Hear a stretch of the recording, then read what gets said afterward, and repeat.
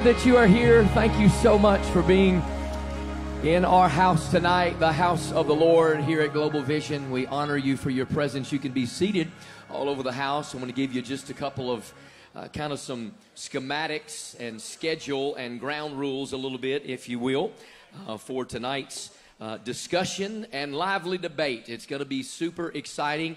Uh, I know, obviously, that uh, not just some of our church folk are here, but a lot of other churches and other church folk are here. And then some non church folk are here as well, and that's okay. I'm just glad that everybody is in the house tonight. Amen. I, am honored that you're here. Uh, we even have people outside that aren't happy to be here. I'm not sure why they showed up, but they're here nonetheless. And uh, I promise everyone will be uh, well protected and respected tonight in this uh, discussion and in this debate. So uh, I want to say uh, just a word before I bring up my friend, and I do mean my friend. Uh, many of you don't know uh, anything about the context of our church. I know you're, you're finding bathrooms, and we're pretty high tech redneck around here. We've been in, in tent church for four years, and uh, so a lot of people aren't used to that. As it gets a little cooler, we'll crank on the heaters and we'll get things uh, to a comfortable level for you in the house. But let me just say this uh, not everybody's here for a, a, flat spherical earth debate, right? Some people are here, maybe, uh, maybe you're searching, you know, maybe your mind's already made up, or for some of you, maybe you're here uh, for the wrong reason. Let me just say this if you're here for the wrong reason, would you please let everyone else enjoy what's going to happen tonight in the house? We would appreciate that very, very much as Christians, and, and I have to talk from a Christian perspective because I'm a Christian and I'm a pastor, and, and I know not everybody in the room is a Christian, nor am I forcing that upon you. We'll both preach the gospel tonight. We're gospel preachers, we're not heretics. We believe that Jesus is not a way, but the one and only way to the kingdom of God. We, all, we believe that in this room, okay? Now, there are some things that we are worlds apart on. worlds apart. There are things that we're worlds apart on, there is no doubt. And, uh, and we'll discuss those things. But listen to me very close. We have a lot of live stream cameras going, including all of our platforms, many other platforms, Pastor Dean's platform. And so there's a lot going on. There's a lot of working parts tonight, right? We got security, we got all of that. We don't want to have to quiet anybody down, okay? We don't want to have to, you know, drag anybody out. And so let's just all be uh, friends and family. Listen, the worst thing about this culture, one of really the top three worst things about this culture is we think that disagreement is automatic discrimination. We can disagree and be okay about some things, right? At the end of the day, God's right, right? God, God's right. I'm not right. He's not right. You're not right. They're not right. It's not us and them. And so listen very, very closely. Uh, I, I'm going to talk, and, and our people know I cry as much as I preach sometimes. So it's a weird context to cry in, but but let me let, me just share something with you from my heart that I think is important, and we're going to get started, and we're really going to have a good time tonight. Might get lively, might get a little dicey, but it's going to be fun, right? It's going to be fun. We're going to let the Word of God do its work, and and we're coming tonight from a strictly Christian perspective. But listen to me. As much as in this room there are great levels of varying degrees of disagreement Understand that at the end of the day, we want to leave being friends, being Christians, being somewhat unified as we can. We will, as believers, attack perhaps ideas and ideologies, but we're not going to tolerate attacking people and attacking individuals, okay? He's not here to attack me, and I'm not here to attack him. Now, both of us have very demonstrative personalities. And so both of us will have to harness ourselves a little bit, and, and, that's okay. And that's just part of who we are. That's why God made us, and perhaps that's the reason that God of the universe put us up here on this platform and maybe not some others, because we, we know when we can really mash the gas, and as the young people say, go ham, and we know maybe when we need to dial things back a little bit. So, the context for why we're here tonight is it's not that I didn't know what he believed about the earth and he didn't know what I believed about the earth. We've been friends for a while and I preached for him at the Skyfall Conference and had a wonderful time. I was there to, to preach on deliverance. I wasn't there to preach on cosmology, nor did he ask me to, right? And so we knew where each other was. But however long ago it's been now, it seems like months, but I guess really only a little more than a month, I had my now famous rant uh, in a Sunday morning message for about 12 to 15 minutes. Uh, because you have to understand, as a local church pastor, there was just a lot of division that began to creep in uh, in various ways and various people. And I thought, you know what? I'm just going to kind of nip this. Now, I'm a guy that just kind of gets up and says what I feel pastorally needs to be said, but here's what I under anticipated, right? I under anticipated on both sides just how passionate people are in many ways about this issue. And so I really picked a scab inadvertently and found out very quickly that there are people on both sides that don't just have a little bit of belief, but a lot of belief, right?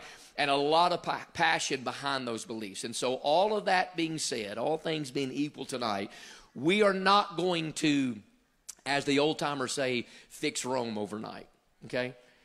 I'm not going to spend the entirety of my time trying to convince you of my position, nor he is. Uh, what we're trying to do tonight is draw some simple conclusions from the Word of God and say, what is the Lord really saying? And for those of you who aren't Christians, I want you to understand that tonight you're going to find out, both from this man of God and from myself and from the Bible, regardless of where we are cosmologically, you're going to find out that there is a God in heaven that loves you deeply, and Jesus Christ died for you. He wants you to be saved. There is only one gospel, and it is the death, the burial, and the resurrection of Jesus Christ. And because we don't serve some dead Jew in a Palestinian tomb, we serve a risen Savior. You can have freedom and liberty and victory tonight. We can at least agree on that. Would you shout amen in the house? So, as our folks are getting everything prepared, make sure we have Pastor Dean's mic and everything he's going to need. Here, here's how things are going to flow tonight. I told him, uh, listen, we, we had a, uh, a gifts debate uh, a year or two ago, a couple years ago, a, kind of a deliverance debate. And we had a guy, and he was super stiff, you know, and he just managed the time. And I said, you know what? I, I don't want us to have that divisiveness and be like, oh my goodness, I've only got one minute left. I said, I really want to make this a debate, but also a discussion. And so here's what we're going to do. In a moment, when I bring Pastor Dean to the platform, we're going to sit down in these comfy chairs, and we're really just going to have a bit of a discussion, right? We're going to open ended, just just bare bones, hillbilly honest, ask a few questions questions each other. I want you to get to know his mindset and the inner workings of how he was led uh, into this uh, theological position as well as myself. And then, after just a little bit, kind of get to know you time, uh, then we are going to allow him to go into his time and uh, he will take the time that he needs. I know he'll have some things hooked up through the, you know, the screens and the HDMI cables and all of that. And so he'll have full control over all of that. Once he does that, then I will get up and it won't be rebuttal time. I'll then get up and give my, my biblical arguments from my vantage point. And then while each of us are speaking, we'll be jotting some things down. You know, perhaps maybe here's a question or maybe here's a, a contradiction or something that didn't quite sound right. And we can write that down. So then after I get through with my discussion, he can then get up and give a rebuttal to what I said. And then I'll get up after that and give a rebuttal to some of the things that I wrote down what he said. And the only way to, to keep us from going back to back over and over again and, and making things boring and mundane is to split it up that way. All right? So again, we're not going to answer everybody's questions. What I found in this debate is that holy smokes, this debate could go for a week. There's a lot of YouTube videos. There's a lot of Twitter, right? There's a lot of Facebook. There's a lot of stuff on both sides of the. We're not going to be able to deal with all of it tonight, but we're going to do the best that we possibly can. And so, ladies and gentlemen, I would like you to respectfully get on your feet and give a good applause for the man of God, Pastor Dean Odle. Come on up here, Pastor. Thank you for being at our house tonight. We honor you. We welcome you. Hallelujah. All righty. Wonderful. Well, amen. Thank you, brother. Whew. Well, we're going to have a lively time tonight. It's going to be exciting. I want you to just, you know, kind of welcome the people and just kind of give us, and again, we won't take a, a long, long time with this, but, you know, hey, church it until tomorrow, and you drove a long ways to get here, many of you, and uh, so it's going to be a good time. Kind of give us a, just a working idea in the ministry of how you were led into this.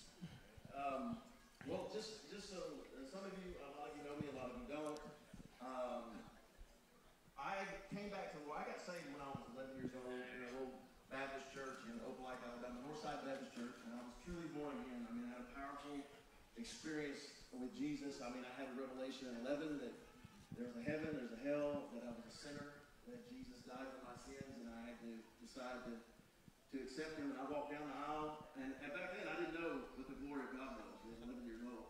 But the glory of God was around me as I walked down the aisle. I don't even remember. I don't even remember. I remember stepping out of the aisle. I don't remember walking down it.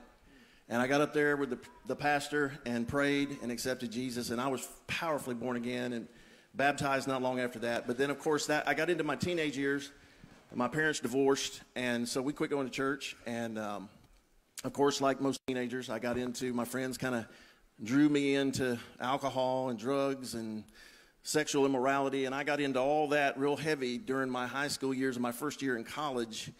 And uh, so when I got, I was 19 years old, I decided, well, I'm gonna go out and work. You know, in fact, I was in uh, Alabama. I was at Troy State University, it's now Troy, and uh, I was really feeling depressed. I was partying. You know, I was in Sigma Chi fraternity. I was getting drunk every night and partying every night, and I was getting burnout. And I had a modeling contract. I was supposed to be in the first Die Hard movie and all that stuff. And so we're, we're, uh, we're getting ready to do that. That's a Christmas movie, by the way. I just want you to know that. it is. Uh, yeah, my favorite ornament's the one where he's in the air duct. And yeah. Um, but uh, I was going to just go work for the summer. And um, I was going to work for the summer and then go to Hollywood. Actually, that's where I was headed. And uh, God had other plans. The guy I started working for started talking to me about Jesus. And I knew everything he was saying was true. And then when he finally said, used the scripture from Galatians, he said, No drunkard's going to inherit the kingdom of God. And I was a drunkard, man. And uh, I was convicted for three weeks. And then somewhere on my day off, about, three, about a month into this, the Holy Spirit spoke to me. The first time I really know that God spoke to me. And he said, Son, you can have everything the world has to offer and go to hell, or you can surrender your life to me and live forever. And I, he was making me choose. And I could see if I went to Hollywood, what was going to happen. The Lord just gave me a vision. I saw it. And, uh, and I said, Well, Lord, I'm going to go with you. And I told him, I said, Lord, I'm going with you or I'm not going at all. Will not be a hypocrite. And so I went and prayed with my boss that day and repented of my sins and really quit the drinking and the drugs and the alcohol and the sexual immorality and turned my life over to Jesus. Um, and I've had some powerful experiences with him. Uh, just shortly after that, I had an open vision of, of heaven, saw him. He called me to the ministry. That's a whole other story. But so I started preaching uh, when I was 19, preaching on the street and witnessing to people. Uh, my first convert was a high level Satanist witch, and that was, uh, uh, that was an experience. Uh, I learned a lot there. And in fact, I've been doing deliverance since 1987, brother. Amen. Yeah, amen. And then, of course, you know, then God began to progress me on and have me start planting churches, and I did that. And I've done a little bit of everything preaching prisons and did evangelism and did college campus ministry all over the country and stuff like that. And been to uh, preach in the Middle East, spent time in the Middle East, Africa, the island of Mauritius, out in the middle of the Indian Ocean. So I've led a lot of people to Jesus over the years. A lot of them are pastors now, ministers now. So um, I've been in the ministry a long time. And so in 20. Um, 2008, I was in a church in Washington, D.C. I was, was kind of under working on staff. I wasn't the head guy. And I found out that they were compromised in a lot of areas. They were actually semi pro abortion. It was, it was horrible. And uh, I knew the Lord wanted me to speak up and deal with it and confront it, so I did. And uh, the Lord told me, said, they're going to fire you on November 30th. It's 2008. They're going to fire you. And I said, yeah, okay. They're going to fire you, and then when you do, I want you to go back to your hometown and start a church. So uh, they fired me on November 30th, and uh, I went back home and we started Fire and Grace Church in Opelika, Alabama. We're right next door to Auburn University, so I'm a big Auburn fan. And, uh, and that's where we started 2009. So fast forward, you know, I preach on just about everything. I talk about the Nephilim, the giants, the alien stuff, the, you know, I talk about everything. And that's why I'm going to this place because in 2015, the Lord spoke to me about two months before God really opened my eyes to this. And he said, uh, he said, I got something else to show you and it's big. And I thought, what in the world could it be? I mean, I'm already casting demons out of Christians. I'm already, you know, ostracized with that. I had to walk away from the assemblies of God, just become independent, you know. And uh, I said, what could it be? And so a friend of mine that I that had gotten saved out in Hollywood. I mean, this guy worked with all the big folks in Hollywood. He gotten saved, and I was kind of mentoring and discipling him from a distance. And one day he just sent me this question. He said, "Does firmament earth ring a bell?" Now he's already a little strange being in Hollywood, but I was like, I was like, what is he talking about? I don't even know. So he sent me this video, and it said nothing about flat Earth or biblical cosmology. It said nothing about it in the beginning, but I just started watching it. And the first part of it was a lot about NASA's fakery, where they've been caught faking stuff at the ISS, and all kind of stuff and the, the moon landings and all that. And I already didn't believe in the moon landing. So he sent me this, and I'm like, what is he talking about? But as he got about halfway through it, the Holy Spirit just came all over me. I knew. I said, you know what? They've lied about everything. Not just some things, but everything.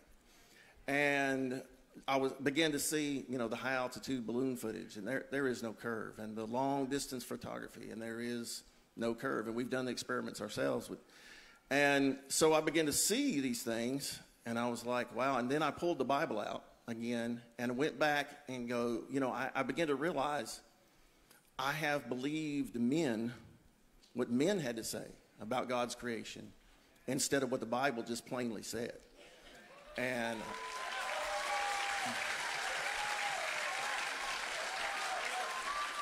and I realized, you know, even in my younger days, when I was in my 20s and 30s, I would read Joshua 10, where Joshua told the, the earth, he told, you know, he's standing on the earth and he tells the sun and the moon to stop moving. And I would always say, wait a minute, Lord, how does this happen? Because he didn't say, tell the earth to stop spinning. So I, that always troubled me. I could never reconcile that in my mind with what I had been taught from a child.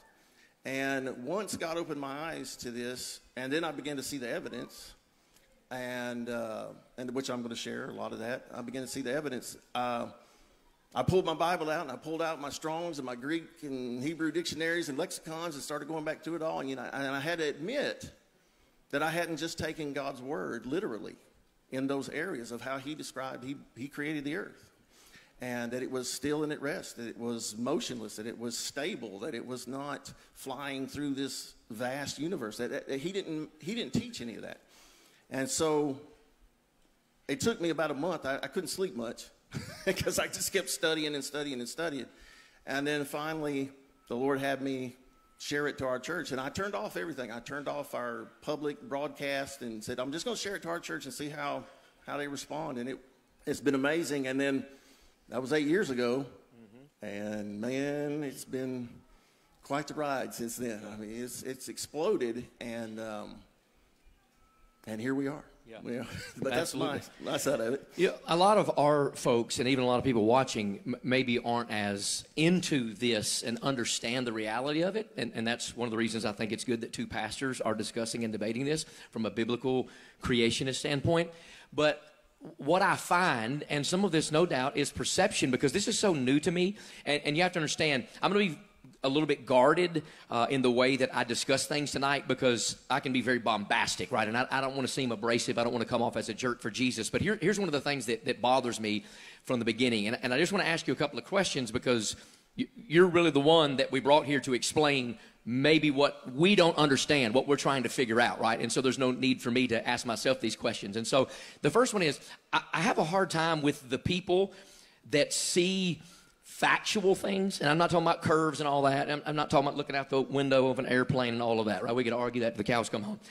But I watched this show, uh, this Behind the Curve, right? And there were three times in that documentary where the evidence proved rotation and curvature. And in each occasion, the flat earth individual said, ah, you know, it's, it's not going the direction that we want it to go. And then, of course, they ended the whole show with, well, that, that, that's interesting, right? And so my question is, why is it that when, when we do come up with an argument, it seems like it doesn't matter what we say, you're just not going to believe it. Does that make sense? How can you just reject well, that, the that evidence? works both ways. Yeah. Oh, understood. Yes. Because we show evidence, and then everybody, you know, people go, "Well, I don't care." Here's the thing about whether it be the gyroscope, that that uh, electronic gyroscope, and I, I, remember that. Now you've got to remember, you've got to look at things like it, just because somebody does an experiment, that experiment has to be repeated again and again mm-hmm. and again and observed again and again before you realize it. But see, Michelson Morley, the two scientists in the days of Einstein, did an experiment, the famous one, where they proved uh, that the earth was not moving through the ether. And the ether was an accepted concept back then, and really more and more physicists are coming to accept the ether. Now, what the ether is, is it's an unseen, you can see it sometimes if you zoom in on the moon, but it's actually a, a, a dense type, superfluid type gas. It gets more dense as you go up, and I've, I've talked about it a lot, but here's what they, they discovered. When Michelson and Morley did their experiment, they did find one sixth movement okay? Because the ether is moving. The ether is what we believe the, the sun and the moon are moving in a circuit, as the Bible says in Psalm 19, that the sun and the moon's moving in a circuit over us, and that they're at a certain altitude, and that literally that ether current is what's pushing it around. I found government documents that actually admit this, that they believe in the ether current and they believe in the ether. So the ether is moving. So certain instruments, like when Michelson Morley did their test to see if the earth was moving and the gyroscope, sometimes they're going to pick up the movement of the ether and not necessarily is, does it mean that the earth is spinning. Now, like one of the big arguments of the global side, the spinning ball side, is the Foucault pendulum.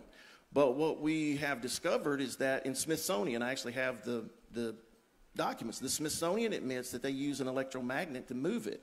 And my friend Matt Long is here, who used to, where are you, Matt? Just, there he is back there. Matt Long used to work for a construction company that actually installed one of those electromagnets on the pendulum. So they say, they try to tell us in the media, through the media and the, and the agenda, is that the earth spinning is what's moving the pendulum. But they, you have tour guides that will admit, when they, the folk Foucault pendulum, they'll admit that they have a, a motor on it, an electromagnet motor, that, it, that if it was left alone, it'd stand still, but they, they keep it moving. So what I'm saying is that there's a lot of stuff that they, that's put out for evidence, but once you really look at it, and you could even find them admitting it, that it's kind of gets debunked real quick. But there's a movement in the ether for sure. But let me, let me just say this too. I spent, I've spent hours. I was one of the, I am the one that put out the government documents because I, I spent one day sitting, I sat down with a cup of coffee and at like nine o'clock in the morning and I didn't get up until five that, that afternoon digging through the Freedom of Information Act uh, room where there's declassified documents there. I found Russian and United States military, CIA, you name it, documents that admit that we live on a non rotating flat earth. And I could give you literally dozens and dozens and dozens of those documents that our government admits it, but they kept it secret from us. So, what I'm saying is, there's a lot of evidence. And the original science, in fact, Einstein created his famous theory of relativity uh, because once they, that, that Michelson Morley proved by scientific, they admitted that their experiment proved that the earth was not moving. But they could not accept that because they were hardcore Copernicans and they just didn't accept it. And so he came up with the E equals mc squared theory, right? But Tesla, Tesla said his theory was just a bunch of hogwash and he was a fuzzy headed idiot. And Tesla was the one that was the real inventor and true scientist. So, um, so what I'm saying is, is that, that it, it works both ways, you know? But you got to, I will say this uh, people that are on our side, my side about this issue, you, you, the other side, you have to remember this about us. We believed everything you believed before. You know, because that's what we were taught.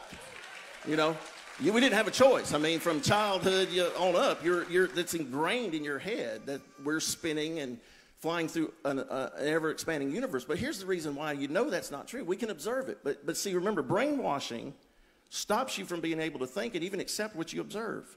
Now, they tell us we're, we're going around the earth 66,000 miles an hour, 67. I mean, it changes all the time.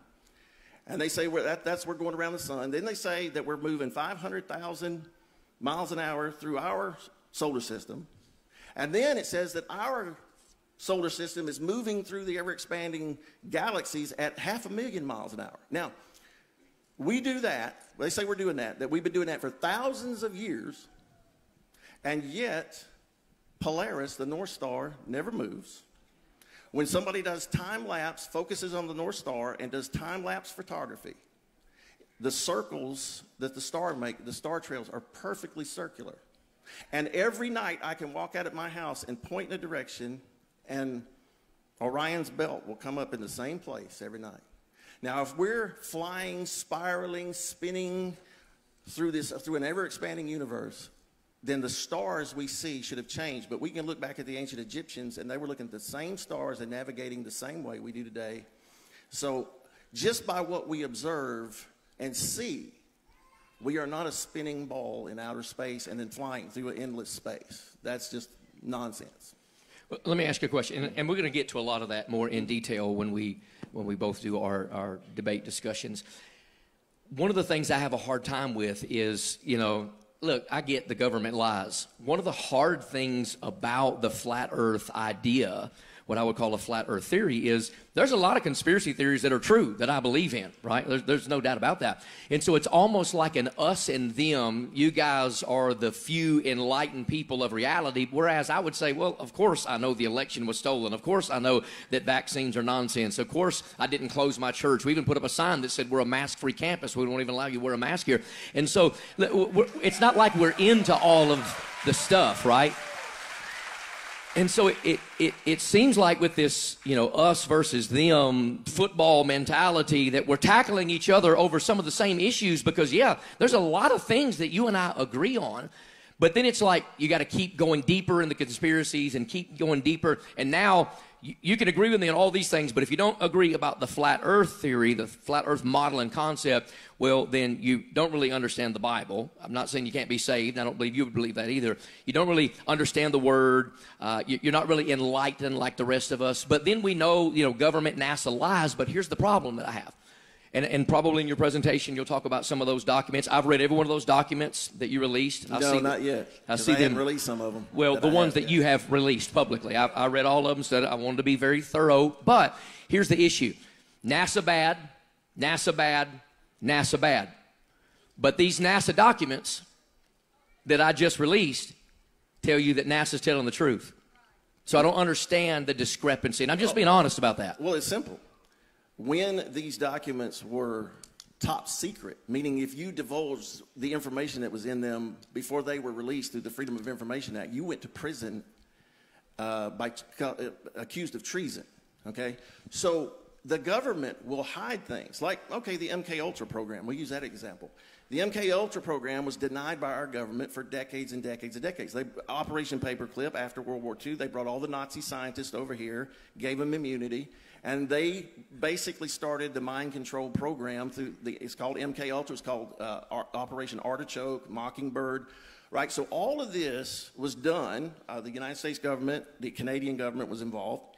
All right, all of this was kept top secret until it got leaked out in the 70s and through the church committee, and it got leaked out, and then they found the documents buried in the, um, the CIA headquarters and they had destroyed, matter of fact, the CIA director, Allen Dulles, had destroyed about 200,000 documents trying to c- cover it up, but they found some hidden in another office. So all the truth came out. So what I'm saying is the truth came out in the 70s, and finally, actually, Bill Clinton, President Bill Clinton, actually apologized because experiments were done on human beings, mind control using drugs and, and physical abuse and sexual abuse and sometimes against people's will without their knowledge. And some people died in those experiments that the CIA was doing. Now, you could look back and go back then and say, oh, that's a, that's a conspiracy, uh, and the government, you know, the government covered it up. But when those documents come out that were kept secret, and we know, okay, they, they, they were discussing this between them, and they have to do that. And it's the same way with NASA, and it's the same way with our other government agencies and military. They don't tell us everything. What they actually do.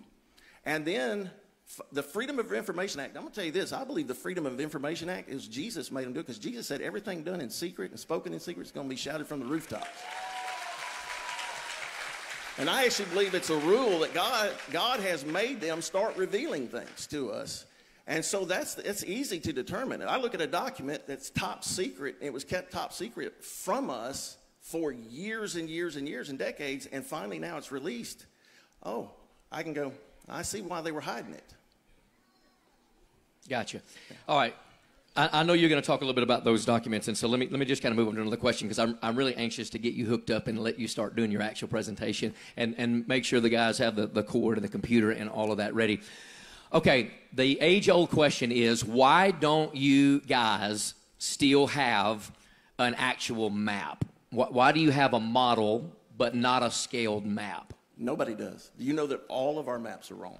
Every single one of them. Well, we have a scale, and you can tell me that this is 200 miles apart from certain towns, and I can look at the scale well, on a the, regular map, the, and I can drive it. It's exactly 200 miles the apart. The Gleason map works works really well. And again, you have to know how to use map. Maps have different scales and different uh, different things that you look at. But bottom line is, is that all maps are wrong. The projection map, one of the Mercator maps show way, show Iceland like bigger than Africa, and that's not true. So what I'm saying is, all map. Nobody has a true, accurate to the perfect map. That's just a fact. Not your side, not my side. We're still working on it. But we can travel based off our model and based off our map and get exactly where we want to get. But you can't do that on the model of the flat Earth. No, it's not true. And even Africa is like 3,000 miles wider than it's supposed to be because it's looking down on a spherical Earth and it's just been flattened out. It's, it's absolutely not true. Um, That, that is 100% true. No, it's not. No, it's not. No, No. it's not. In fact, what, what, navigation, and I have this in my book, navigation is called the Great Circle navigation, not Yes. the Great Sphere navigation. All right, so everything. Yeah, but every pilot would tell you that's an No. actual commercial airline pilot. Where's my Army pilot? Where's my Army pilot? Yeah. Stand up, Army pilot. Where are you? Okay, see, There that, is. So what I'm saying is, not every pilot will tell you that. I have a, a friend, good dear friend. commercial airline pilots will commercial tell you pilot, that. A commercial pilot will tell you. I have multiple. In fact, Because I don't want to get on a plane of a guy that doesn't know about the rotation of the Earth because I'll end up in the wrong place. That's the entire idea. Because this is what okay. This is a perfect example of what I'm talking about. All right, if if you if you believe the Earth is spinning, and if you believe in the Coriolis effect, that you have to. I that. definitely believe in the Coriolis Well, effect. it's not even in the in the SEAL manual, and I have a SEAL friend. So, what I'm going to tell you right now is that if that was happening, you could not land a plane on a north-south runway because if the Earth is spinning at thousand miles an hour, and an airplane is flying at 500 miles an hour, and you have to count in velocity and you have to figure all that in, they could not land on a north-south runway. It's impossible. Gyroscopes in planes tell the, the pilot that they're flying flat and level and many many pilots have come out. An f-16 pilot's come out and a whistleblower and said it's flat. He knows it here's another thing you see a f-16 i've been in down in pensacola where you see the blue angels do their thing they will fly 50 feet off of the water breaking the sound barrier okay now that means that they are moving over 700 miles an hour, right? They break the sound barrier. Sometimes they're flying at Mach 2 in a straight line. Now, if they're flying that fast and the Earth's curving, and most people don't, on, on your side do not know how much the Earth curves, they don't even know the, the formula, but it's eight inches per mile squared. Now, if you do that going that fast, you're going to have to be nosing the plane down. In fact, if you're going 500 miles an hour, you're going to be nosing the plane down like 2,000 feet, which is over half a mile every few minutes, right? If you're flying at Mach 2, it's incredible. They would have to be nosing the plane down continually, and pilots will tell you that they never nose their plane down to follow the curvature of the Earth. That is a fact. They don't have to have their nose down to follow the curvature of the Earth. They fly at altitude, and altitude takes care of the curvature of the Earth. That's No, the entire no, no, point of, of a pilot. That's how he keeps the plane in the air. Me- to, to me- say that you got to nose down and go around the explain, Earth well, let me would, explain would, something would be about. Let me explain something to you about aerodynamics. Aerodynamics will tell you right now you cannot fly a plane at Mach 2. You cannot fly a plane in any curve. I don't care if it's this way, this way, or this way. They do not fly. They will come apart. That's why the SR 71, there was one time, it just came to pieces. It had to fly straight and level, or it would just burn up and tear apart. So, no, I'm sorry. They don't nose a plane down. So you've flying. never seen a plane curve. You've never seen a plane do flips, go up, go down, barrel roll. You hear? You, no, no. What you're talking about is you're going somewhere else with this.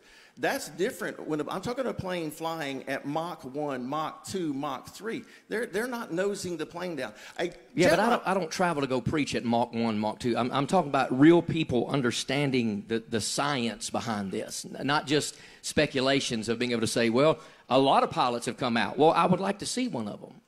Because They're Because here. They got one they're, here. They're not. They're, they're not here. He, he, he just said he wasn't a military pilot. Got heli- Listen, these are the people. That guy right there. The these white are the, shirt. These hold are on, the Hold on now. The white shirt guy. Commercial a- airline pilot? Army pilot. commercial airline pilot. What difference does it make? because the people that want to talk are helicopter pilots are the only flat earthers I've ever met, and I've only met three of them, which is fine. And then people that fly small planes for small distances, because if you're going to get in an airplane, and I know you guys hate the southern hemisphere and all that kind of stuff, I- I'm telling you, there is no possible way to make it from point A to point B without curvature and rotation of the earth. It's an impossibility. Now, I know your side does not believe in that.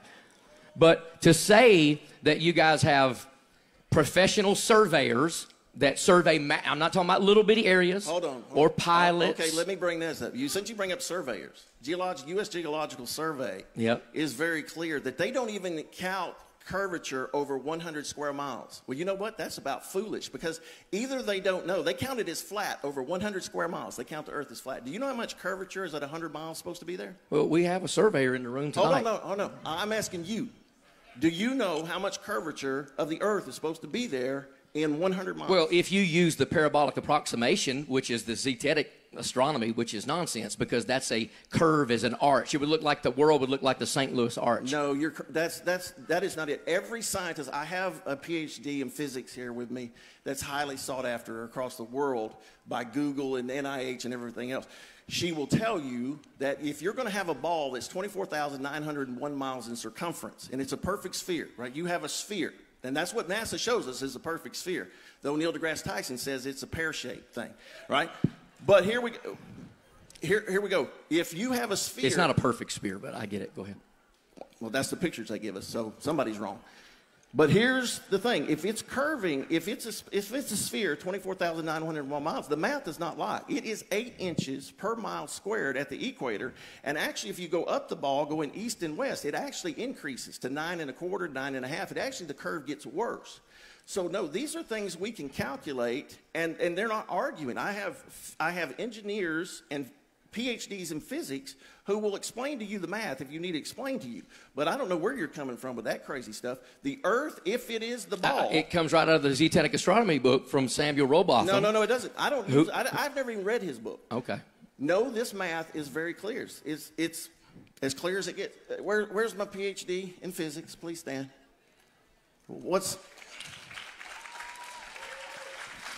The I'm square gonna, just, I'm gonna just ask you to raise your hand. is an approximation. Does the Earth, if it's a sphere curving uh, 24,901 miles in circumference, does is that an average of eight inches per mile squared? Yes. Okay. Right. But the square is an approximation, yes or no? No. Absolutely And it it's is. actually 7.9 inches. It's accurate. It's very accurate. So, like I said, it's it's that's a PhD in physics. Now, if you want to go, she does experiments at Tuskegee University in Alabama, and like I said, she knows what she's talking about. So, I, that's why I brought these people because we're not going to go down these these these crazy roads. I mean, the, math is math. Yeah, exactly. Yeah, And the math is not in your favor. And so, I mean, yeah, anybody could bring testimonies, anybody can bring doctors, PhDs, that's fine. But the squared is an approximation. It's a parabolic approximation for an arch. That's 100% the facts. No, That's, that's disagree. 100% true. No, no, it's not. Uh, It is. It is not. If you draw a circle, you can figure out how much it's curving. Yeah. So at the end of the day, so at the end of the day, parabolic approximation, it is an approximation, but the question still has to be answered regardless of how off our maps are, which we can navigate very well with them. Why is there no real map for the model of the flat earth? Why is there no curvature when we go out with high zoom cameras? That's not what I and- asked. No, no, I, I can ask whatever I want to ask. I, look, look, I don't agree with you about that. I know. That's. I just want an answer to the question. Is there an actual map that can be produced like we have a map? We don't have a model. We have a map, and an entire model that can be made predictions off of. I've already answered the question. I'm There not are no again. predictions I'm not answering it again. that can be made all the from maps, a flat Earth model. All the maps are wrong. All the maps are wrong. All the maps are wrong. All the maps are wrong, and they know it. So They're then, why isn't your map wrong when you say Antarctica encircles the entire disk, and the North Pole is right in the middle? Mm-hmm. Wh- Why isn't your map wrong, but our map is wrong? But the model proves that all the predictions for our map are a thousand percent correct. They're not. The early, listen, you got to understand that there are people. That's why they. I do understand. That's why I'm asking you the question. You interrupted me. I tell you what, I'm not going to do this interruption thing. All right, I'm not. So we can just go to a presentation if we're going to do this. I'm not doing it. I just want you to answer the question. No, no, I'm not doing it. Why not? I'm not going to do this interrupt because I start giving an answer, you interrupt me. No. I'm Answer the doing it. question. I'm not doing it. I'll give you 30 seconds of silence. Why do you not have a map or a model that can make predictions? Why we do? We do. And I'm going to tell you, it's been very accurate. The astrolabe is another instrument that's, that's proved this. It's based on a flat, non rotating Earth. The astrolabe, that's how they navigated seas long before we got to this nonsense, okay, about their spinning ball thing. It's always been based on, even the compass itself is based on a flat, circular Earth. Not, it, it doesn't work if you're down here, it's not pointing through the ball.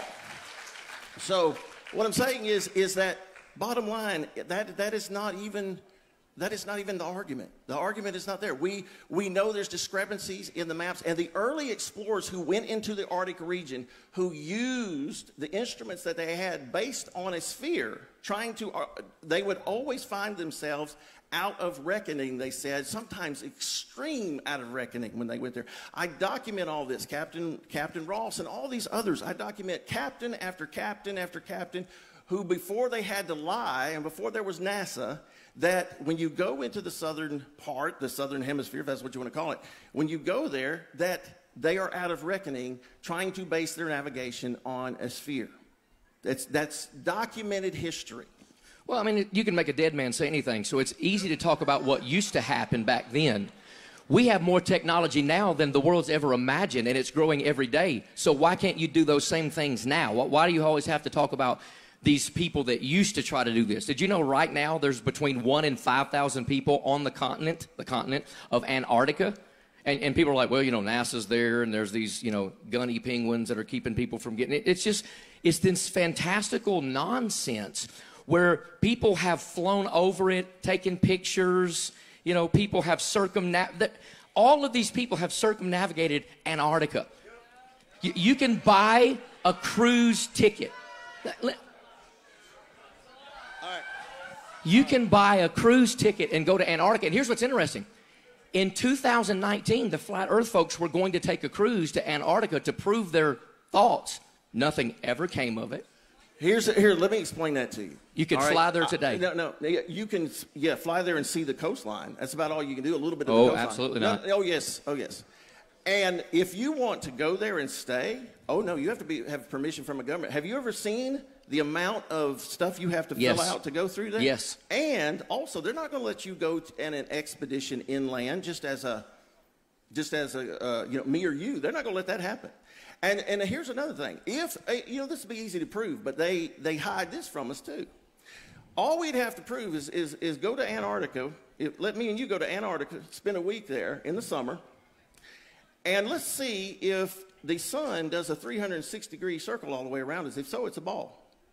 But if the sun comes in this way and then leaves that way, then it's not. It is what we say it is. And there's been they've had they have they have webcam videos, right? You, at Antarctica, and there'll be a flagpole sitting there. And and the, and so if the sun's coming in this way, you should have a shadow here, and then it comes in and it should be here, and then it comes over here, and then it should just be back here.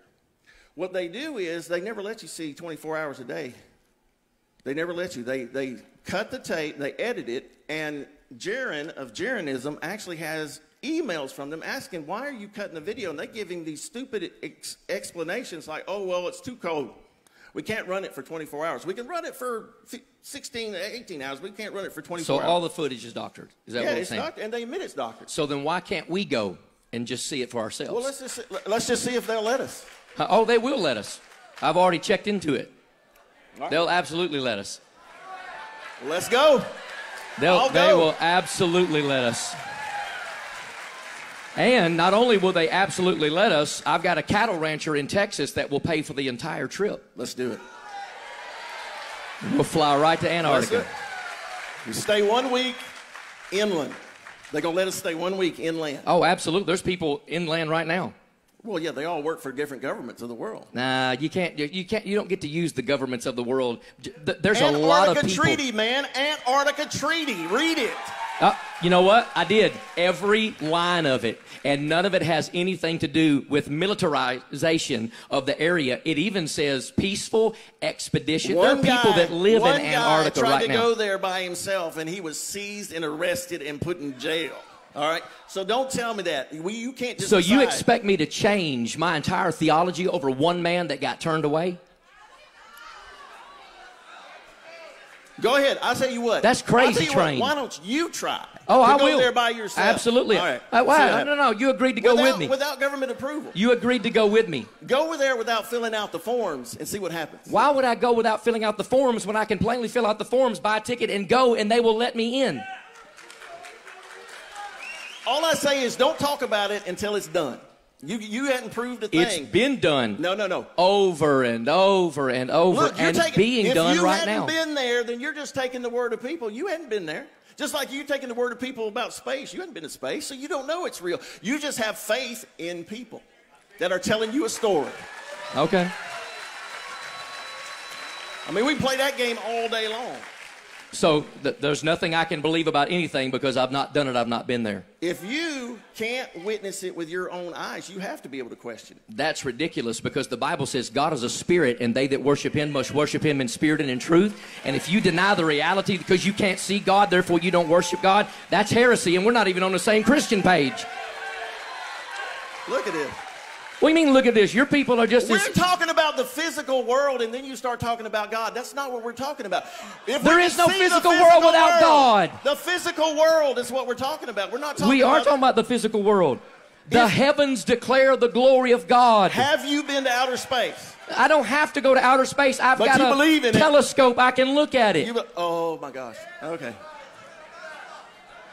Is this what we're doing? I'm gonna tell you, Greg. I'm not doing this. Uh, this, this because right- you have no answers. I have given you plenty of answers. Stop. Let- hold on, hold on. We're stopping right now. Hold on a second. I didn't come here to have an argument, okay? I came here to have a, de- a, a, debate where we look at the scriptures. So We're going to look at the scriptures. I'm going to tell you right now. We got to set the tone before we look at the scriptures because we got to get through all this crazy train nonsense so we can understand what the Bible Crazy actually train says. nonsense. All right, we're spinning. We're spinning a thousand miles an hour. We're flying at 66,000 miles an hour. We're- 67. Uh, they change it regularly. 500,000 miles an hour is through your space that you believe in, and yet our, sta- I don't. I don't. our listen, stars never change. I Our know the Earth the star- rotates one time a day, a thousand miles, a thousand Our miles an hour, and I believe in the 66. I don't know about all this. The whole galaxies move. If there are people in this room that believe the Earth is stationary, but want to convince me of upward acceleration instead of gravity. That's not true. Nobody believes that. Uh, Sure they Nobody do. believes that that I know. No- nobody believes in upward acceleration in the form of to misplaced No. gravity. Do you hear it? No, we don't. No. No. That's the Flat Earth Society. They're controlled opposition. They believe a bunch of nonsense like a pancake. So the Flat. Earth so That y'all is don't- not what we believe. Okay, so y'all don't get along with the Flat Earth Society. No. They're what do you call them? Shields. Yeah. exactly. So okay, look, I, this this is what I have a hard time with. There are like nine different models or beliefs about flat Earth, and I don't understand who's right, who's wrong. Why is Flat Earth Society wrong? But why are you guys correct? You know, you see what I'm saying? That's what I don't understand. And so just shouting things is not going to help. The reason people can't fathom this is because there's so many different belief systems about it. Whereas we have one model that works. Yeah, because you've been brainwashed with it since you were born. That's why you have one model. That's what they wanted you to believe. But listen, we can go back. We can go. Okay, we can go back to the scientists who, who believed. You know, the people that, that that y'all look to for this. You know, that created. This I don't look to any of them. Copernicus and all them. Look, they were thinking the sun was 3 million miles away. Then it was 12 million miles away. Now it's 93 million miles away. So don't tell me about model. You guys have been working on this That's thing. because there's technological advancements across Yeah, the ages. But again, it's been changing all the time, and I don't believe the, the sun's 93 million miles away at all. Well, in I fact, understand that. In fact, there's evidence to prove that it's not. So what I'm getting at is we can do, like I said, we can do this little argument right here all day long. But I didn't come to, I didn't come to argue like this. I mean, I mean, maybe you want to make a show out of it, but I'm not here to argue like. I, I just want to answer the questions that I don't have the answers to, that I'm trying to figure out. well, I gave. They're I, very simple questions. Very, very I- I- you know, no, no, you're not going to play. Look, here's what you're doing. You're playing this little game here with me. You don't have an answer. You don't have an answer for because why- I'm not a flat earther. Hold, no, hold on, hold on. You don't, I'm talking about your model. You do not have an answer as to why we've been flying through this ever-expanding universe at 500 I- uh, oh, I do have an answer. Hold on, and the stars never change in our view ever. That's not true. That is true. That is true because I've been I've been looking at it for a long time. It is true. Well, go to the southern hemisphere and look at the same ones. Yeah, I've looked at it. I know. You've been in the southern hemisphere. Yes, I have. A- And you've looked up. Can Yeah. you see Polaris from the southern hemisphere? Sometimes you can. It depends. You But- never can. Uh, no, no, no. You, to You a never certain, can. Sort of to, to a certain degree south, you can. But here's the thing. In our model, the biblical model, I believe, and we believe, that both the sun and the moon are much smaller and much lower and closer to the earth, as well as the stars. Same lower. size? We, we don't, yeah, we believe they're the same size. And we don't believe, we don't believe the stars are some distant galaxies that are trillions of miles away. Right. We believe the stars are much closer. So when things are smaller and closer, when you move away from them, you don't get to see them because of perspective. It's anything like I've got a, I've got a video, I'll show you in a minute, where a guy puts his camera on the ground on a flat football field and he starts walking away from it. Well, he starts walking away from it, his feet disappear first. And then he gets up to his knees and then up to his waist. And then by the time he's at the end of the football field, he can squat down, you can't see. He hadn't left the flat football field right? It's a matter of perspective. And so what happens is like the sun doesn't go down, it doesn't go around a curve. It just simply gets too far away for us to see because it's lower and smaller and it gets further away. And it's actually what the Bible says. The Bible doesn't say, you know, the King James will say the sun goes up and down. If you look the word up, it's bow in the Hebrew, and it means just to come in and go out. That's all it means. Like to walk in, it says like to walk in the front door and walk out the back door. It's not talking about going over a curve. And so, again, that's what I'm talking about. Our model, and, and that's what we get at. I, I'm not, you, you, you try to take your model and apply stuff to it to ours. They're completely different. Oh, As- they're way different. There's no doubt about that. They're There's no doubt. different. And I'm, I'm not trying to amalgamate the two. There is no amalgamation in them, okay? I, I, I, there's no way I can believe that the sun and moon are the same size and they're, what, 32 miles wide? Is that Something like that. Like 3,000 miles? Why, why can't I go out in the middle of the night and get a telescope and find the sun? You can't because every instrument, I don't care what we have. I don't care if it's the most powerful instrument you got. It has a limit to its vision. I have most of us in here have a P900. I have, have a but, P900. yeah, yeah, but I'm talking about like a telescope. Yeah, we've used telescopes. We've used So why can't I find the sun if it's only it's, 3,000 miles it's away? It's too far away, and it's moving. Uh, it's How moving, can it a- be it's too moving a thousand miles an hour, and it's moving too far away. Again, it's perspective. It's like anything. I don't care. You can drive a car down the road, and sooner or later, it's, even if you're in New Mexico or Arizona, sooner or later, it's going to disappear from your vision, though it's still on the road. It's still going. And then you can take a high zoom camera and you can pull it back in and catch it again. But eventually, as it keeps going, it's going to get out of the range of that high zoom camera or telescope. They're not. Every telescope and every camera, no matter how powerful its, its optical abilities, it still has a limit to it. So it runs out. And so what happens to us, we have a convergence. The way we see things, everything goes down like this to a point. That's why when you see a plane, a plane can be flying at us from this direction, and it can be maintaining an altitude of 40,000 feet. But when you're looking at it coming at you, it's going to be low on the horizon. Then it's going to look like it's high above your head. As it goes over you, your eyes are seeing it as it's going down this way, and it's never changed altitude. That's the same with the sun or the moon or the stars.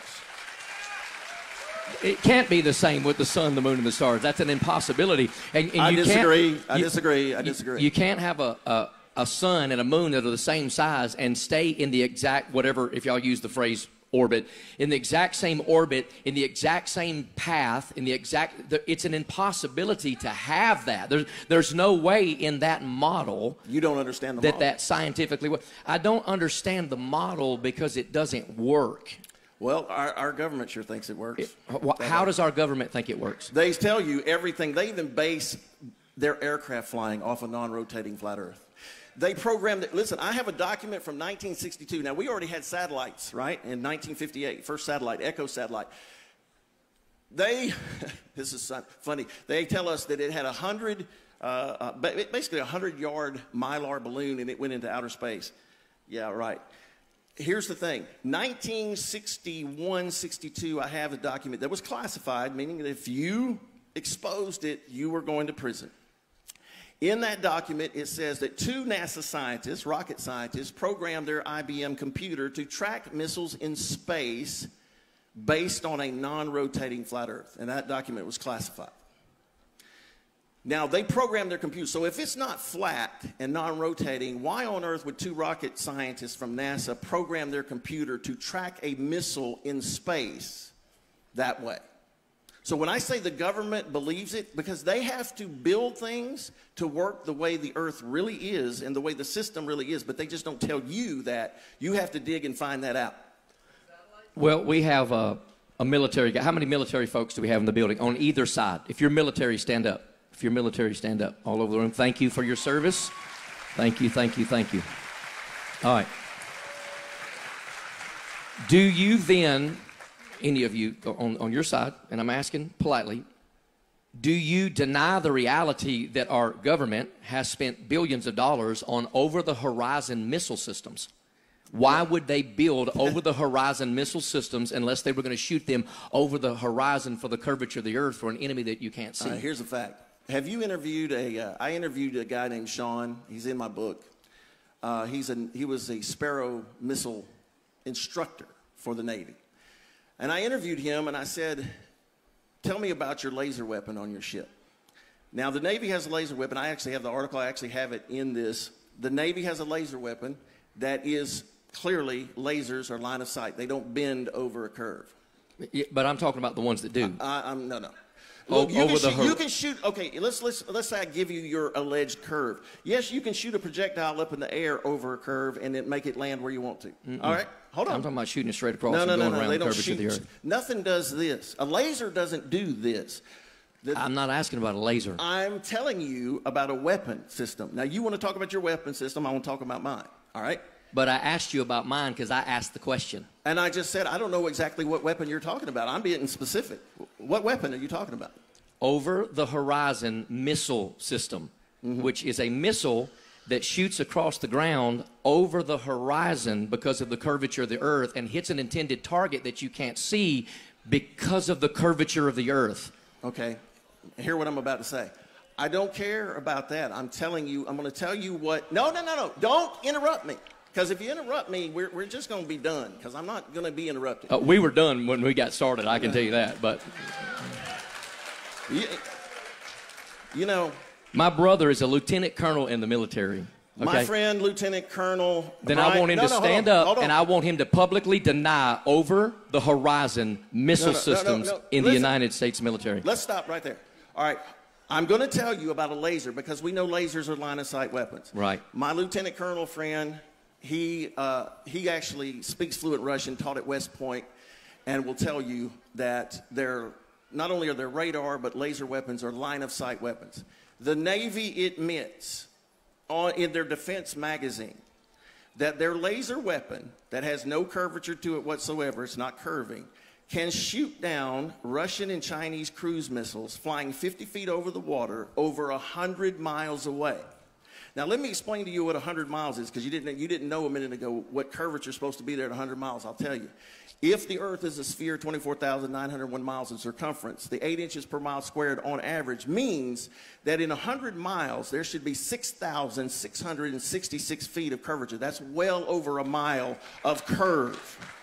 There is no laser weapon shooting from a Navy ship doing this to hit a missile moving at Mach 4. I'm sorry, but the Navy admits by that the Earth is level and non rotating. I, I can assure you the United States military does not admit that the Earth is flat. And if it does, then how come you can't trust them, but now you can trust them? You see, you only trust I already people, answered that question. You only trust people that are on your side. You never trust anybody that has an opposing side. Not true. That 100% true. I've listened to I've listened to all kinds of people about this stuff. I've interviewed all kinds of people. I guarantee you I've done far more research than you have on this issue. Oh, I guarantee you after this debate I'll never research this foolishness again. I can promise you that right now. Well, see, that means you've already made up your mind. I have made up my mind because I'm about to show you from the Bible God's made up his mind. I love to see that. You're about to. Because I know you can't do but it. But you get to go first. So get your computer and get that thing hooked up because I got a lot of questions I could ask.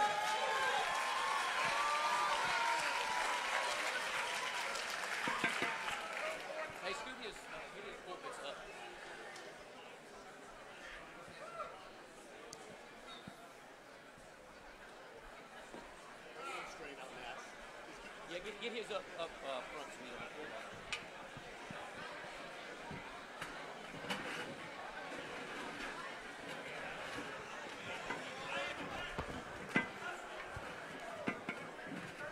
There's supposed to be a power cord for him up here too.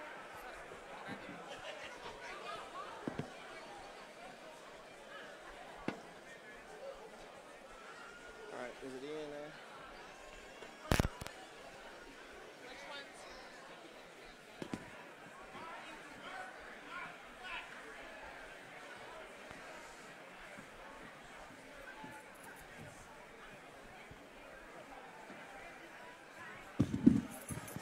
This is Mike.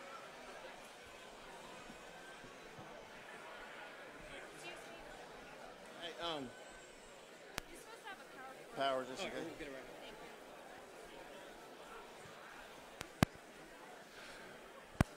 Is it gonna shut off? Hmm? There you go. Hey.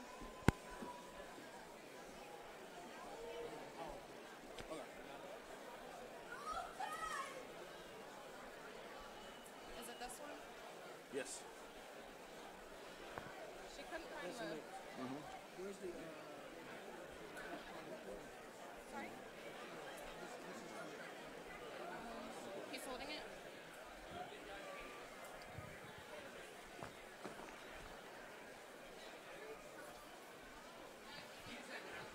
What's that?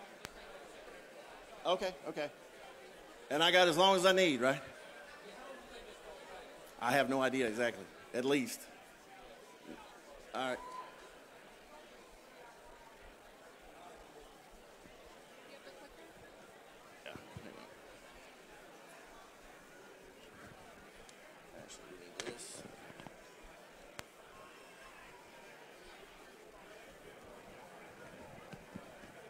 The guy in the green was the one helping me. I'm not sure All where right. he went, but if there's an issue with audio, Hmm? if there's an issue with audio, that's the guy that's. All right. She couldn't find your cursor. Hmm? Pastor Nancy couldn't find your cursor, but we didn't want to restart the computer. No, that's fine. Yeah, it's been having that problem. Alright. Well, that should work. line of sight laser system 2014? What is that? Line of sight laser system started in 2014. They can name it whatever they want to. Yeah. Okay. I think she told me February. Yeah. So are we? You got it. Yeah. All right. Yeah. Huh? So is it? Boom. Working. Huh? I need my water there. Okay.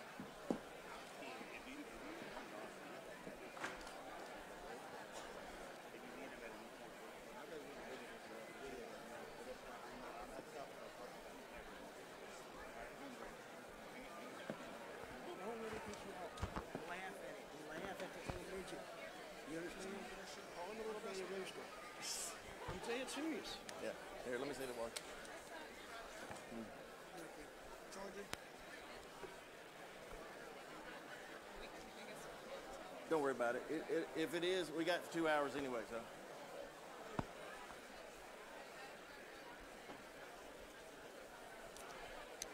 Yeah. We're all happy to have you as our pastor. Thank you.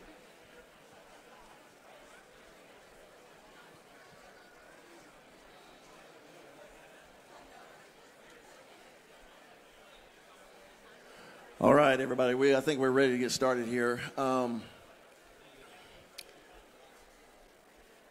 and I'm going to show some things. I'm going to go through. I actually have a lot of slides, but I'm going to try to get through them as quickly as possible. Um, what's that? Let's pray. I agree with that. Father in heaven, we come to you today and we just thank you for this time and we thank you for this opportunity. We just open, uh, Lord, just pray you just open hearts and minds right now to hear your word for what it says. It's not metaphors and uh, similes and illustrations. That, Lord, your word, you said exactly what you meant about how the earth is and how your universe is. And we believe that, God, and we thank you for it. And we just pray for your peace and your truth right now to go forth in Jesus' name. Amen. Now, let me just go ahead and state this out front. When it comes to the Bible, it's without question a flat, non rotating, geocentric earth. That's just the way it is. The only way the other side gets to make it a spinning, flying sphere is that they have to say, oh, those passages about the pillars of the earth and the foundation of the earth and the earth doesn't move, that that is just uh, metaphors. That's just poetry. But, folks, I'm going to read this scripture here. We're going to read a few scriptures first to start off with. And this is 2 Peter 1 16 through 20. You guys can put it on the screen for everybody. Let's read this. He says, For we have not followed cunningly devised fables when we made known unto you the power and coming of our Lord Jesus Christ, but were eyewitnesses of his majesty. For he received from God the Father honor and glory when there came such a voice to him from the excellent glory. This is my beloved Son, in whom I am well pleased. And this voice which came from heaven we heard when we were with him in the holy mount. We have also a more sure word of prophecy, whereunto you do well that you take heed as unto a light that shineth in a dark place, until the day dawn and the day star arise in your hearts. Knowing this first, that no prophecy of the scripture is a, of any private interpretation. For the prophecy came not in old time by the will of man, but holy men of God spake as they were moved by the Holy Ghost. Now here's the other scripture we're going to go through. All scripture, the 2 Timothy 3:16, all scripture even the parts that they want to call metaphors and poetry. And I think Pastor Greg called one, he said hyperbole, but hyperbole means exaggeration and lies, and God doesn't do that. Uh, the Bible doesn't use those things. God means what he says. Now, there's, few, there's symbolic language. I'll say, like, for instance, let's, let's talk about a symbolic language. The Bible talks about a seven head, ten horn beast in the book of Revelation and in Daniel, right? But that seven head, ten horn beast we find out is a literal thing. It's going to be a world government. In fact, the United Nations has already become that a seven head, ten horn beast. You have the five on the permanent council. You have the P5 plus one, which is Germany, makes six, and then the EU head comes in when they have a serious problem, like the, the Iranian nuclear deal. So you have seven heads, and then under that, you have 10 rotating positions. So literally, the UN, that's going to end up being a world government, has already seven heads and 10 horns. So even though there's symbolic language at times in the Bible, it's talking about something that's real. Okay? And that was what we need to agree on. But all scripture is given by inspiration of God and is profitable for doctrine.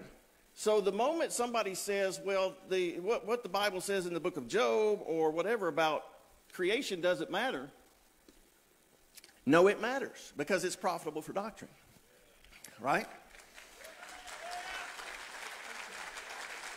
See, the thing about it is, I'm not going to have to do theological jumping jacks to agree with the secular system about how the creation is. I can just stick with the Word of God, all right? Now, when he says here, all scripture is given by inspiration of God and is profitable for doctrine, for reproof, for correction, for instruction in righteousness, that the man of God may be perfect, thoroughly furnished unto all good works. This one right here, Revelation 12 9, and the great dragon was cast out, that old serpent called the devil and Satan, which deceiveth the whole world. He was cast into the earth, and his angels were cast out with him. Now, we are told, this is in the book of Revelation, chapter 12, that, that Satan would deceive the whole world. How is it that we think that Satan, who is invisible, who has power, who actually has people who serve him in the government, in the militaries of the world, how is it that we think if we gave him $60 million a day, which is NASA's budget, that he couldn't deceive the whole world with something? And we know from the Bible that the number one way we know there's a creator and that leads us to a creator, it says that we're without excuse, is the creation. So if you were the devil and you wanted to lead people away from the Bible and finding Jesus as their Lord and Savior, you would need to twist the creation story to make it completely wrong and get people to believe that your version of it is right and the Bible's is wrong. All right? But that's exactly what Satan has done. Now, people, all Christians, when they come up, they ask, well, why does this matter? Well, we're going to find out in just a second. But here's another verse. People don't talk about conspiracy. Look, there's conspiracy theories, and then there's conspiracy facts.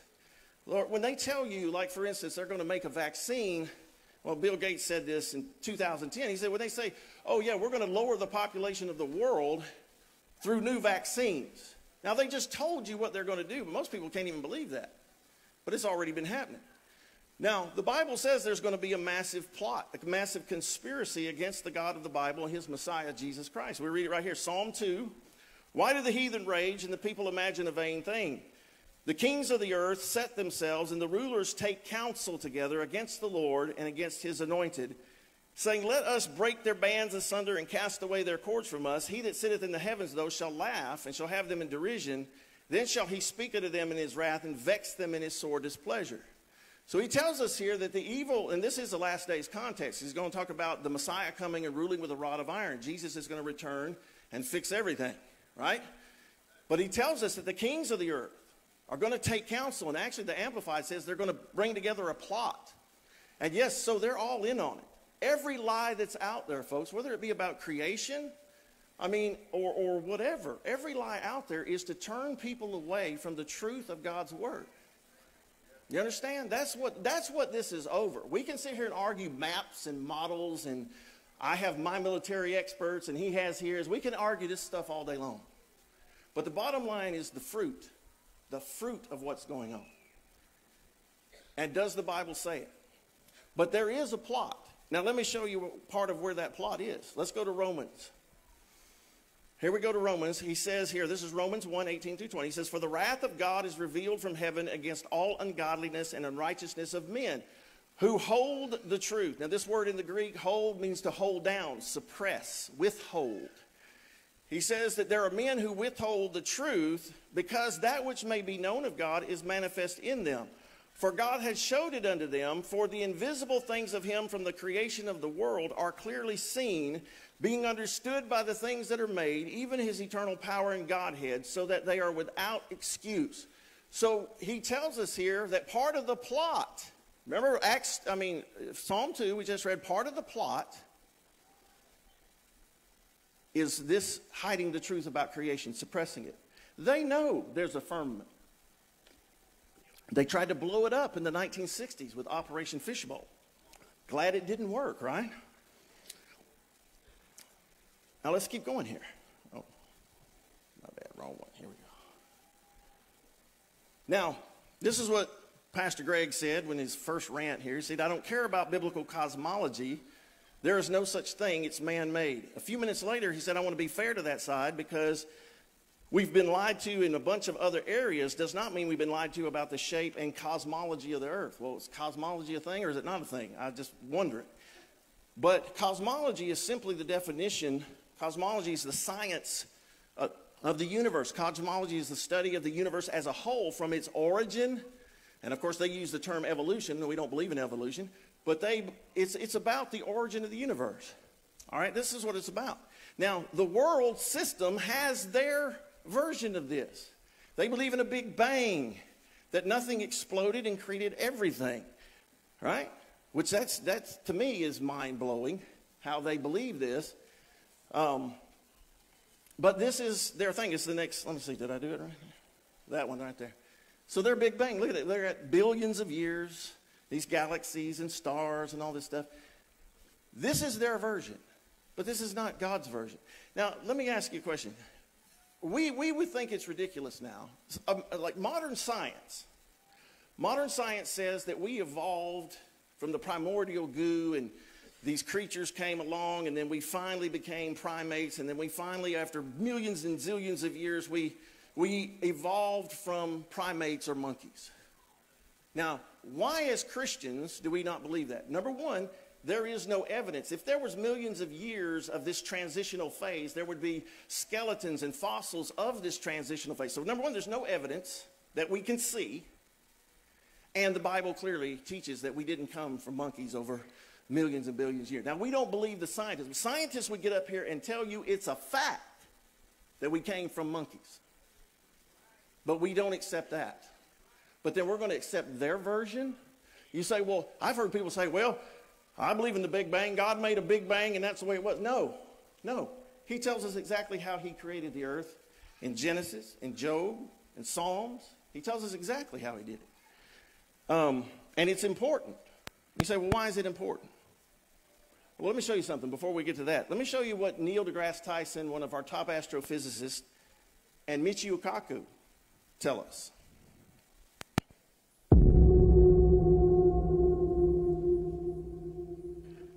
These are your scientists.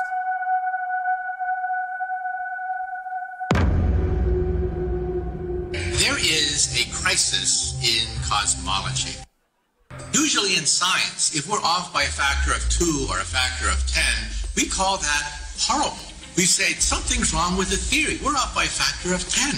However, in cosmology, we're off by a factor of 10 to the 120. That is one with 120 zeros after it. This is the largest mismatch between theory and experiment in the history of science. Dark matter. I get asked what it is, and my best answer is we haven't a clue. we don't know what it is. We look out in the universe, and 85% of all the gravity that's out there has some mysterious unknown source. We add up all the stars, the galaxies, the planets, the comets, the black holes, the dark clouds, everything out there that we can see, touch, smell, or taste. And it doesn't add up to give us the gravity that we see operating in this universe. So really, we should be calling it the dark force. Because we don't know if it's made of matter. It could be a profound misnomer, sending people off in thought directions that might not really be uh, the right path. So dark matter is just simply what we call this thing about which we know nothing, responsible for 85% of the gravity of the cosmos. We've known about dark matter since the 1930s. Back then it was called missing mass. That's what it was called. Because, yeah, there's got to be some mass. Where is it? We can't find it. It's got to be here somewhere because we got the gravity. If you have the gravity, you got to have the mass. Mass and gravity go together. Uh, it's really dark gravity. Actually, we shouldn't call it anything. We should call it Fred.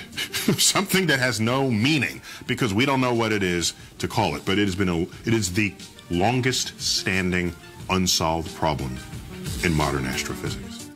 Now, here's two of your top scientists in the world telling you that on cosmology they're off by 10 with 120 zeros beside it. Then they start telling you for our model to work, this all this gravity nonsense and spinning and flying things, they said it's got to have a certain amount of gravity, but we don't know. It doesn't have that. Our, what they're saying is that, that our whole system we built makes no sense to us. It doesn't work. And I will tell you why they call it missing mass. The missing mass is called the firmament. You're going to see that in a second. That's what they miscalculate. But I want to share with you this here, and we're going to skip ahead here. I've already talked about this. This is what is called the Hebrew concept of the universe. This is what the Bible teaches. All right? And we'll get back to this in just a second, but it shows you that this is what the firmament is the dome structure over the flat, non rotating earth. Hell is beneath, heaven is above that. God's throne sits on that. This is what the Bible teaches. There's all the scriptures around that. We're going to get to that in a second. So, more like that, not that. In fact, that sphere you're looking at there is uh, it's a composite image. But here's what the Bible says. The Bible describes a solid firmament dome covered the flat earth on set on pillars on a foundation that God himself built. Nothing in the Bible describes the earth as a sphere. All right, and I'm going to show you that and I'm going to prove that. But many Christians ask, why does it matter? Or just say the issue of the nature of creation doesn't matter. I'm going to tell you why it matters. And you're going to see this. Now, before we get to that, I want you to see Jesus said this. This is Matthew 24. This is Jesus talking. These are in your red letters here. Jesus said that immediately after the tribulation of those days, the sun shall be darkened, the moon shall not give her light, the stars shall fall from heaven. He didn't say meteorites, comets, he said the stars. It's the same word he used throughout the Bible for the stars. Now, either they're stars or they're not stars. Now, the heliocentric Copernican model that you guys, some of you want to believe in, says that the stars out there are bigger, are, are, massive, bigger than the earth. They're, they're huge things. That if one fell to the earth, it would swallow the earth. So Jesus did not teach a Copernican cosmology. He taught a biblical cosmology and that the stars are smaller, closer, and are going to fall to the earth. Now that's Jesus in the Bible, and if you say that it's not the stars, it's some meteorites or comets or whatever, you're making up stuff because you are filtering that through a bias you've been brainwashed with from birth. All right? The Bible says the stars. Now, I was talking to a person who was a science teacher who's a, a strong Christian, and I said, I said, what about the stars falling to the earth? And he goes to, to Revelation 6 and he says, well, don't you think that's just what, what John was seeing was asteroids and meteorites falling? It wasn't really stars. And I said, well, I said, you got a problem with that if you're going to say it's just asteroids and meteorites because Jesus said it was stars. So did Jesus know what he was talking about or not?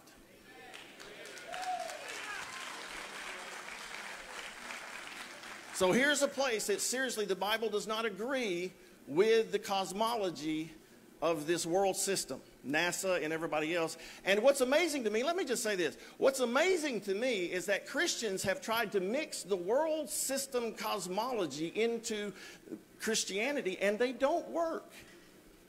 You can't do it. And this is proof of that right here. And I'm going to show you what the atheists do. Now, let's listen to this. This is Neil deGrasse Tyson again, one of your top astrophysicists, astronomers. And here's what he says about this issue of the stars, the Bible saying the stars falling. People who make this case that that was the beginning and that there had to be something that provoked the beginning, do you give them an A at least for trying to reconcile faith and reason? Um, I don't think they're reconcilable. What do you mean? Well, well, so let me say that differently. All efforts that have been invested by brilliant people of the past have failed at that exercise. They just fail. And so I don't, I, I don't, the track record is so poor that going forward I have essentially zero confidence, near zero confidence that there will be fruitful things to emerge from the effort to reconcile them. So, for example, if you, if you knew nothing about science and you read, say, the Bible, the Old Testament, which in Genesis is an account of nature. That's, that's what that is. And I said to you, give me your description of the natural world based only on this. You would say the world was created in six days and that stars are just little points of light, much lesser than the sun. In fact, they can fall out of the sky, right? Because that's what happens during, during the um, revelation one of the signs that yeah. the second coming is that the stars will fall out of the sky and land on earth. To even write that means you don't know what those things are. You have no concept of what the actual universe is. So everybody who tried to make proclamations about the physical universe based on Bible passages got the wrong answer. so what happened was when science discovers things and you want to stay religious or you want to continue to believe that the Bible is, is unerring, what you would do is you would say, well, let me go back to the Bible and reinterpret it.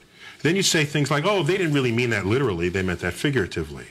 So this whole sort of reinterpretation of the fig how figurative the poetic passages of the Bible are came after science showed that this is not how things unfolded. And so the educated religious people are perfectly fine with that. It's the fundamentalists who want to say that the Bible is the literally literal truth of God that and want to see the Bible as a science textbook who are knocking on the science doors of the schools trying to put that content in the science. Uh, enlightened religious people are not behaving that way. They're saying, yes, science is cool, we're good with that, and use the Bible for to get your spiritual enlightenment and your emotional fulfillment. I have known serious religious people, not fundamentalists, who were scared when Carl Sagan opened his series with the words, The cosmos is all that is, or ever was, or ever will be. That scared them because they interpret that to mean then if this is it, there's nothing else. No God and no life after. For, for religious people, many people say, well, God is within you, or yeah. God, there are ways that people have shaped this, rather than God is an old gray bearded man in the clouds. So if God is within you, what I'm sure Carl would say, in you, in your mind, in your mind, and we can measure the neurosynaptic. Okay, No, it'll move on from him. But you understand, see, you say, why does it matter? Because people have believed this instead of believing what God's word said, and many people have fallen away. They've walked away. People have said, I'm, I'm not following God anymore. I'm not even Christian. I, I watched a thing this, this week where even many Bible scholars are departing because they accept science as God, as like it's infallible, instead of trusting God's word. Let me tell you, this world is full of lies, folks. I believe they've lied about everything. I believe they've lied about the sun, moon, stars, the whole thing. I can tell you this much I don't care how many people you brought in here. I'm going to stand with what Jesus said and the way he described it. And what's beautiful about it is every now and then he gives us the ability to prove it. And um, I have Joe Hanvey here. We may call him up, but Joe Hanvey has been doing some amazing experiments in photography.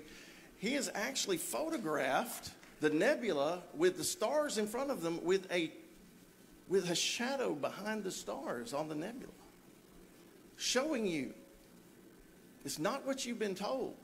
Matter of fact, NASA artists do most of what you what you think is space and planets and all this stuff is NASA artistry, and I have them admitting it. Disney, guy worked for Disney, now works for NASA. I'm going to skip this atheist right here. We're going to.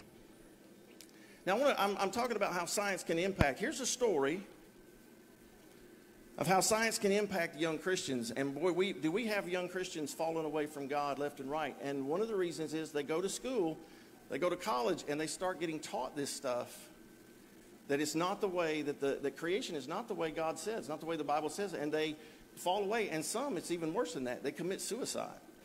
Jesse Kilgore, community college student in New York, took his own life when he was just 22 years old. He was raised in a devout evangelical Christian household, was a firm believer of Christianity until he took a biology class in college, which led him to experiencing a crisis of faith. The biology professor also recommended Jesse to read The God Delusion, a book by, written by atheist Richard Dawkins, uh, an atheist biologist. As a result, reading his book and taking the biology class, he learned a lot of things which challenged and contradicted his own beliefs, which caused him to abandon his faith and ultimately take his own life. Um, this is, is sad, but it's true. And this is where we are. You could, I could give a lot of examples of this, and there's more studies, but it says right here in a, a, research study on the impacts of science and the discontinuation of faith and practice in Christianity in young adults.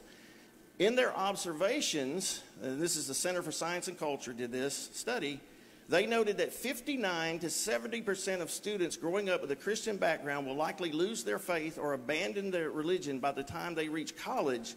An example of someone who contributes to this statistic is Kyle Simpson, who had a similar story to Jesse. Like, like Jesse, Kyle was raised a Christian, but science changed his mind and beliefs when he was in his 20s.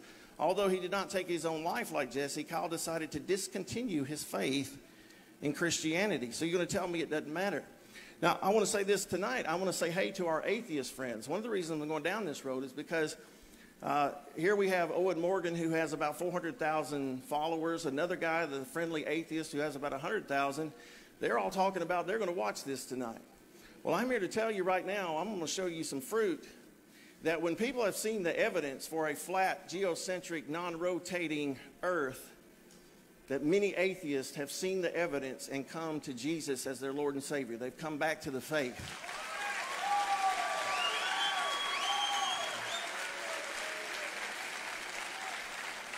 And I just want to say hey to them, and I appreciate them sharing on their channels that we were having this debate, and now they're laughing it up. But I want to tell you what, they don't realize they're losing a lot of their atheist friends over what we can show them.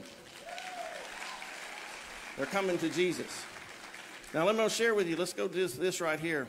Now, I want to say, um, I put this up because I want everybody to hear, but I'm going to read this. That many atheists have come to know God. They've come back to the Bible. They've come to know Jesus as their Lord and Savior. And they didn't do it because all of a sudden they just started believing the Bible out of the blue. Or somebody showed them something, another, another lie or another trick or another, you know, another fairy tale.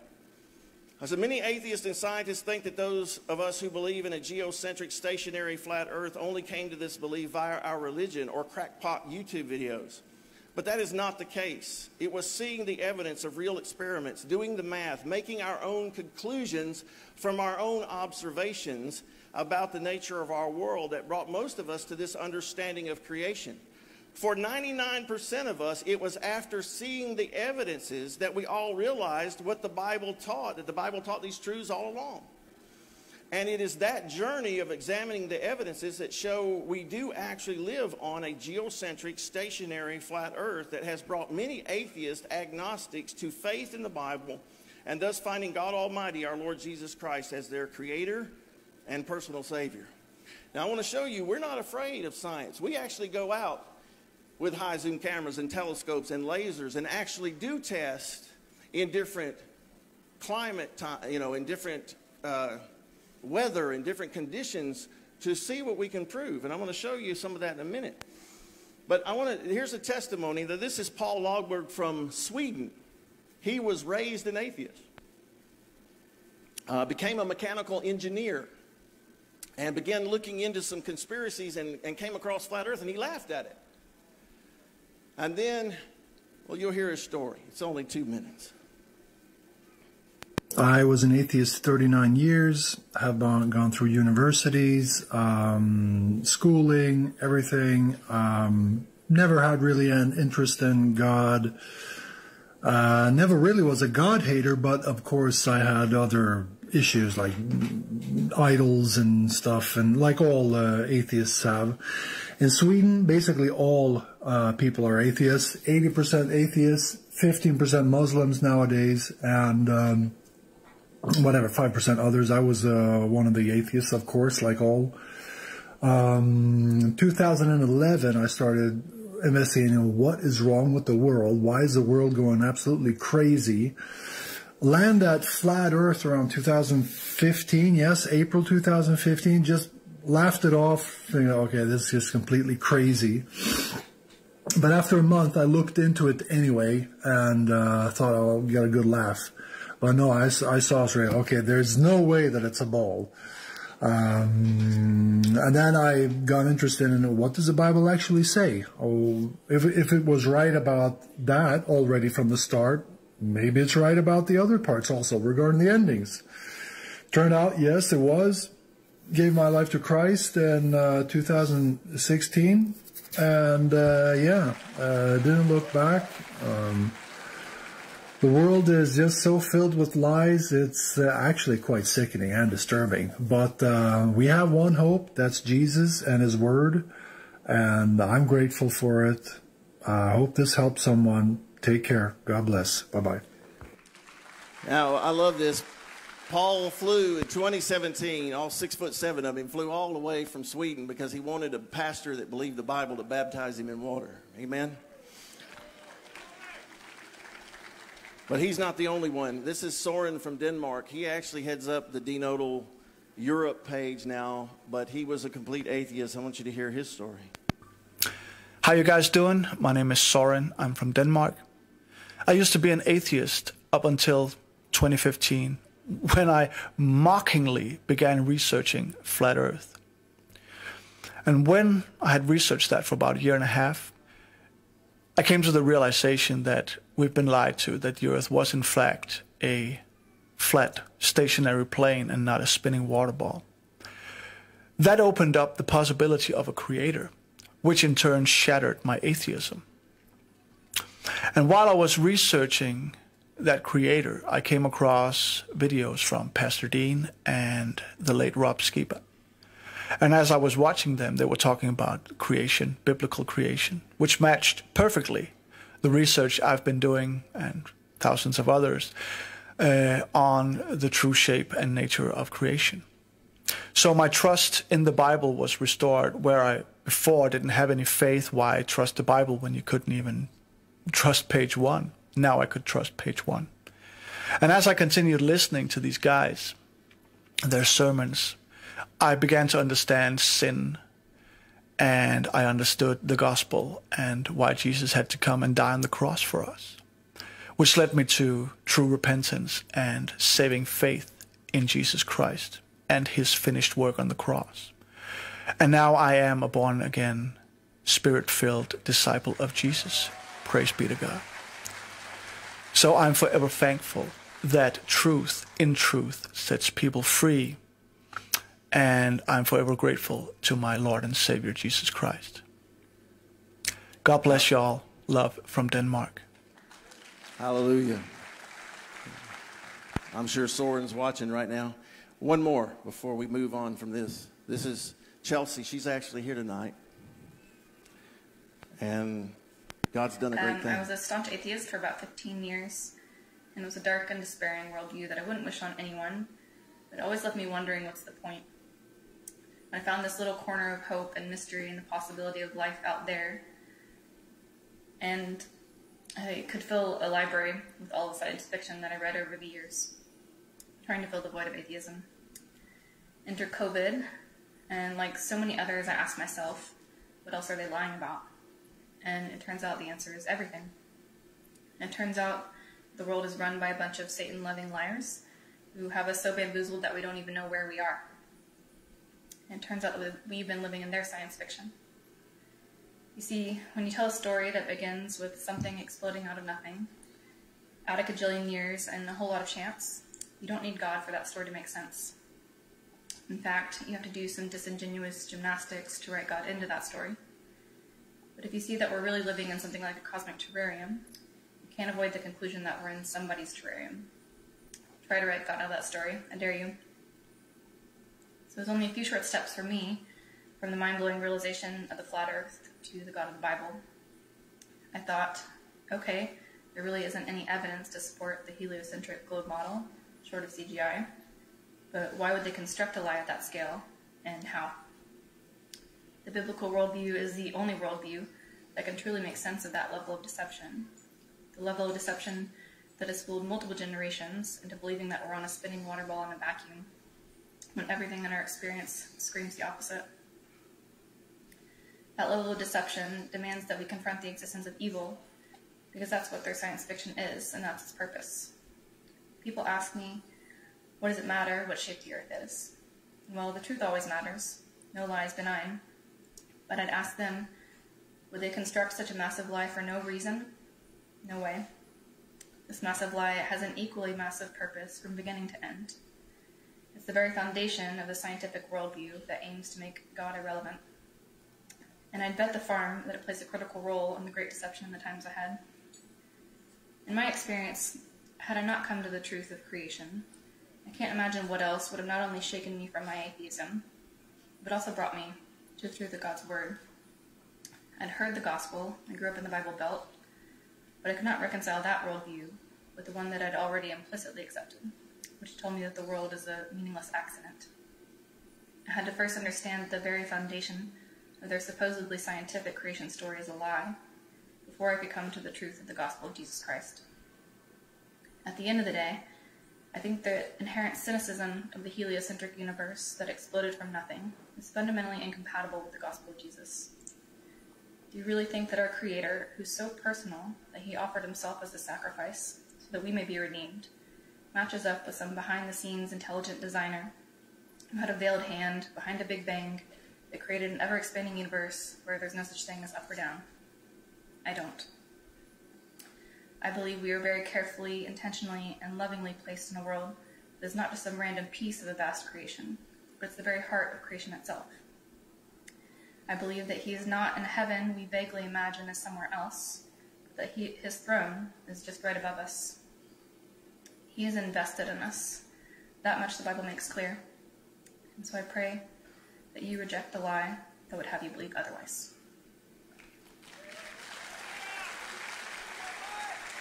Now, literally, in my book, Like Clay Under the Seal, I have one chapter dedicated to atheists come to Jesus. And it's testimony after testimony. And I, just for the sake of time, I'm not going to read them all here. But you see, I could do this. I could do this for two hours on atheists that have come to Jesus because of understanding and seeing the evidence for a flat, stationary, geocentric, non-rotating flat Earth, as our government documents want to say.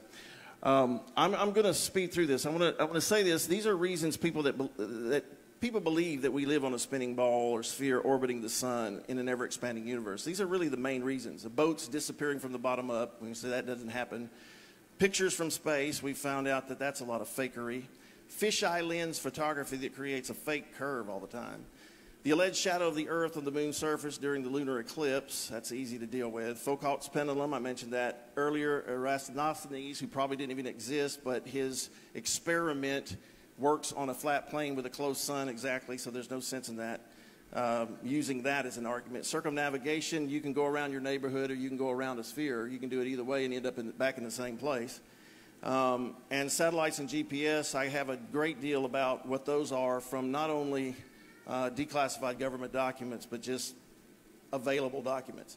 And of course, grandiose scientific explanations. Now, I'm just going to show you this. Of course, we've all seen this. If the boat went over a curve, there'd be no way to bring it back. But as you see when you zoom in, the boat's there. Now, if it's over a curve, you can't see it. Nothing would enable you to see that boat. But it, I don't care how powerful your zoom, but when you zoom in, the, the, horizon's empty and you zoom in and the boat's there, uh, they're not disappearing over a curve. They're just getting out of our ability to see it. So that is another misnomer. Here's the video I showed you about perspective. There's the guy walking away, and you notice that his feet are disappearing.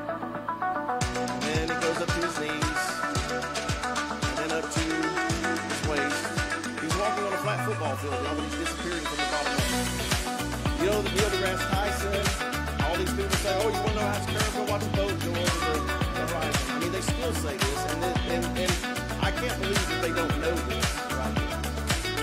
I think they intentionally deceive us. So you see coming back. That's just how our vision, our eyes work. It's not a curved surface. And of course, here's... Uh, so you're telling me you can drag that ship back over the curve with that, that little telescope there. Now, I don't have time to go through, I'm going to just run through these very quickly, but we know that we've caught them photoshopping clouds and stuff. They create these images of Earth. They're not real pictures. Uh, even the guy who did the blue marble says it's photoshopped because it has to be. I mean, it's ridiculous. Um, NASA artists do the pictures of the worlds. This Oops. is just insane. And this is sort of how it Here's, here's two pictures they tell us are from space of the Earth. I want y'all to look at North America. Which one is correct? Because the one, the one there, the big one, seems like North America is taking up a big section of the ball there, much bigger than it really is. So we, we get these kind of things and they want us to trust them, but it's just impossible. Um, here's where they faked the, uh, you know, the big picture we had for years was Apollo 17 and Apollo 17, they said, you know, they're at the moon 240,000 miles away. They can see the whole Earth. But look, they only got a picture of that little circle there. The, they didn't get the whole lit side of the Earth. So it proves that they weren't high enough to get it, that they faked it.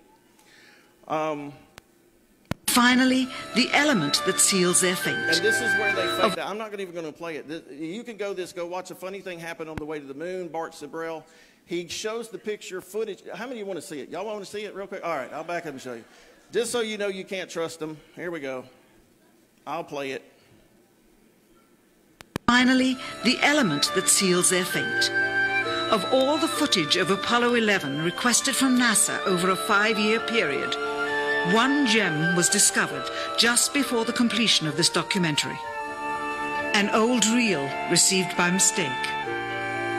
It contains the raw or unedited footage of the crew of Apollo 11, Michael Collins, Edwin Aldrin Jr., and Neil Armstrong, staging part of their mission for nearly an hour in living color with exceptionally clear behind the scenes audio of conversations discussing the techniques used to achieve a disingenuous picture depicting the Earth at a distance in order to falsely demonstrate their far journey from it and their ability to survive passing through the Van Allen radiation belts.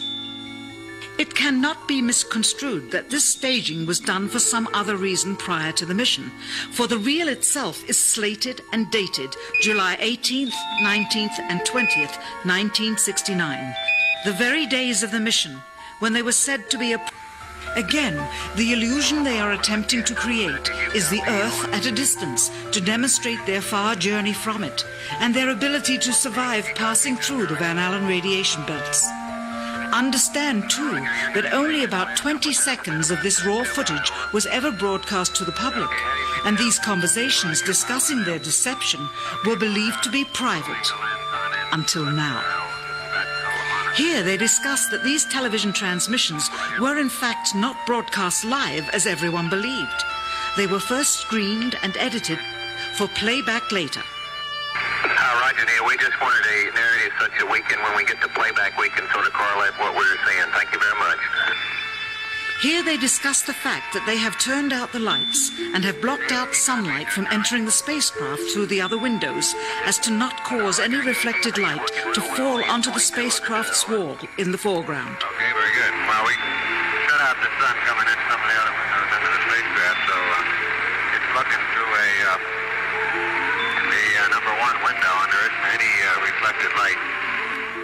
The reason this was done is so that the truth of the matter would not be revealed. It is this. Though the federal government would have you believe that this is a view of Earth from a distance out of the spacecraft's window as it nears the moon, it is not. What they have ingeniously done is placed the camera at the back of the spacecraft and centered the lens on a circular window in the foreground, outside of which it is completely filled with the Earth in low orbit. The circumference of the window then appears to be the diameter of the Earth at a distance, with the darkened walls of the spacecraft appearing to be the blackness of space around it. That is why they wanted the interior dark and blocked out the sun from entering through the other windows. Here you can see the extruded window, probably two inches thick at the bottom. This is because the Earth's shine is coming in at a downward angle. It also causes the Earth to appear to be an irregularly shaped circle, for you are seeing the outside of the window at the bottom and the inside of the window at the top, which together form two different sized halves of a circle.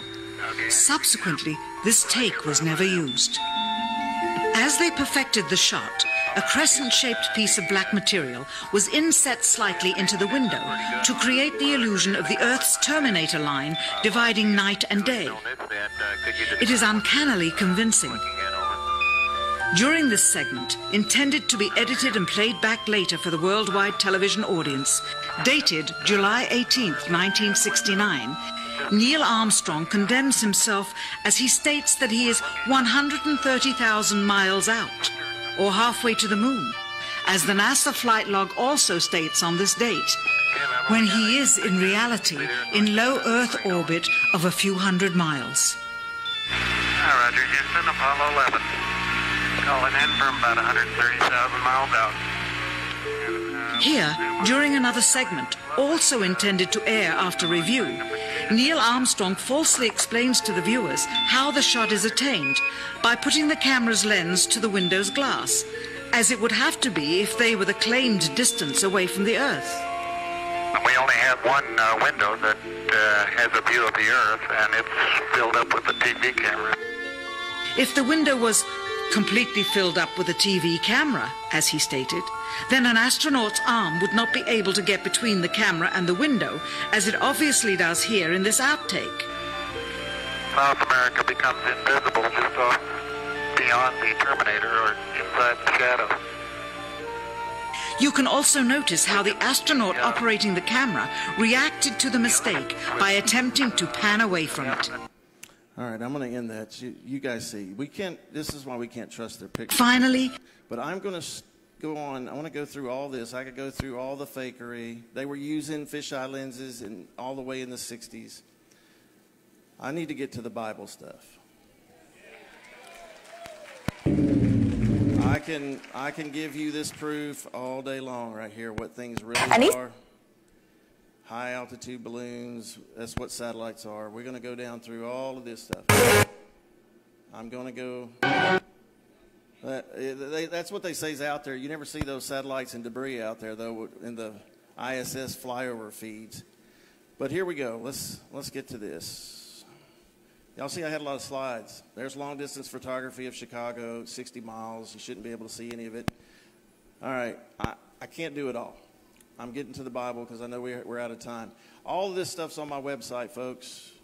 The seven, the sevenfold doctrine of creation series. This is our own test. I can show you. We did, we saw Spool sitting on the dock at 11 miles away. That's my film right there. At 11 miles away. S- Spool sitting on the dock. Uh, this Earth's not curved. I can tell you that right now. You can go with us and we can show you. See, let me zoom out.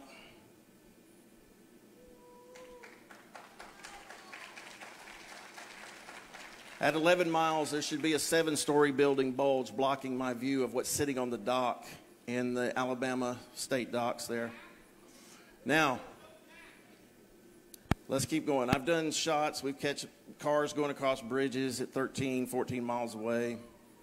We know the height of them and everything. So we've done our own experiments. And we've had PhDs in physics, we've had engineers, we've had Army officers. Just let you see, I'm going through them quick here. I'm going to get to the Bible stuff. I had 244 slides, y'all.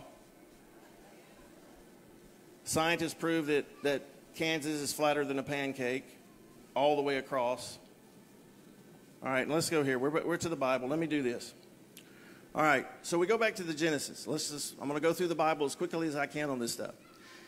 In the beginning, God created the heavens and the earth, and the earth was without form and void. Darkness was upon the face of the deep, and the Spirit of God moved upon the face of the waters.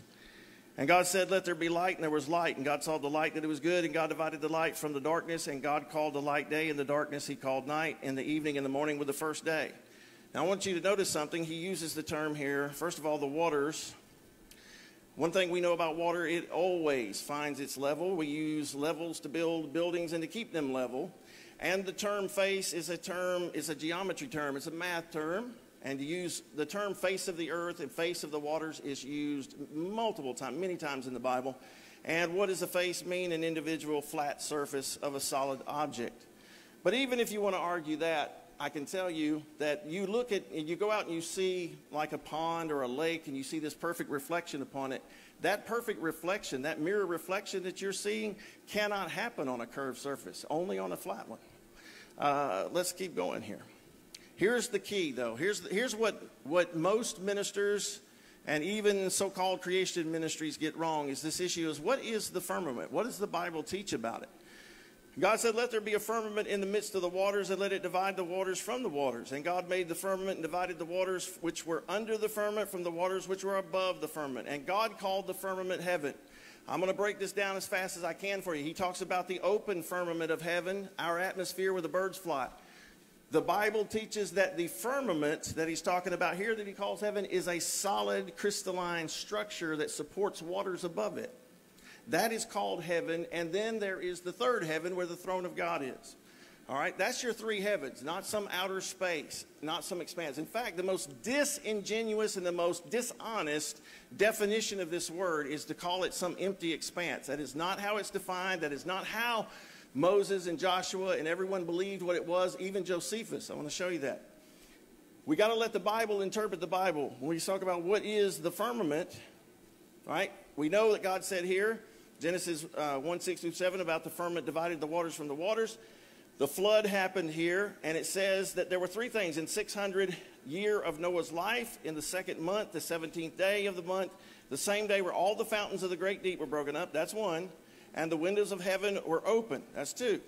And God remembered Noah, and this was at the end of the flood, and all the cattle that was with him. And God made wind to pass over the earth, and the waters were assuaged.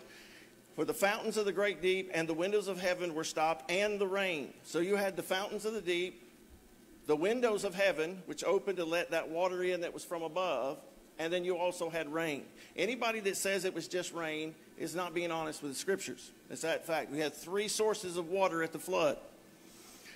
What Christians believed for many years was a thing called the canopy theory. Dr. Carl Baugh taught it, and others taught it, where they said that, that the firmament was a vapor canopy that was around the earth that condensed and then flooded the earth, and thus doing away with the firmament. The problem with that is the Bible proves that wrong, that the, firmament collapsed as a canopy because 1350 years after the flood, the Holy Spirit moved on David to say, Praise him, ye heavens, and ye waters that be above the heaven. Let them praise his name, or praise the name of the Lord, for he commanded, and they were created. He hath established them forever and ever. He hath made a decree which shall not pass. So anybody that says that the firmament or this was condensed vapor canopy that disappeared is not true. We have 1,350 years later, he's telling us the waters are still above the heavens. The Hebrew word for firmament is the Hebrew word rakia. It has a root word. Almost all Hebrew words have a three letter root word. So you have rakia is the word for firmament, and the root word is raka. All right? Here's the definition of these words according to not only what the Hebrew meant, but also what they believed. So we have to see how God uses it.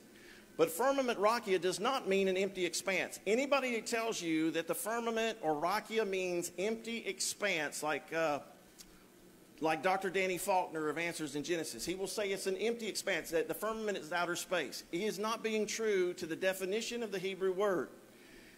Literally, it says it is an expansion of plates, broad plates beaten out. So it's literally, the word means taking something that's solid and beating it into a shape.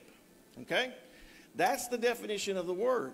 Uh, the verb raka acquires the sense of beating out precious metals, spreading that out, and results to spread over to overlay.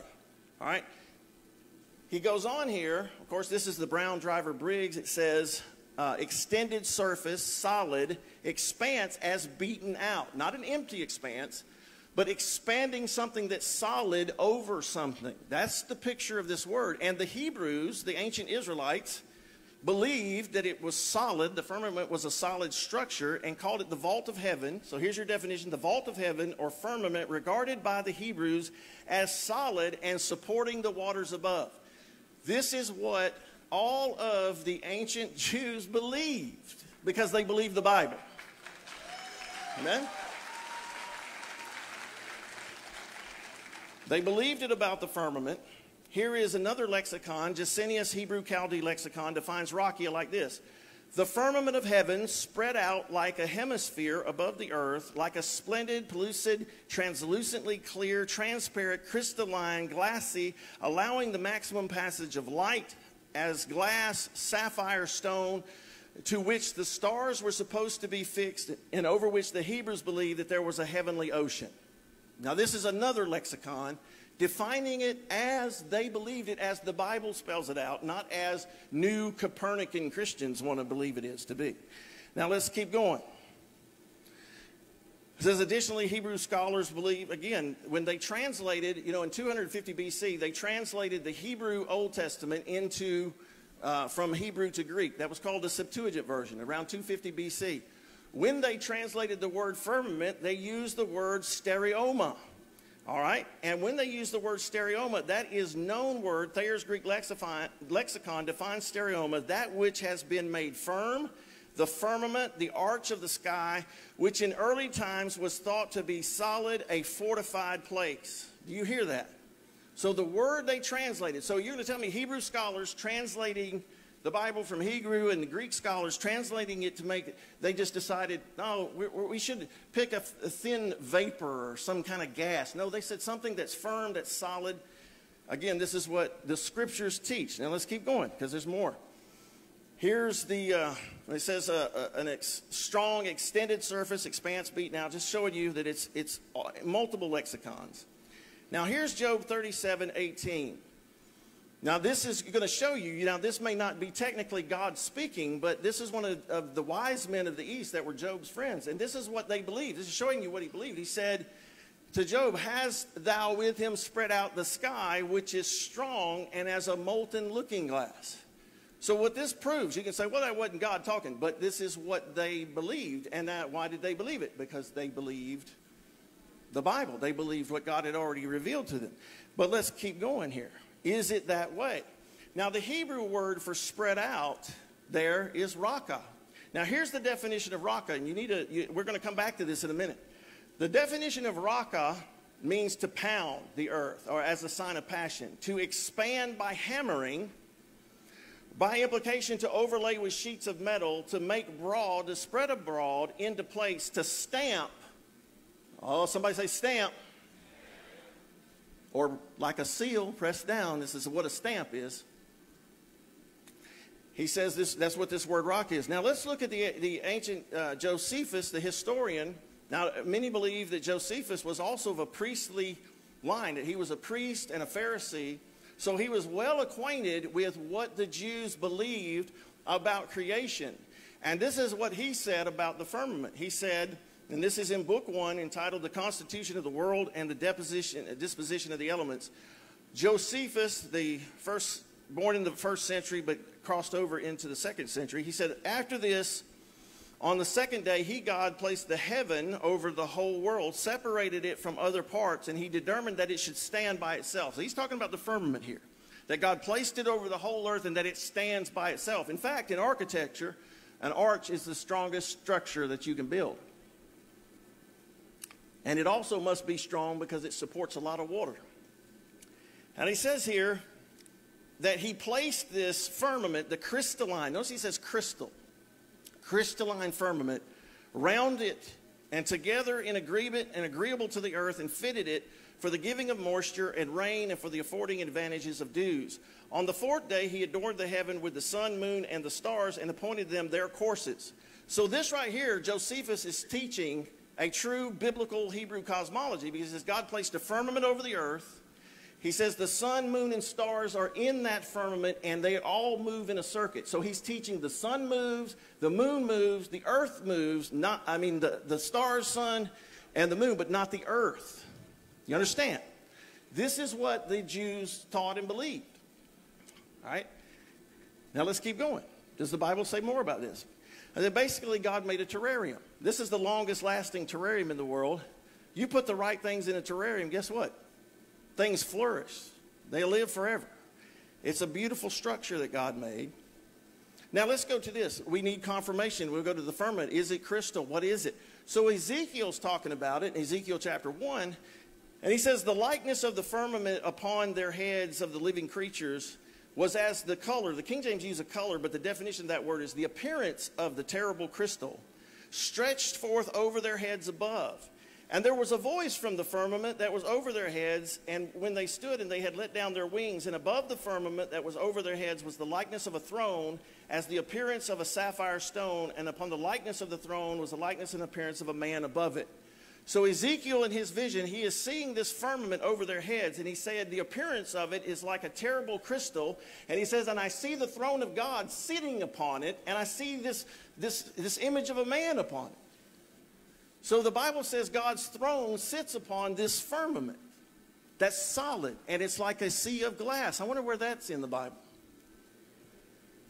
He keep, we keep on, Revelation 4 says, After this, I looked, and behold, a door was opened in heaven, and the first voice which I heard was as it were a trumpet talking with me. He said, Come up hither, and I will show thee the things which must be hereafter.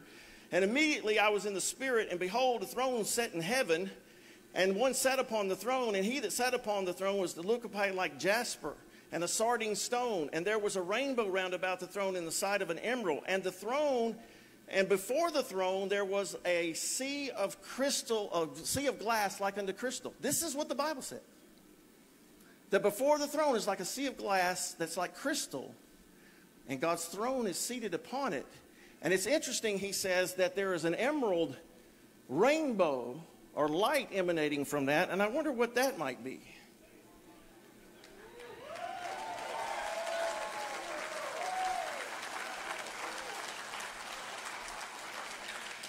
But of course, the scientists say that's uh, electromagnetic radiation, from the sun. Right. You know what I believe it is? The glory of God coming into the earth. Shining through the crystalline dome that he sits upon. Revelation 15 also refers to the sea of glass at the throne of God. He says, I saw another sign in heaven, great and marvelous, seven angels having the seven last plagues, and for in them is filled up the wrath of God. And I saw as it were a sea of glass mingled with fire. Well, guess what? One of the ways you make glass is melting sand by, with fire. And he says, I, he said, now listen to this. He said, a sea of glass mingled with fire, and them that had gotten victory over the beast, and over his image, and over his mark, and over the number of his name, stand on the sea of glass, having the harps of God in their hands. Folks, Benny Hinn the other day said heaven was a, was a planet, another planet out there. That is the biggest bunch of nonsense I ever heard in my life. It's right above us. God's throne sits upon it, and He looks at us like grasshoppers through His firmament dome. This uh, Amos 9 6, of course, the, he, the, you know, the King James, I love my King James Bible, but sometimes they did not translate words, pick the right words correctly. I know some people, I think that they were perfect translators, they were not. This in the Amplified, you actually have to look up every word in the Hebrew in this verse to even understand what it's talking about. But listen to this. This is Amplified version of 9 6. It is He, speaking of God, who builds His upper chambers in the heavens and has established his vaulted dome, the firmament of heaven, over the earth. He who calls the waters of the sea and pours them out on the face of the earth, the Lord is his name. So here's another scripture that gives you an idea of the firmament. Now, here we are.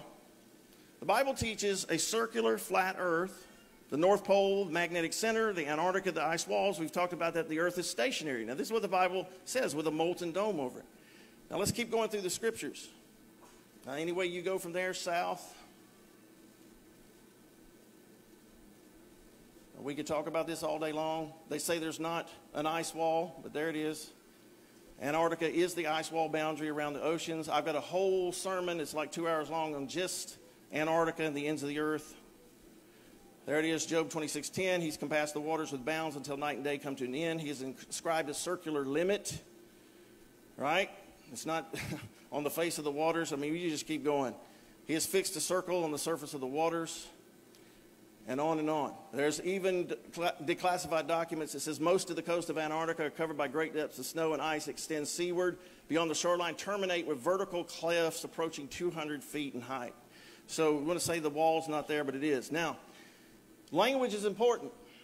Language is important. A circle is not a ball. Okay? And God's word makes this very clear here that a circle is not a ball. In Isaiah 42, we're going to read that in a minute, says it's he that sits upon the circle of the earth. There are people, Christians, that are still saying that that means the earth's a sphere. It never says sphere. The definition, this word is kug, and it means a circle. And it talks about in Proverbs, he inscribed a circle upon the face of the deep, not a sphere.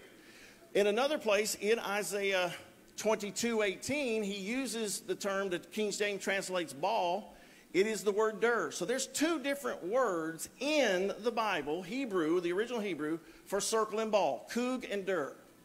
And God never uses der, which means a sphere, to describe the earth. Never, never, never. All right?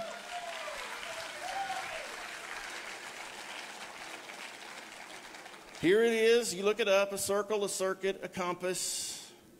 This is the, the Strong's definitions. Circle. Proverbs 8. Here's the word der. Just show you, look it up. It says ball, pile, something that has shape to it, like that. All right? Two different words for circle and ball. Never used. Here it is. This is Proverbs. It says, When he established the heavens wisdom, I wisdom was there when he drew a circle upon the face of the deep, when he made firm the skies above, when the fountains and springs of the deep became fixed and strong, when he set the sea its boundary so that the waters would not transgress the boundaries by his command, and when he marked out the foundations of the earth. So he's talking about God drew a circle. Let me tell you, I built my own fire pit back when I turned 50. I'm, I'm about to turn 56. I don't know if I can still do it, but I, I, you know what I did? I wanted a perfect circle because I wanted to build a four foot diameter fire pit out of the, we have stones on our property. So what I did was I took a stake and drove it in the ground. I took a chain, ran it down the stake, and I took another one out here two feet, and I inscribed me a circle. And then I started building my outer wall. I just didn't put a firmament on it because I wanted to cook stuff in it. Amen? Now, this is again what God describes. Let's keep going. Now, let's go back to that when he says he's made the sky strong like a molten looking glass. Now, let's go back. Now, let's go to look at Isaiah 40, 21, and 22. He says, Have you not known? Have you not heard? Has it not been told you from the beginning? Have you not understood from the foundations of the earth? It is he that sitteth upon the circle, kug, not der, circle, not ball of the earth. And the inhabitants thereof are as grasshoppers that stretcheth out the heavens as a curtain and spreadeth them out as a tent to dwell in. So when he's talking about spreading out the heavens, he's talking about when he spread out the firmament over the earth. Notice he said, like a tent. Like a tent, not a ball. Do y'all see the difference? I ain't never been in a spherical tent in my life camping. And God said He made the earth like a tent. And here we are in a tent. Is the floor curved? No. God said this, you want to know what the earth looks like? It's like a tent. Just like a tent. And the word for tent, of course, here's what an old tent like Abraham and Sarah would have been in. Flat ground, spread out over them for a place to dwell in. The word for tent here in the Hebrew is ohel, and it means tent, right? But I want to show you something. Let's, let's go to, this is Psalm 19. Now, Psalm 19, I'm, I could not start out with the beginning, but this talks about how the firmament shows the handiwork of the Lord. All right? So, the context of this, he starts out talking about the firmament. And then he says this He says, Their line has gone out through all the earth, their words to the end of the world. In them, talking about in the world, our world he made for us, he has set a tabernacle for the sun. Guess what the word tabernacle is here? It is the Hebrew word ohel, which means a tent, meaning that the sun is in the tent. Amen?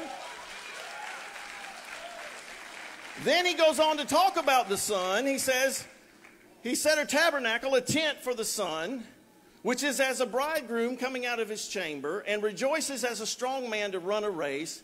His going forth is from one end of the heaven, of the firmament, to the other, and his circuit unto the ends of it, and there is nothing hid from the heat thereof.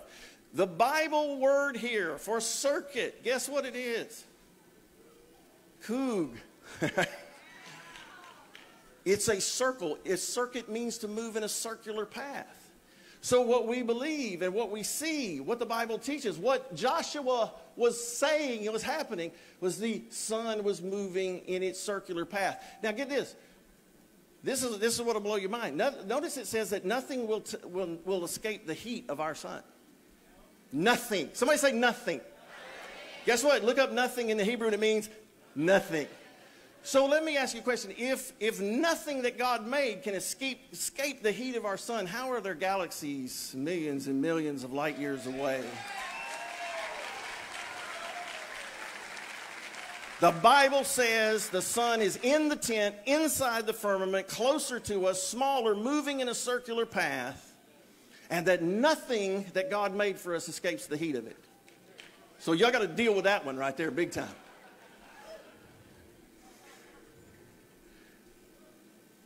Here's another one. There it is, an example of it in the tent.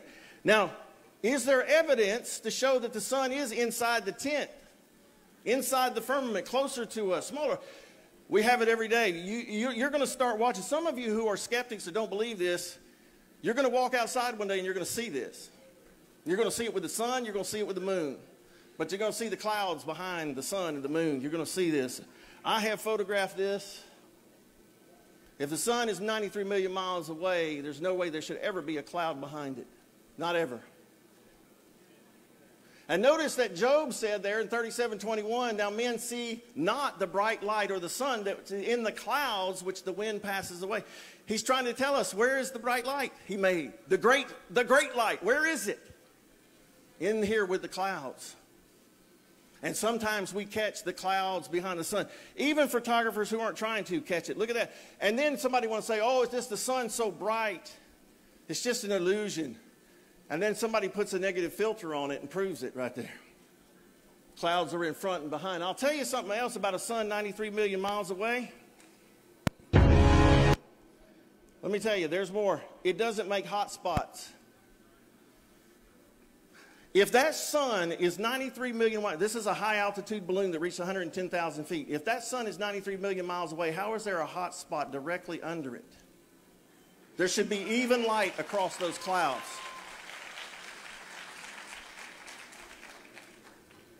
This could over and over again.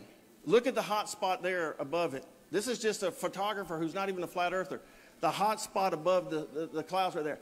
If that sun's 93 million miles away, the light rays should be coming in evenly, and there's no way there should be hot spots. You might get refraction. You might say, oh, the light rays are refracted, but wait a minute now. That's a hot spot, meaning that that's close to it. It's just like anybody that knows lighting in theater knows that you got to deal with hot spots, meaning where the light's right on it, right? I could do this all day long, but there's evidence, and this is why atheists are, have come to Jesus because of this kind of evidence. The sun is not 93 million miles away, it's just not. Like these are pictures for people who are not flat earth biblical cosmology believers. I could do it all day long. Look at that. It happens with the moon too, regularly. In fact, this Reddit post, this is a person saying, I went out and saw the moon, and it looks like there's clouds behind it. There's no, how is that possible? And people were like, it's just an illusion. You're not really seeing what you think you're seeing. That's, their, that's an excuse they have. Not, you're not really seeing what you think you're seeing. Look at there. Clouds in front and behind the moon. I have photographed this myself. Now let's move on to this. The Bible is very clear about this. You know, you want to believe we're on a spinning, flying water ball. And as you call yourself a Christian, you got to deal with these verses right here. And this verse, we're going to start with a few of them here. But it's pretty clear, Zechariah 1:11, and here's what it says. And the, the, the, angel that was talking with Zechariah answered and said, and he said, and the angel answered of the, and they answered the angel of the Lord among the myrtle trees, says, we have walked to and fro through the earth. These are these entities that have gotten permission, and they said, behold, all the earth sitteth still and is at rest. Somebody say, all the earth sitteth still and is at rest. How is it wobbling, spinning, flying, and in danger of asteroids hitting it? Some people say, oh, that's just talking about the people of the earth. No, he said, the earth sitteth still and is at rest. And guess what? I looked these words up in the Hebrew. Guess what it means? Sit still. At rest. Not moving. In fact, the word in the Hebrew Actually, yashab here means to sit down, especially as a judge or sitting in ambush in quiet. All right? Now, this is what this is. So, you're, if, if you're going to say, no, I believe the earth is spinning and it even wobbles as it spins and it's flying through an ever expanding universe, then, then you just got to throw this out right here. But is that the only place God said it? No, it's not. So the earth is not moving. Here we go. First Chronicles 16:30. Fear before him all the earth. The world also shall be stable that it be not moved. Now, now literally I heard Dr. Danny Faulkner of Answers in Genesis say, well, this just means like David when he said he, would, he wouldn't be moved. No, we're not talking about a man and his emotion or his religious beliefs and his stance. We're talking about the earth. He said the earth is stable. He said it can, that it be not moved. Psalm 93 1 The Lord reigneth, he is clothed with majesty. The Lord is clothed with strength, wherewith he had girded himself. The world is established that it cannot be moved. Somebody say that. Cannot be moved. What does Satan come in? God said the world's still at rest, said it cannot be moved, and Satan comes in with a theory says it's spinning, flying, wobbling, moving. Yet Einstein admitted that there's no experiment that can be done to prove that the earth is moving. But yet he said, I still believe it's moving. Right?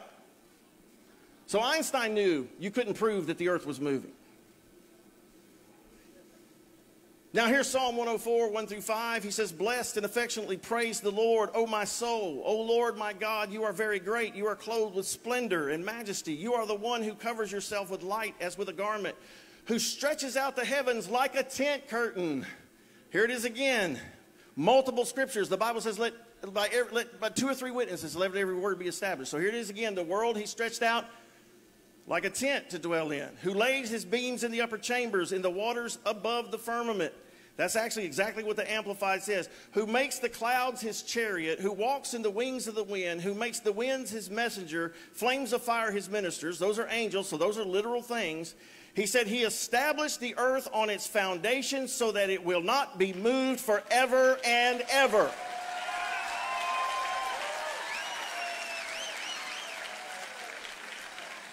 So see, I'm an earth is still guy. Then you got the earth is moving guy over here. It's pretty plain. Then it takes us to Job 38. So if you think we take verses out of context, Job 38, you can't, when, you, when you're talking about creation, God Himself speaks to Job, and the context of that conversation is the nature of God's creation. God Himself speaking to Job. He said, The Lord answered Job out of the whirlwind and said, Who is this that darkeneth counsel by words without knowledge? Gird up thy loins like a man, and I will demand of thee, and answer thou me. Where were you? Where wast thou when I laid the foundations of the earth? Declare if thou hast understanding. Who hath laid the measures thereof, if thou knowest? Or who hath stretched the line upon it? Whereupon the foundations thereof are fastened, or who laid the cornerstone? So the context of this verse is clear. This passage is about creation. And God says he has foundations to the earth.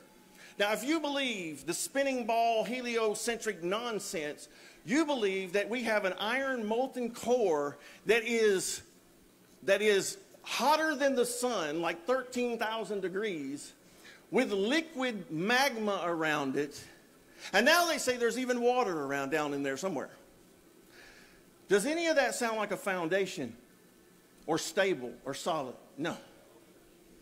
No, in fact, they say that this, here, here's their example. They say we have a lead nickel core. Haven't you ever checked the, the melting point of lead and nickel? It's way lower than 13,000 degrees. But of course, they'll say, well, it's because of pressure. It's always their little excuse to get out of something. But it's, it's crazy. God said He laid foundations of the earth. Let's keep reading. He literally said to sink them down just like you would. I used to be in construction. We used to have to dig deep foundations. And they were poured very specifically. So he talks about it. Now I need to speed on through here. You see it right there to sink, press. Oh, like a seal, too. He talks about the foundations. Now here's 1 Samuel 2 8. That says, He raises up the poor out of the dust. He lifted up the beggar from the dunghill and set them among princes to make them inherit the throne of glory. For the pillars of the earth are the Lord's, and he has set the world upon them. Does that does that does the heliocentric Copernican model sound like he's setting something on pillars on a foundation that's stable, not moving, still in at rest? I, I, I, don't know yet know. See, this is what happened to me. You talk about what happened in the beginning. I just started believing this. I didn't filter it anymore through the world's nonsense.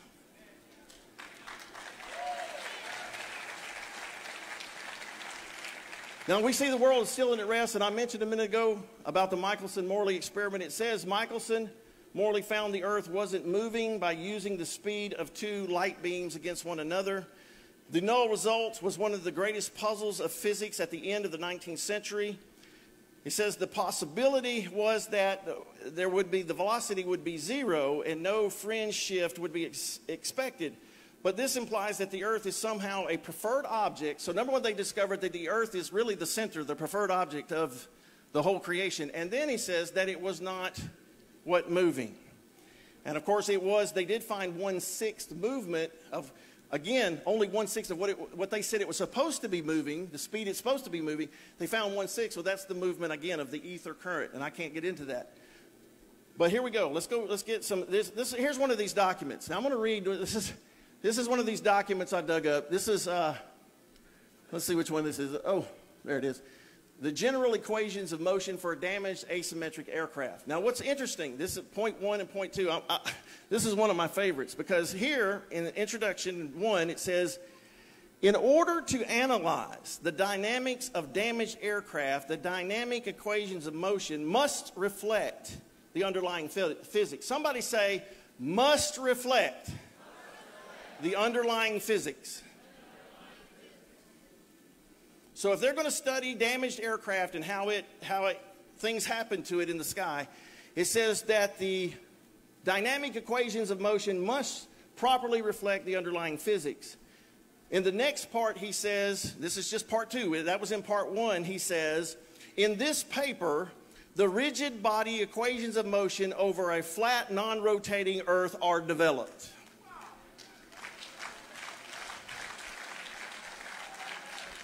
Now, if in point one you say that studying this must reflect the true, proper underlying physics, and the next thing you say all of our equations of motion are based on a flat, non rotating Earth, how else can you how else can you read that? And if there's not a flat, non-rotating Earth, why would it be in here? Why would this unicorn be here? I'm talking about the fairy tale unicorns. Unicorns were real, by the way, but not the fairy tale unicorn. Y'all see that? Let's read it again. In order to analyze the dynamics of damaged aircraft, the dynamic equations of motion must properly reflect the underlying physics in this paper, the rigid body equations of motion over a flat, non rotating Earth are developed. So here we have the Bible saying that the Earth does not move, it's stable, it's at rest.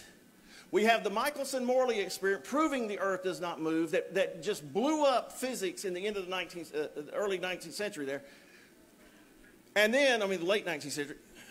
And then we have a government document about how damaged aircraft work, and they admit that the, the, the proper underlying physics and equations are based on a non rotating flat Earth. That's three witnesses, y'all.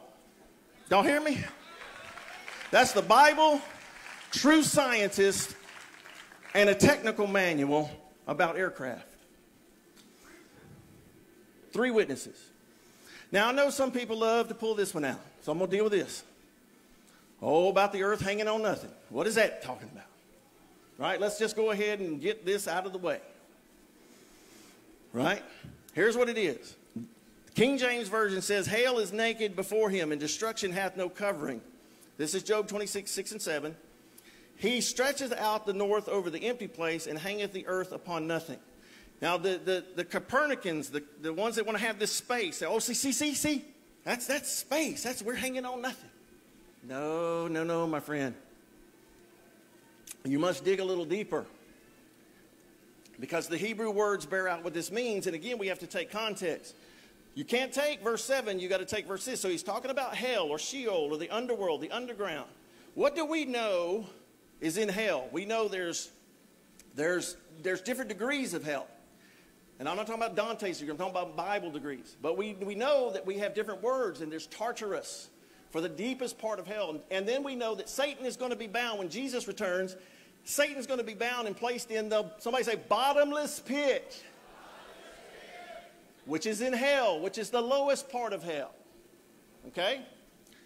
Now, what this here is saying, and let's go, the Amplified does it really well, but the Amplified Bible, and looking at the original Hebrew word here, when it says he stretches out the north over the empty place where he hangs the earth upon nothing, when it says the word for upon clarifies this question about the earth allegedly hanging upon nothing.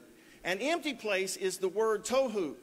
Now, tohu in Hebrew, tohu vabohu, was used in the creation when it says the earth was without form and void and darkness covered the deep. Well, if you look this word up, it means a desolation, destruction, chaos. And I, I can't get into all that right there. But he says that it's pronounced tohu, right, is chaos, wilderness, waste, confusion, a place of vanity or emptiness. The Hebrew word here upon is all, which can be translated above or over.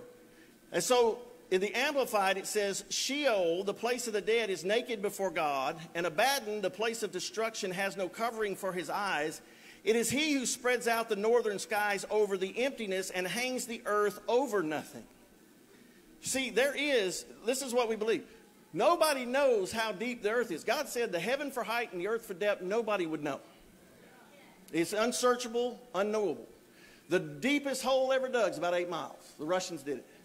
We don't know anything beyond that. But at some point, down there in hell, there is nothingness. There's a place of vanity and emptiness. There's a bottomless pit where Satan's going to be chained for a thousand years. And God stretched it out. And if you guys saw my Mountain of God in the North and Paradise series, some of you, if you hadn't seen that, you need to watch it. You understand that God's throne is right above the North Star. The North Pole is right there. And where we're taught, the Bible shows us that it's really underneath. Underneath there is where paradise and hell starts, right there. So it makes sense. This verse makes sense when you know the truth of the shape of the earth and the nature of things. But taking this into context, it's not talking about hanging the earth in some empty space. It's talking about hanging the earth. Oh, the earth is just over this place of nothingness. So we deal with that. Now we get to Joshua. I'm just going to say, what did he say? Sun stand still upon Gibeon and the moon in the valley of Ajalon. And the sun stood still and the moon stayed and the people avenged themselves upon their enemies. Is it not written in the book of Jasher? So the sun, here's the Bible says, so the sun stood still in the midst of heaven.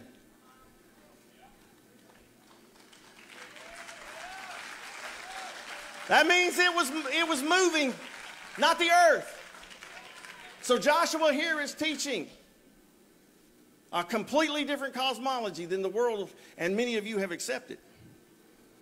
So the sun stood still in the midst of heaven and hastened not to go down about a whole day. And here's what's interesting. He said the sun was over Gibeon and the moon over the valley of Ajalon. Do you know what that means? The sun and the moon were over specific places that were pretty close to each other.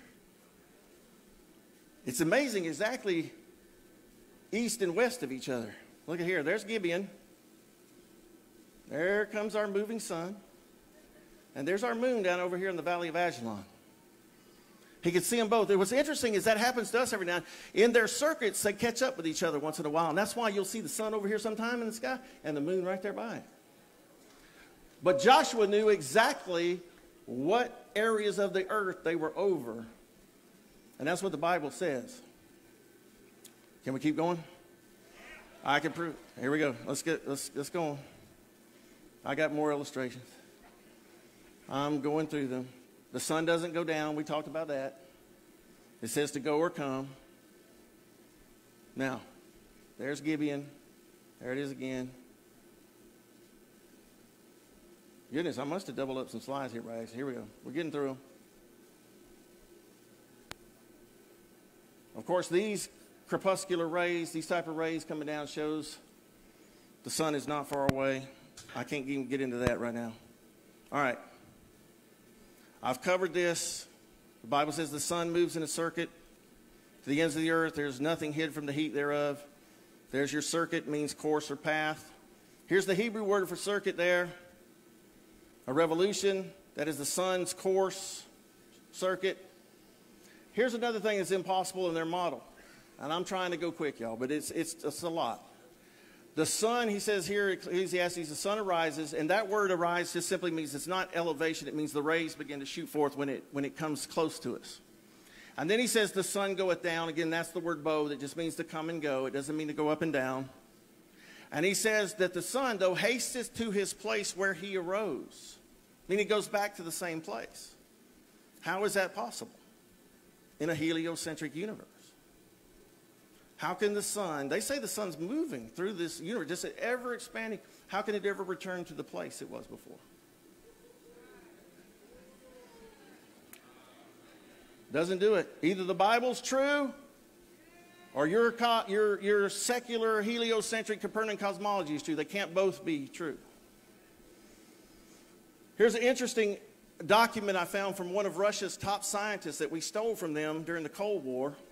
A.A. Orlov, his family was highly awarded, decorated scientist in Russia.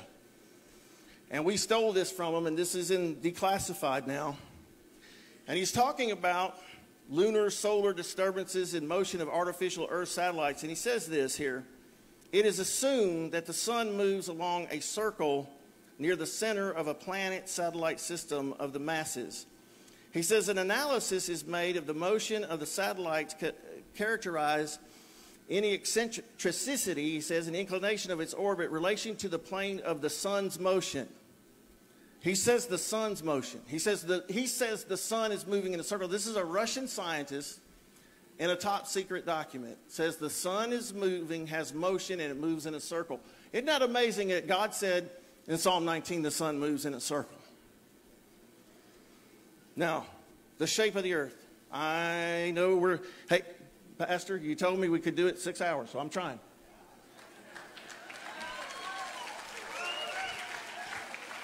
I'm trying, but I have to get it all in, all right? Now, this is the shape of the earth. Now, of course, everybody knows my book is entitled Like Clay Under the Seal from this, this verse in Job 38 14. Now, I know he's going to try to attack that, so I'm going to deal with this. I'm going to just destroy any possible attack on it. Because, number one, the context of Job 38 is creation. Many Bible scholars, translators have translated that this is talking about the earth being or taking shape like clay under the seal. But I'm going to give you some other witnesses from Scripture that this is exactly how God made the earth or shaped the earth. But here's a few verses. We'll look at them. Here's the King James. It says, It is turned, talking about the earth, is turned. It's not talking about spinning because he said it means change. That, that Hebrew word means change, like he would change a potato into mashed potatoes, right? Or like a person who was clean the word is used when they got leprosy, it says they, their skin changed, okay? So it's not saying spinning. He says it's turned or changed as clay to the seal or the signet ring. And so clay was a lump of clay or seal, and they would press it down with a signet ring. All right? So that gives you a flat surface with upturned edges there. Um, the complete Jewish Bible. Anybody think the Jews know how to translate their own Hebrew scriptures? I would think the Hebrews would know that no Hebrew would get us the Hebrew correct, okay? So here's the complete Jewish Bible. It says, Then the earth is changed like clay under the seal. So they even got it in there. And then, of course, the Amplified Bible says, The earth is changed like clay into which the seal is pressed. The NIV says the earth is takes shape like clay under the seal. So there you have all these several different translations, and you have the, the definition of the words, which I could go into. Now, here's the verses that confirm this, because the Bible says, in the mouth of two or three witnesses, let every word be established. Amen? So, this idea of the earth taking shape like clay under a signet ring or seal being pressed down flat, this image is also what we get in other verses about creation, but you have to look up the Hebrew words. I'm going to give it to you here. So Isaiah 42 5 says this Thus saith God, the Lord, Yahweh, Jehovah, that created the heavens and stretched them out. Notice it says, He that spread forth the earth and that which cometh out of it, he that giveth breath unto the people upon it, and spirit to them that walk therein. When he says he that spread it out, just remember that. He spread forth the earth. Another scripture, Isaiah 44 24. Thus saith the Lord thy Redeemer, he that formed thee from the womb, I am the Lord that maketh all things, that stretcheth forth the heavens alone, that spreadeth abroad the earth. Again, he says that term. Now, notice it says by myself. I'm going to show you a mistake that King James makes here. He says, who stretches out the earth by himself. Do you know I can read a little Hebrew? And you know what? And I've got my Hebrew scholar here, uh, one of them, Dr. John Strazicic, to get it right there. PhD from Fuller Theological Seminary. He'll tell you this too. This right here, when it says he spreadeth abroad the earth in Isaiah 44 by myself, is not in the original. It's et ma'im in Hebrew. Et ma'im means upon or in relation to the waters. Ma'im is the waters of creation. So he's saying that he spread the earth in relation to the waters, just like he says in Genesis 1.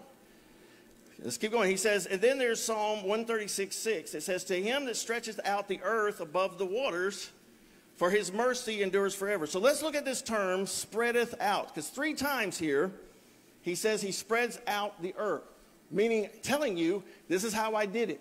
Like if a woman's rolling out some dough, she says, I spread out the dough, but how does she do it? Right? He's going to tell you how he did it. Right here is the word.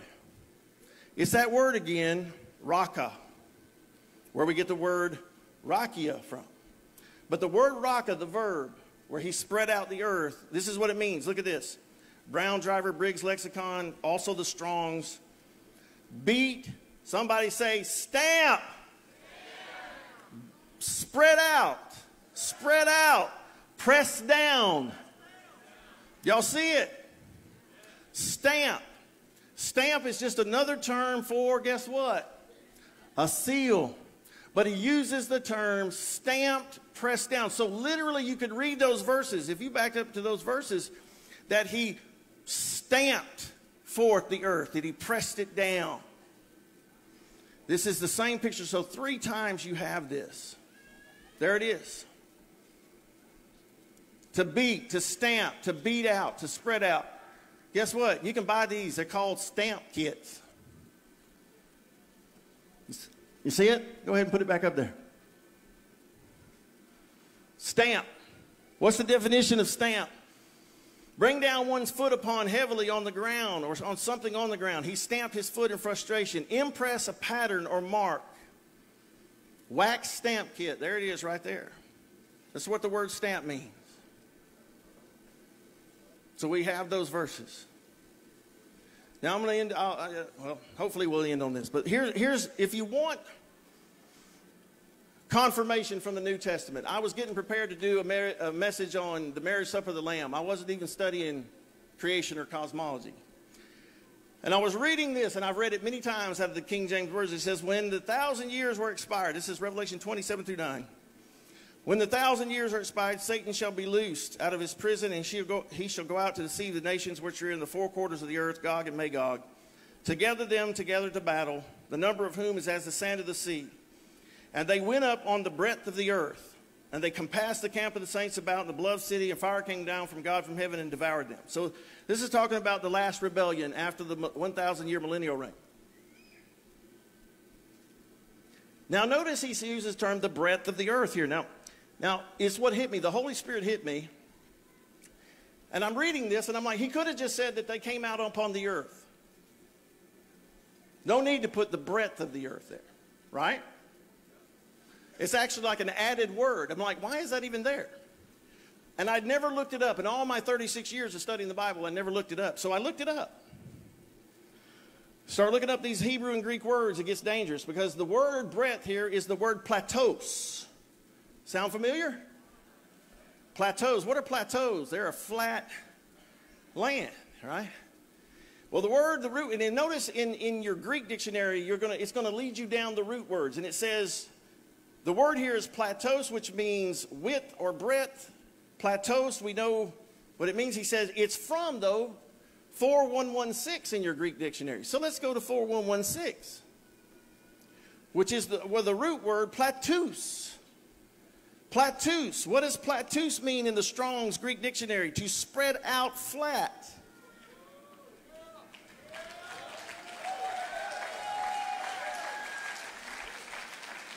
So, literally, the verse in Revelation 20 says they went up upon the flat earth.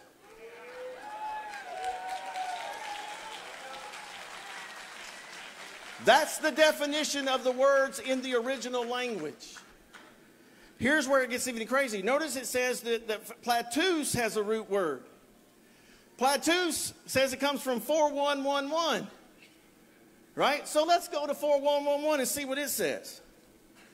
Here's the, the, the word 411. Here's the word in Greek. Listen to what it means here. Plaso, to form, mold something from clay or wax.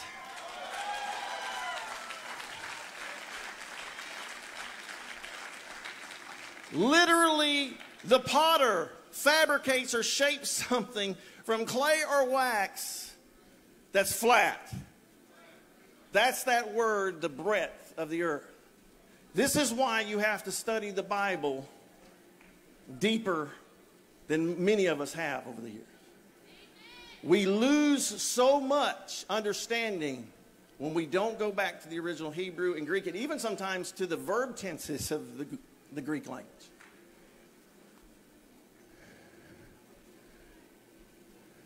And there they're all three together. And I'm going to just end with this part. I'm not going to show you, but there have been two astronauts that were interviewed. One, the general, highly decorated Mieczysław Hermanowski, who recently died. He was the only Polish cosmonaut for the Soviet Union. He was asked in an interview right here, You've been there. Is the earth really a sphere, a sphere hanging in outer space? And his answer was, The earth is flat, as some may expect. I didn't expect this question. I assure you it's flat. And there was another Russian cosmonaut who was awarded to be the hero of the Soviet Union. He said, We haven't been to space. If someone claims that we have been, it's not true. It's not the truth. These are two astronauts. I believe in the days ahead, these are whistleblowers. I believe in the days ahead, we're going to have more whistleblowers that come out and tell the truth.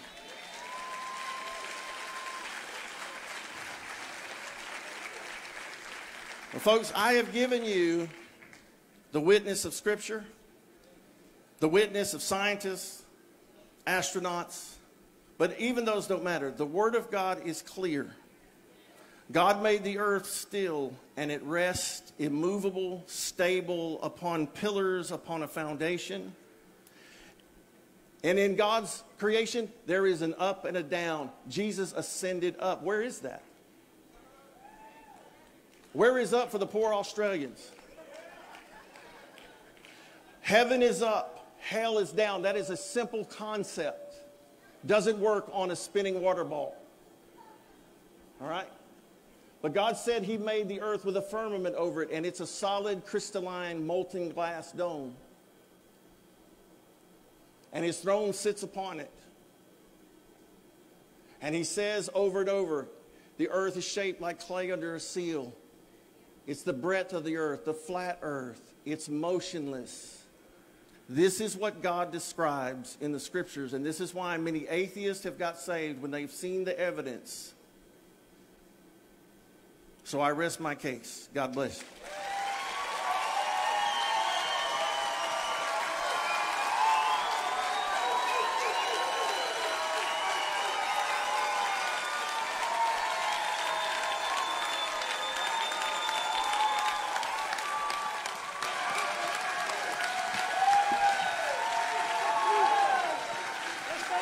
Thank you, Pastor Dean. Thank you. That's good. Give him a hand. Not everybody wants to debate these issues, and so that's a big deal, right? That's a big deal. And so thank you so much for your thoroughness. Sorry we don't really have six hours apiece. We could talk about this for 20 hours apiece. Okay, you're not going to get the whole the whole ball of wax, right? You're just you're just not. You're not going to get all of it at one time. There's a lot there, and so I recognize the fact that we we feel like at least that we're we're feeding you with a fire hose and just trying to give you so much information. And I know we had to skip through a lot. So once again, give him a round of applause. Thank you, sir, for your honesty. I appreciate that. And, and it's, it's good to have a little, our honesty back and forth, even our, our snarkiness, you know, we, we, we get a little, get a little uh, fired up about things. That's all right. That's part of it. And so I want to go into the word of the Lord and uh, give you the perspective from my vantage point theologically. Now, uh, I'm not a real big high tech redneck PowerPoint guy, and so some of the verses will come up just when I call the guys in the back. They can throw them up. I'm just gonna. I'm just a Bible guy, right? So I'm gonna do some flipping, and uh, this is a Bible debate. So I suppose that at least a few of you have your Bible tonight, and so uh, I, I, don't have to take as long as he did, only because he, he has a lot of information that I don't have, right? A lot of information that I uh, am not privy to, uh, as it were, and so he he had a lot to say, and so I just I want to kind of keep the perspective so uh, we can kind of go back and forth if there's time for that, Lord willing, in a few moments. But let me just start right off the rib with the word of the Lord and then just kind of go down through some very important aspects of what I believe the Bible teaches. Psalm 8 and verse 1, the Bible says, O Lord, our Lord, how excellent is thy name in all the earth, who has set thy glory above the heavens. Out of the mouth of babes and sucklings hast thou ordained strength. And the Bible says, because he's ordained strength, he says unto the people that he steals, he stops the avenger, he stops those that come against him. And then he makes a very interesting declaration in Psalm chapter 8. He, begins to talk about the fact that because God made everything the way that He did, because the world has been absolutely made by God, I read just today, as a matter of fact, this right here. He says, When I consider your heavens, the works of your fingers, the moon and stars which thou hast ordained. He said the finger work, the finger painting, like a little kindergartner, the finger painting of God is indeed the heavens, the firmament, the, the moon, he says, and the stars. It took nothing for God to make that. But then he asked this question What is man that thou art even mindful of him, or the Son of Man that thou visitest him. So here's the two different directions that we're going. I get enclosed dome, all of that. We'll talk about that. But listen, my idea is not just talking about the expanse, because firmament clearly means heaven. It's what the Bible says. I don't believe it means expanse, it means heaven. It's what the Bible says.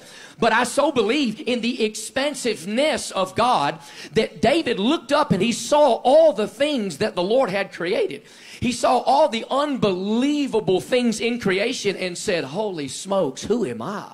What is man that you are even mindful of me? Why would you even think about me amongst so many unbelievable things that you have created? The vastness, the expansiveness, the more and more. You see, I don't believe that the universe expanding, Genesis 2 1, God made it all at one time. I believe our understanding of the universe is expanding, and those are two very different ideas, you understand.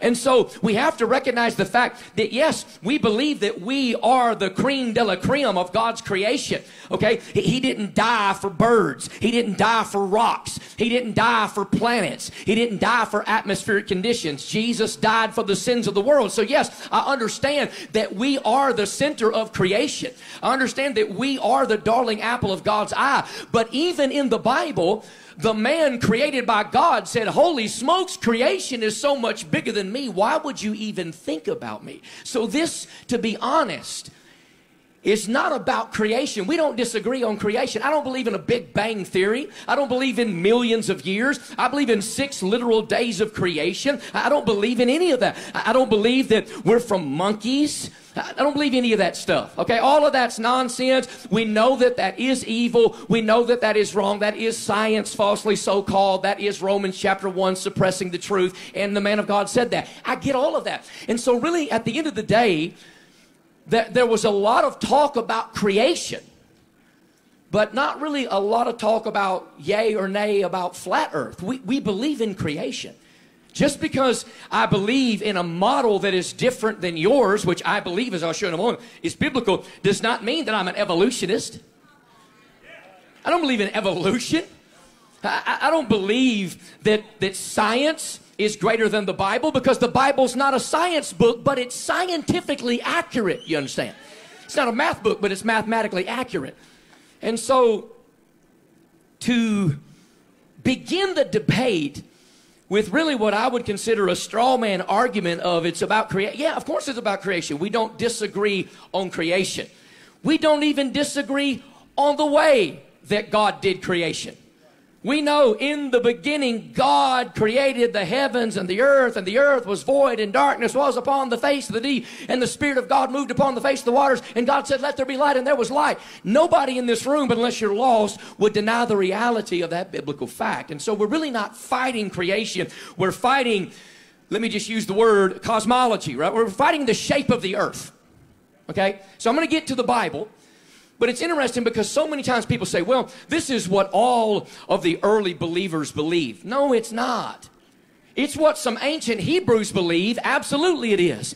And they like to use that little picture from Logos Software. Look, Logos Software is promoting, you know, this particular idea. I called Logos Software and I said, look, I got to ask you guys a question. They sent me actually a statement back, an email statement that I have in my phone right now. And they say, we absolutely do not believe in what they say, anti-science when it comes to the flat earth theory. We just have to put things in there based off of what people actually did believe at one time until they began to understand through observation, through experimentation, and through what you guys would say, what you can clearly see, experience, and feel. And so it's not that some people did not have that cosmology, but please know this because here's where flat earthers sometimes on YouTube want to want to change the game a little bit. They tell you that it was the cosmology. No, no, it was a cosmology because a lot of people believe that the earth was on the back of a turtle or it was square, or it was triangle, or it was, and some people still believe this to this day, an infinite plane over and over and over. Some people, and I'm not saying the people in here, so you ain't got to boo me, but some people have the fantastical notion that if you could somehow get to what they refer to as the edges of the earth, when you go through one side, like Pac Man, you come back in the opposite side. Now we've gone into science fiction realm. Okay, now we've gone far beyond the reality of the Bible. And then they're like, well, you know, that's just how things operate in space. Well, you don't believe in space, so you don't get that argument, you understand, right? And so the Bible is extraordinarily clear, I believe. And so let, me say this. In Acts chapter 17 and verse 26, you know what the Bible says? We are all men made of one blood for to dwell on all the face of the earth. The times are appointed, and here's what God says. And he hath given us the bounds of our habitation. That's why I don't believe in aliens. We agree with that, right? I I don't believe in ET and little green men. I do believe that is going to be a last days deception, that they are going to say, oh, look what the aliens can. Ain't no aliens. You believe in that nonsense, you need to quit smoking meth, okay? You don't believe, there's no such thing as that. But I want you to understand that at the end of the day, right here according to the Bible, He bound our habitation. My question is, why does He have to specifically tell us that our habitation to earth has been bound? Because the other planets, yes, I believe in them, that He created are not habitable. They were just built because the heavens declare the glory of God and the firmament, the firmament, the heaven showeth His handiwork. And the handiwork, according to what the Bible just said in Psalm chapter number 8, that David was so mesmerized by, the handiwork was the moon and the stars and all that God created. We have been bound to inhabit only the earth. And so, from that vantage point, that makes us the center of God's creation. But the earth itself is not the center of a orbital galaxy. It's just not. There's no way around that fact. I know I won't get nearly as much applause. And the reason our people aren't going to applaud because they're just trying to figure out what I'm going to say because they've never heard some of this stuff. So they're just trying to hold on for dear life and buckle in and hope I don't break a microphone tonight, right? And so they, they can be as quiet as they want to. You see, I don't have to have claps. I don't have to have validation. I got 66 books right here that'll validate everything that's about to come out of my mouth. 1,189 chapters, right? 791,328 words. Okay, the, the Bible is going to tell us everything we need to know. Now, I, I'm about to pull something out here, and you're going to have to start flipping around with me and help me out here. But I want to go further and prove that about we're the only one that's inhabited, but we're certainly not the only one. You know what Hebrews 11 says? It's a faith chapter. And Hebrews 11 and verse 3 says, By faith we know that the worlds, plural, were framed by the Word of God. He does not say, By faith we know that the world. He said, By faith we know that the worlds, multiple, were framed by the Word of God. And the reason that's important is because Acts 17, as we just said, because there are multiple planets, there is only one that is inhabited because there is only one that Jesus was sent to to die for the sins of the people that inhabit that earth. So there was a time I thought, well, you know, maybe this is not a gospel issue. And I don't want to make it a gospel issue, but when you say things open ended, like, if you're a Christian, then you're going to have to believe the way that we're, that, that's, that's dangerous. That's dangerous. Because you can believe flat, square, spherical, and go to hell with a broke back. This ain't about the shape of the earth. Okay, this is not a salvation issue at all. And I'll go one step further. I'm going to get to the word, praise God. I got time. I am excited about atheists that have. Listen, if you think I'm going to sit there and be like, I'm not going to applaud, man, I'm happy when anybody gets born again. Paul said if, if Christ be preaching contention, he's going to be excited about it. Amen. So I'm excited when people get saved. But let me tell you something very interesting. You got to be careful about that because what it sounds like is flat earth saved me. No, the gospel saved you. Flat earth may have been a highway that got you there, right? And that's okay. Creation may be something that got you there, but it didn't save you. Globe earth didn't save you. Jesus saved you. You, you didn't put down a bottle because of the shape of the earth. You put down a bottle because the shape of your heart got changed when Jesus invaded your space. Now, I'm supposed to be debating, not preaching, but listen. I mean, just, just, just think about that. From so, I'm not against the people that have been saved. I'm glad for it. But, but I want you to think about something. I wrote this down for later rebuttal, but we rolling. Listen, this is not, by the way, a loaded question. Okay, this, this is not a loaded question. This is important. I, I just want to ask pa- Pastor Dean, just from your vantage point, and here's why I'm asking you this. Okay, so this is not a trick question, uh, because I think we agree on this. Do you do you believe or do you teach like a secret rapture? Because I don't. Okay, okay, great. So, so we agree on that. There was a time I was all, you know, woo, do you jumping jacks? Okay, right, I get it. And, and, and listen, the rapture is not a salvation issue, okay? So there was a time that, that I really did. You know, I preach rapture, rapture, rapture. So here's why I bring that up. Both he and myself do not teach a secret rapture. But neither one of us would discount the number of converts that have been reached because of things like Left Behind, movies and books, and teaching about a secret rapture. So neither one of us teach it, but neither one of us would get up here and say, "Well, you can't really be born again because you came around it, you know, in a uh, in a false theological system." No, they can get born again. So it's interesting that you can use a wrong model, but get right results because the results are based on the gospel, not on the model. You understand? Does that make sense? I, I hope it does. You know, Moses got water out of the rock both times. But one time was right and one time was wrong. Right?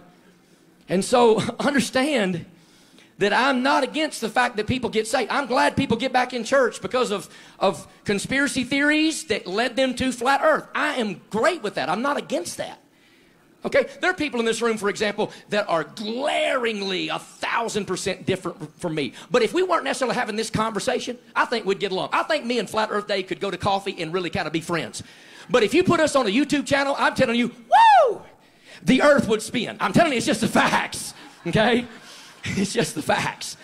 And so I- I'm not trying to be a jerk for Jesus. I'm just trying to tell you, the Bible's pretty plain, and the only way a person really comes to faith is through Jesus, not through heliocentrism, geocentrism, and all these big fancy words that most people have no idea what they mean. Okay, I'm just a hillbilly. I like to use simple King James English. All right, now.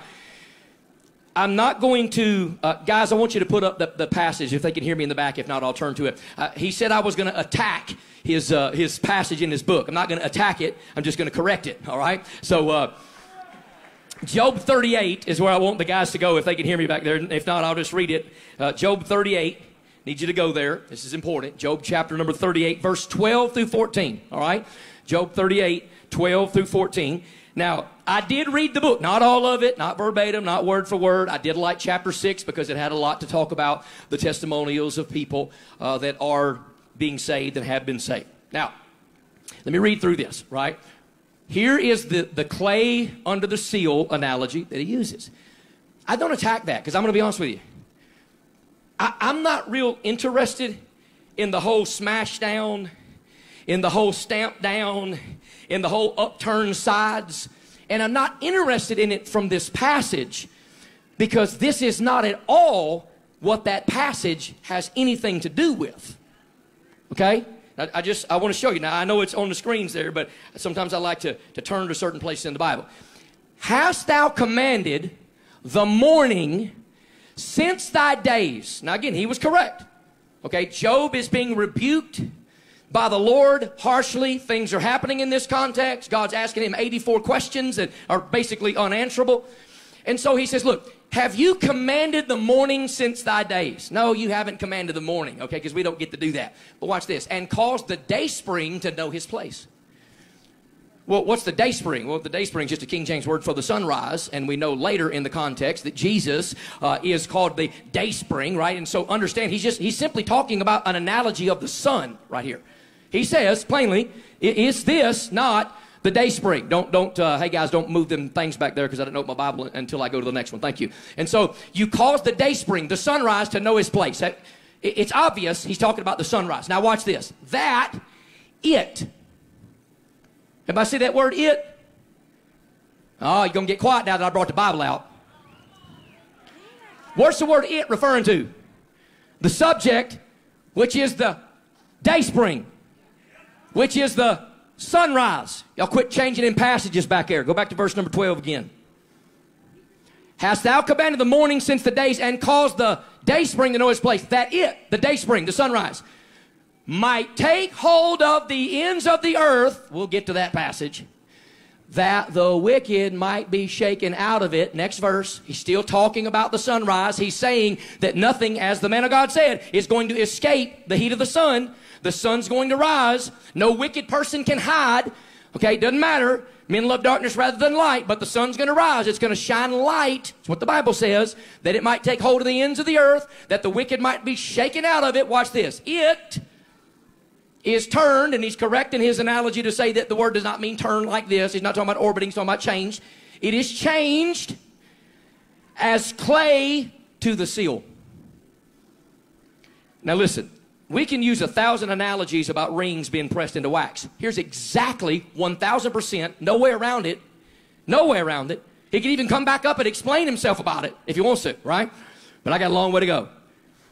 He says, just as wax has no form whatsoever. Okay, and we don't even talk in this terminology. This is old English. Just as wax has no form, it's just wax. It's just hot wax. He says, just like when a signet, signet ring, roll, I don't care what it is, okay? Just like when it is dipped in the wax, what happens? The wax gets into the cracks of the signet, and the signet comes to life before your very eyes. When the sun rises, it takes the darkness of the face of an earth that has no contour and no shape. But as the sun rises, the darkness of the crevices and the cracks of the earth began to show themselves. And when the sun rises, it sheds light on an earth that you could not see its contours and curvature or whatever you want to call it before that. And so, just as the sun brings reality to what we could not see, so when a ring is dipped into the wax, all of a sudden the wax fills up the crack. There's only one thing he is talking about. And it is the revelation that sunlight brings when the sun rises in the morning. Now, wait a minute. Is there anybody in the room that would say, huh, that's theological gymnastics because it's not talking about the day spring? Is it talking about the sunrise, yes or no? It, it's only talking about the sunrise. And as the sun rises, it sheds light on things we could not see, just as wax has no form. Until you dip something in it that has form and it conforms to it, and now you can clearly see it. And by the way, that happened in the very first chapter of the Bible because when darkness was upon the face of the deep, God said, Let there be light. And guess what? The light shed abroad the contour of what God was creating. This verse is not about cosmology. I'm sorry. Now, it may be a cute verse to use and talk about the upside, the upturned sides. That, that's great. That's fine. I don't mind if you use it. Here's my beef with it. You can believe the earth is any shape you want to, and we can have coffee, just not Starbucks.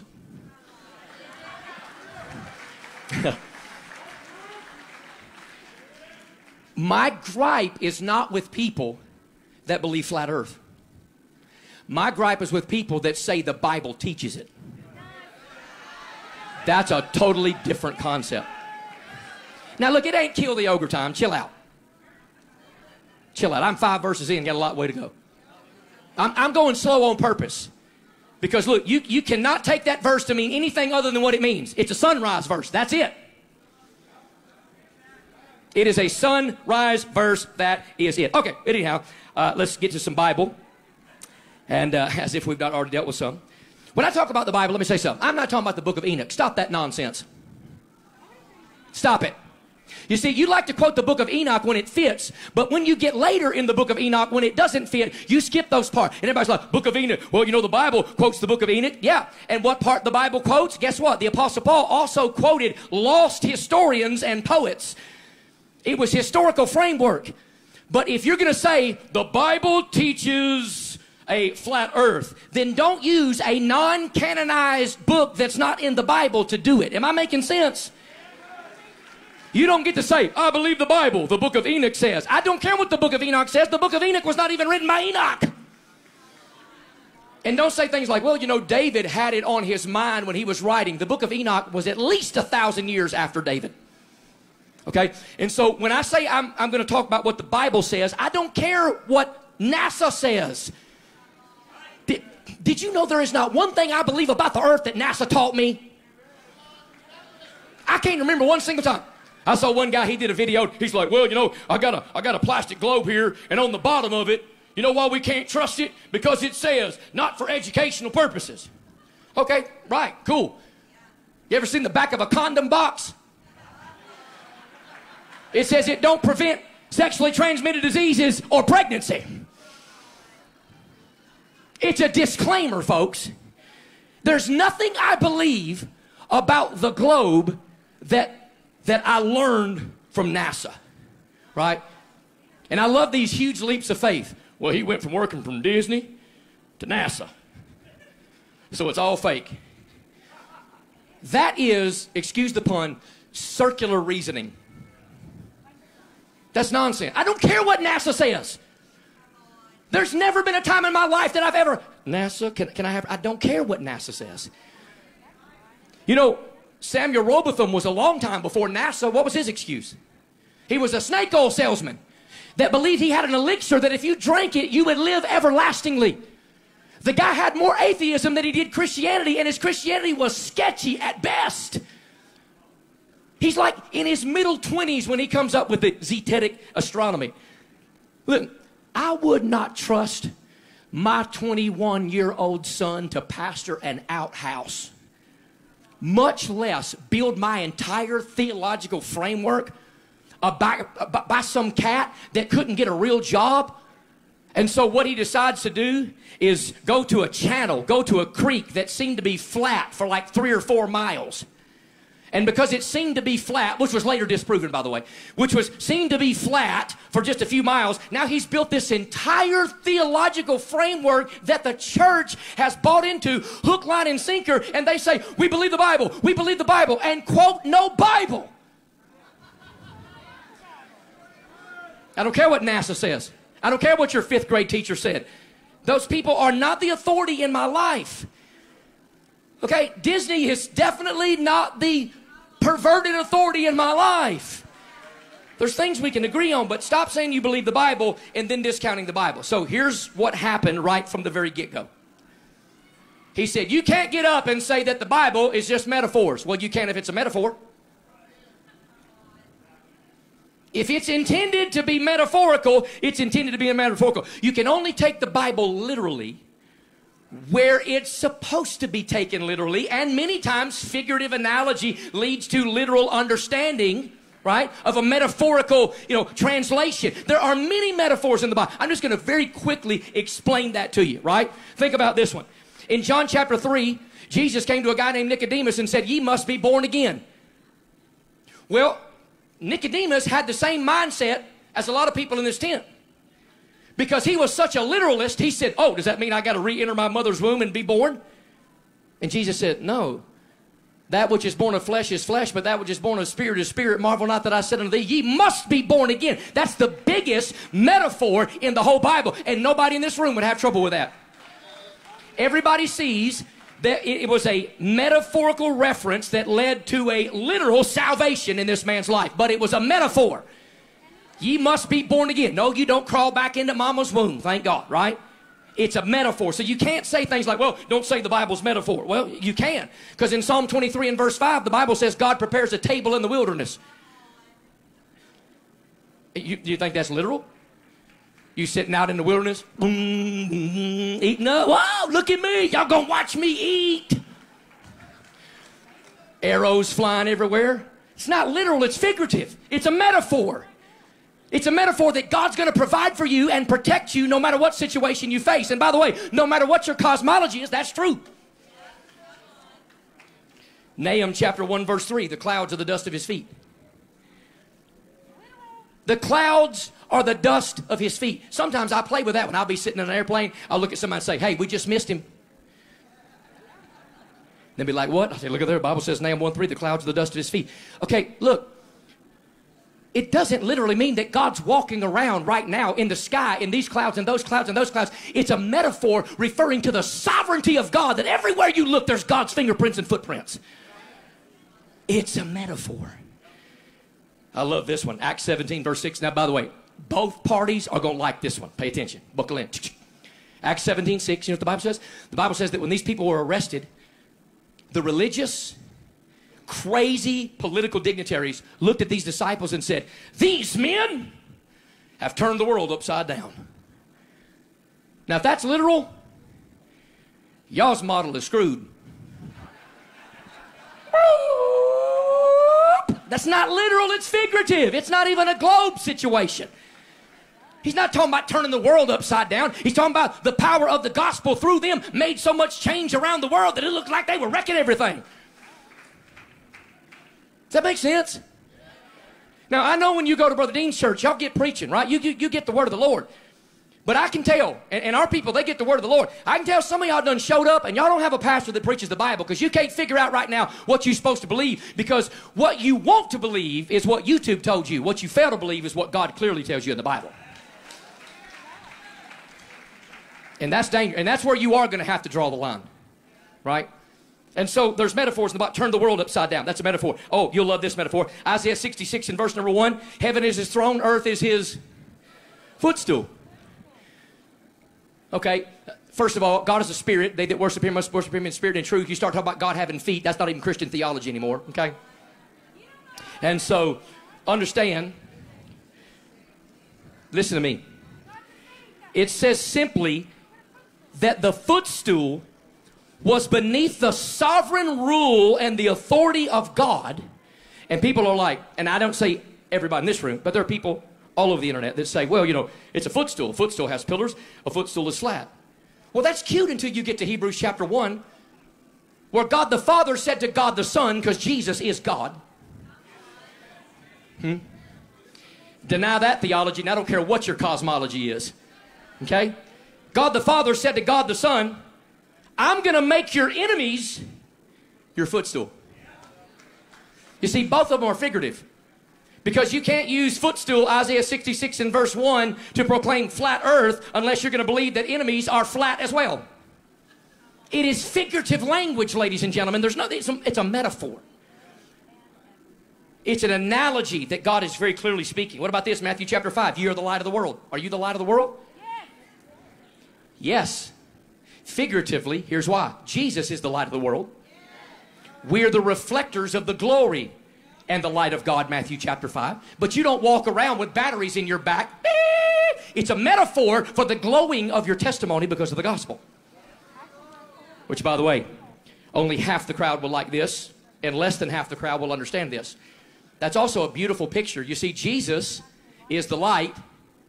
We're not the light. We reflect and radiate that light just like the moon reflects and radiates the light of the sun because the light does not come from the moon itself. You do understand that, right? Half of you understand that.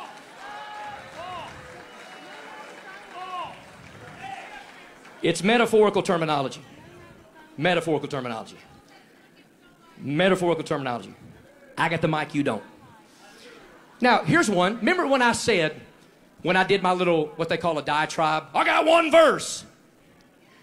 Everybody said, yep, he gonna go to Isaiah. Circle of the earth. I could care less. Circle, ball. Because here's, the, here's the argument. Well, a circle's not a ball. That's true, but a ball is a circle. And guess what? Ball in early Isaiah, he's exactly right. Ball and circle, two different words. But you know what the word ball means in the Hebrew? Circle. But I don't care about the circle of the earth, the comp. Okay, listen, that's not even what I'm going to tell you. You know, there's one verse in the Bible that disproves flat earth immediately, without hesitation. We ought to drop the mic and go home. Y'all ready for it? You want to wait for it? Okay. Listen to what the Bible says. It's two verses, one concept. Psalm 103. Some of you know where I'm going. You, you was hoping I didn't know this one was in the Bible verse 11 and 12. We're going to take it one verse at a time. For as the heaven is high above the earth, so great is his mercy toward them that fear him. Now, do you believe that? Yes or no? I do. As the heaven is high above the earth, so great is his mercy. But if you believe there's a limit to the heaven, you've limited God's mercy. And Romans says that you, nor any height or depth can take you away from the love of God. So if you're going to tell me there's a structure that's blocking the rest of the heaven, you have just minimized the mercy of God. For as the heaven, in the same way, in the same like manner, as the heaven is high above the earth, not just a few thousand, you know, miles and the throne of God sits on top of a. No, no, no. I'm going to explain all that to you from the Bible also. Uh, by the way, I, I have my right to a theological opinion. You understand that? I sat there quietly, clapped, and amen. Okay? The whole time. And enjoyed it and learned some stuff. Because every man can be my teacher. If you can't learn, if you know everything, you need deliverance. So, as the heaven is high above the earth, so great is his mercy toward them that fear him. So, in, let me just say it this way my model, the mercy of God's endless. In your model, there's a cap on it.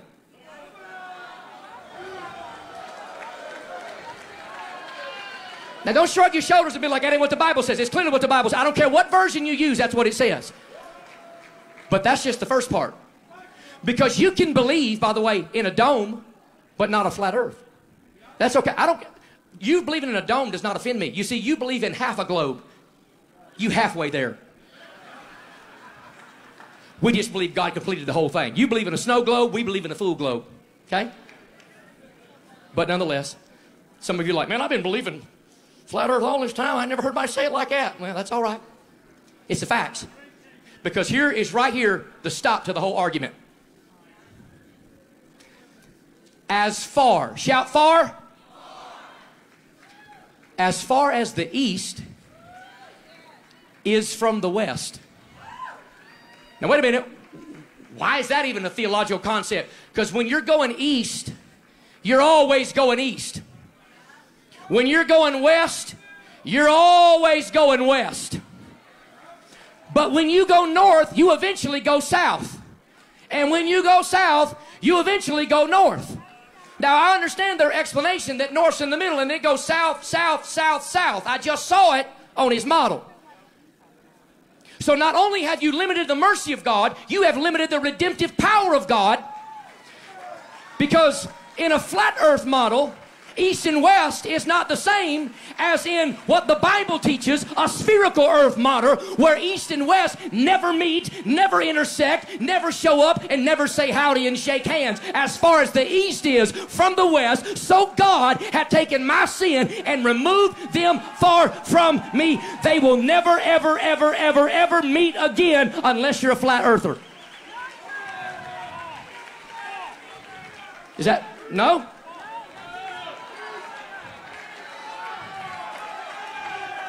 Why is that not the facts? Oh, see, I love that. I love when they say that going in circles is circumnavigation. No, no, no. Going in circles is what people in a loony bin do.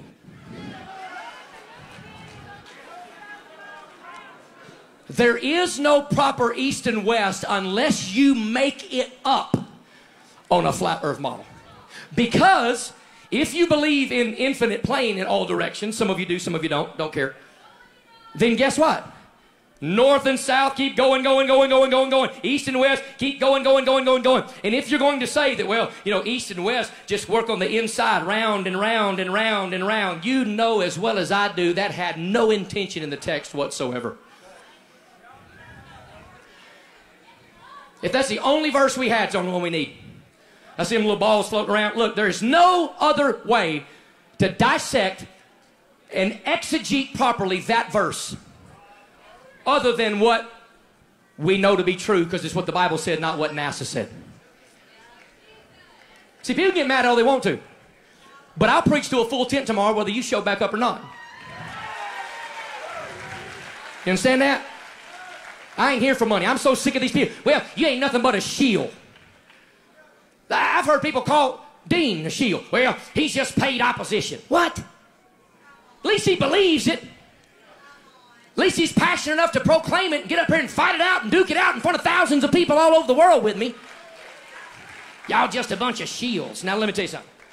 There ain't nobody in this room, nobody in this room, I promise you this, there ain't nobody in this room fought the Masonic Lodge more than I have.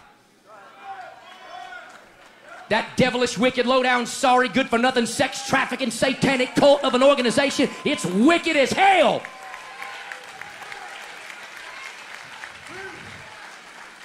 But somehow or another, because I believe in a spherical earth, I'm siding with the Masons. You know the authority that tells us who the Masons were in the historical records are people on YouTube that have no authority to tell me that? Not everybody's in the Masonic Lodge, folks. Some of you know I done called out some false prophets in this church. I could have made millions with them cats. I ain't for sale, no matter what shape the earth is. So stop all this. Well, you just uh, y'all just working for the free. We ain't working for the Freemasons. Freemasons can eat my dirty socks. Bunch of devils, bunch of demons. We call it out every Sunday night. There's a spirit that goes along with the Masonic Lodge. And to say that a Christian that loves God, been preaching 31 years, well, he must be just yoked up with NASA and the Masonic Lodge because he believes in a spherical earth. That's nonsense. Stop all that. That's apples and oranges. I mean, that, that's, that's ridiculous. And, and I want to tell you one of the reasons I called it out because we got people in our own church eviscerating each other over this ridiculousness. We got marriages on the rocks because of flat earth. And I'm not saying that people ain't stupid that believe the other way. I mean, there's crazy people on both sides. I get it. Both sides. We all crazy. But I've never, ever, ever, and I have messed with a lot of doctrine. I've never dealt with anything that is more divisive in the local church than flat earth theology. Never. Never. I mean, we got people that, that came to this church two or three years, good people here tonight. The moment I called it out, I was lost. I'm not even saved. I'm not even regenerate. You working for the Mason? What? You believed everything until that one little deal? It's that big a deal to you? You know why it's that big a deal? I'm going to tell you why it's that big a deal. Because it has become a graven image to you. It's all you think about. I didn't even start studying it until I said I'm going to do the debate, and I'm sick of thinking about it already. Now, look, if you can handle it in moderation, handle it in moderation, but it has become an idol to some people. It's all they talk about. And they're like, well, you know, Jesus came to bring a sword and bring division. Not about the shape of the earth. So, anyhow, uh, you, y'all can weasel your way out of Psalm 103, verse 11, 12, all you want to, but then I'm, I'm going to do something real quick. How many of y'all, I got it all marked up. How many of y'all seen this right here? FlatEarthDoctrine.com? Let me, let me ask it again. How many of you have seen the verses, the 240 plus verses, flatearth.com? You've, you've seen this at least floating around as a meme on the internet. Dear God, I hope you've actually read some of these verses before you showed up at this debate tonight. All right. Anybody ever seen this? It's, it's usually black. Okay, a, a handful of you. Well, that's telling right there.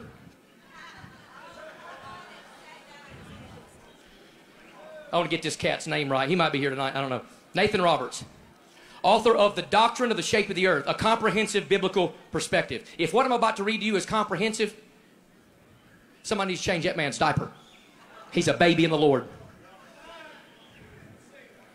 Uh, yeah, I did say a baby in the Lord. Comprehensive doc. Have you seen some of the stuff on this list? Oh, no, no, no. No, because you just share it on Facebook without reading the 240 some odd verses that are supposedly on here. Here we go. Let's just deal with a few of them. Let me get some low hanging fruit here, real quick. By the way, 240 plus flat earth doctrines. And let me say this if you've not read every single one of the verses that are on this list, I know more about your stuff than you do. That's all there is to that. Because I'm sick of y'all saying, there's 240 verses. What? Then how come you don't read them? You just assume they're there? Do you know one of the verses on this list is Psalm 46:10, be still and know that I'm God?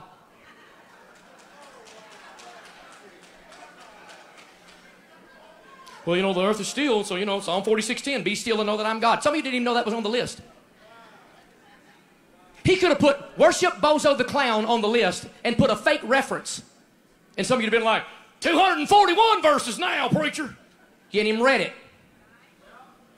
Then he likes to say things like this. Well, you know, Matthew's Bible from 1537 says flat earth. Okay, first of all, I don't read Matthew's Bible from 1537 because the S's were F's and the V's were this. Oh, you, you, you couldn't read it if you had it in your lap. Yeah, it says flat earth. It sure does. 2 Samuel 11 11, I believe it is. You know what it says? Talking about a, a military installment, an army in a certain area fighting another army. And it says, and they went up and pitched their tents upon the flat earth, which literally means open field. And everybody's like, oh, give me that $30,000. Flat earth's in the Bible. Yeah. Yeah, sure is. You think one army in one city against one other military institution installment is spreading their tents out over the whole flat earth? Mm-mm. No, you're reading a comic book if you believe that. It's just a simple phrase that was mentioned in 1537, and every other time it's been translated. And I don't even mind the translation. Some people like to play translation games. I'm going to read 20 translations until it says what I want it to. Right? Now, this ain't a bad marriage, this is the Bible. Some of y'all argue until you get that person and that text to say what you want it to say. That's not exegesis, that's eisegesis. That's reading into the Bible what you wish was there because what is clearly there doesn't need to be brought out because it'll make you uncomfortable and you'll have to change your foolishness. About anything. About anything. And so he puts that in there. It's not even a reference. He even puts a reference in Revelation 21 15 through 17 and says this New Jerusalem, the huge cube. We ain't talking about cubes. And we ain't talking about New Jerusalem. We're talking about earth. Do you know that was on there? Has nothing to do with flat earth. As most of these verses do not, by the way. But let me give you a couple of good ones that I think are quite interesting. In 2 Kings, and they can put it up there, but I'm not going to read through all these. i got to give you a bunch of just the highlights, cliff notes. You, you can read this. It's, it's on every one of your Facebook pages at some point in the comment section, every one of you. I get it like 15 times a day, so don't tell me it's not there. Okay, it's, it's everywhere. It says, uh, he, and I love how he gives his own descriptions of what the passage is supposed to say. But it, it is this 2 Kings 20, 8 through 11. You remember Hezekiah? The Bible talks about the sundial going backwards. He says, uh, the sun moves backwards. Two things about that. Number one, that has nothing to do with the shape of the earth. Secondarily, here's what's interesting. Did you know a sundial only works because of a curved earth?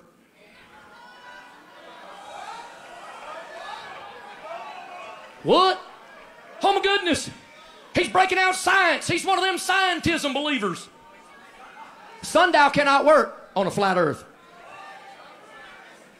Look, y'all can stay till 2 o'clock in the morning, argue all night. We'll turn the live stream off. I'll sleep good. I promise. You can argue and fuss, cuss. You can get mad as you want to. But sundials have nothing to do with the shape of the earth, but everything to do with the fact that guess what? The sundial don't even work forward or backward without proper shadowing of a curved earth. But nonetheless, we'll keep going. Even if you don't like that description, it still has nothing to do with the flat earth model. Oh, I love this one. Everyone sees Jesus. Revelation 1 7. Right? Well, you know, in Revelation 1 7, the Bible says when Jesus comes again, the whole earth, every eye shall see him. Okay, even if the world was flat, you wouldn't be doing that. Show me somebody parachuting 15 miles from here, right now. Okay, it doesn't work that way. You say, well, he's God. He sure is, and so he explains himself well. Revelation 1 7 is a prophetic fulfillment of Matthew chapter 24 when he comes back and the Jews see him. They look upon him whom they have pierced, and a nation shall be born in a day. But just in case that wasn't good enough for you, and it don't do you fancy, I got one better for you. Because everybody's like, well, you know, everybody's going to see Jesus. And so the only way everybody at one time can see Jesus is if the earth is flat. Well, that dog only hunts until you get to Revelation chapter 11. Revelation chapter 11 talks about the two witnesses. And when the Antichrist kills them, the Bible says, and their dead bodies shall lie in the street in the gate of the city, which spiritually is called Sodom and Egypt, where also our Lord was crucified. And they of the people of the kindreds and tongues and nations shall see their dead bodies for three days and a half, and shall not suffer the dead bodies to be put in the grave. Question How are nations and kingdoms and tongues, how are people around the world going to see two dead people in the middle of the street in Jerusalem? Because it's not about cosmology, it's about technology. And everybody says, well, you know, everybody's going to see Jesus when he comes back. You know why? Because if indeed that verse is literally referring to everybody seeing him, everybody's got a device in their hand and everybody's going to see him. Has nothing to do with the shape of the earth. Nothing to do with the shape of the earth. But that verse is there. Then I, I love these high altitude perspectives, right? That's what he calls them. He puts three of them in here. Daniel 4:11 and Daniel 4:20, which are both, by the way, the same story, the same passage. Look, we, we could stay here and go verse by verse, line by line all night long, but it's right there. You can look at the list. Daniel 4:11, Daniel 4:20. It talks about a tree, right? The tree grew and was strong, and the height thereof reached unto heaven, and the sight thereof to the end of all the earth.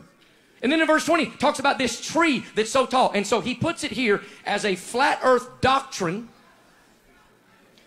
that only on a flat earth model can you see a tree that grows up that high. But what they do not tell you is right in the context of the verse, it says, And the tree that thou sawest, O Nebuchadnezzar, is thee, O king.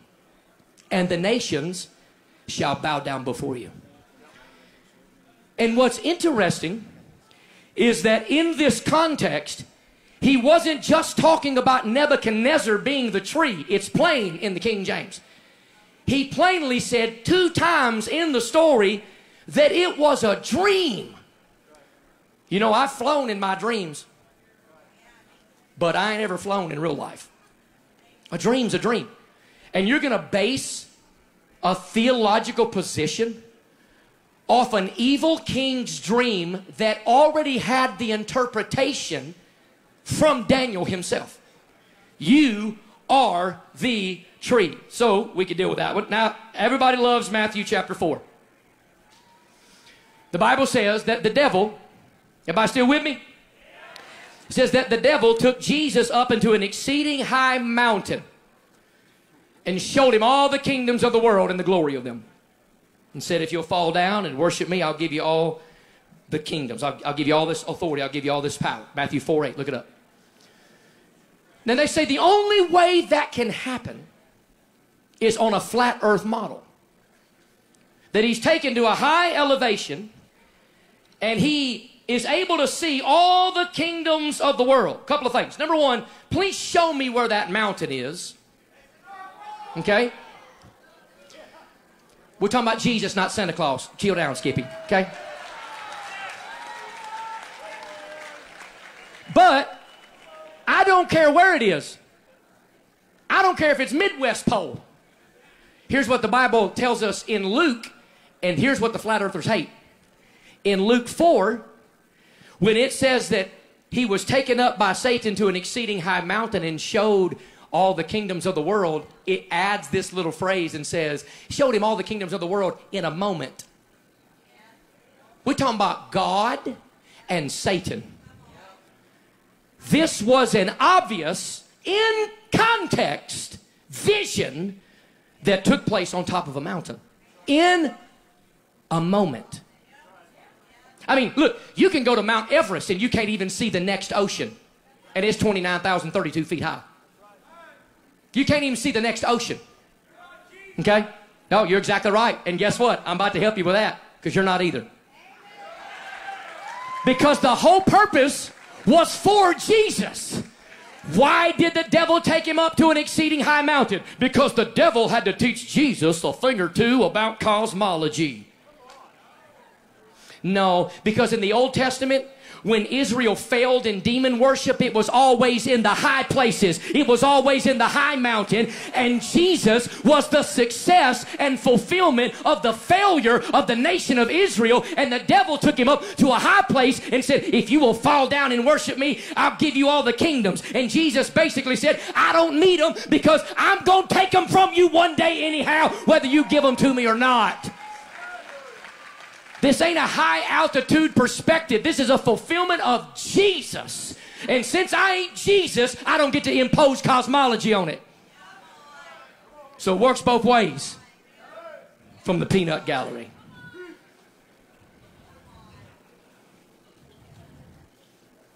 Anybody all right? All right, now listen. Very first one Earth created before the sun. Okay. What's that got to do with flat earth? Nothing. You understand that? Universe is complete, not ever expanding. I believe that. Our understanding of it is expanding, but the universe is not expanding. God made it all. Bam! Just like that in a moment's notice and spoke the word and it happened.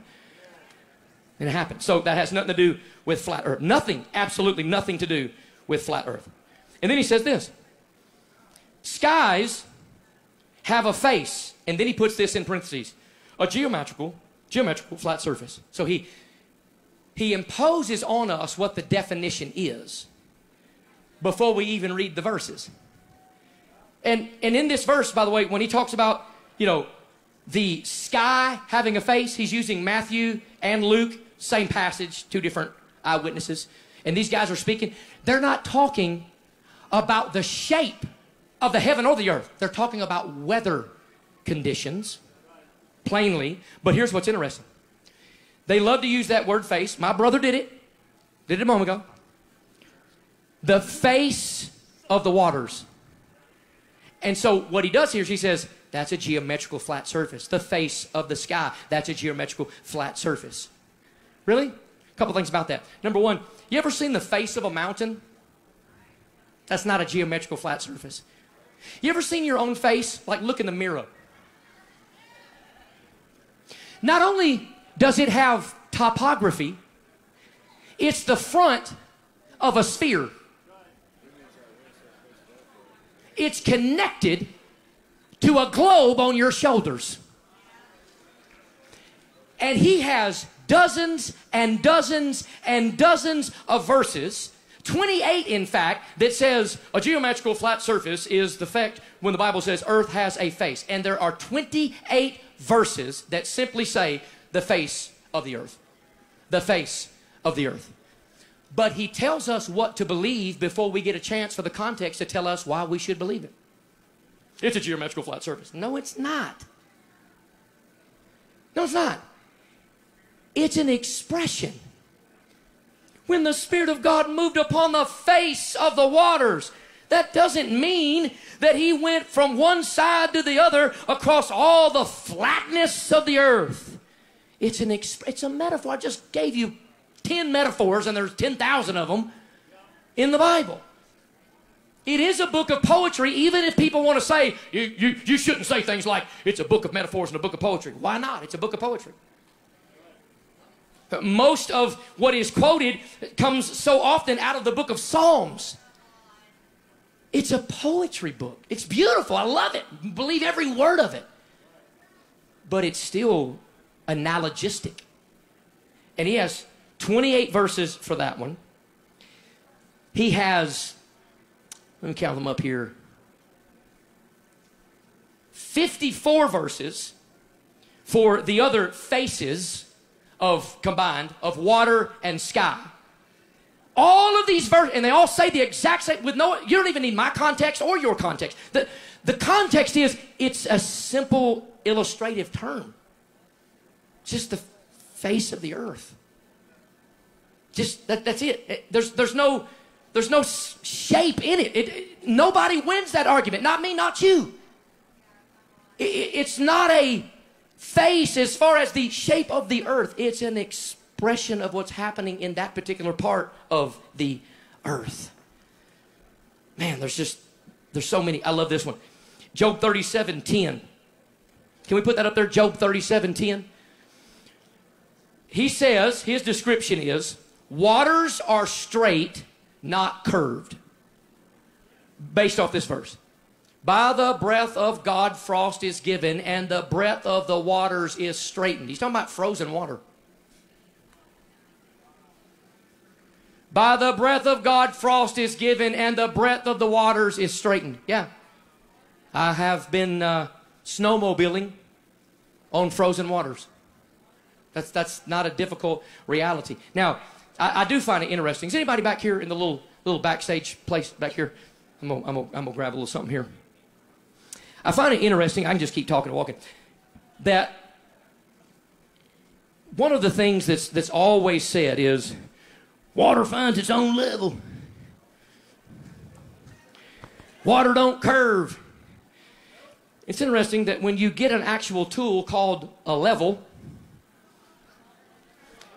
that the water in the middle of it is a bubble. And, wait a minute, you ever seen a raindrop? It's spherical. Huh? Water don't curve. Really? You ever seen dew in the morning on the grass? Water don't curve. Uh, tell a surfer that. Water don't curve. Tell the people in Philippines right now they're probably experiencing a unbelievable weather pattern of the ocean coming against them in a tsunami because of a huge, I think, 7.2 perhaps uh, uh, uh, earthquake happened uh, just maybe, what, three hours before we started, four hours before we started? Tell them that water don't curve. You see, I love how everybody's like, water finds its own level. You know why? This is beautiful. Do you know water why water always finds its own level? Because of gravity.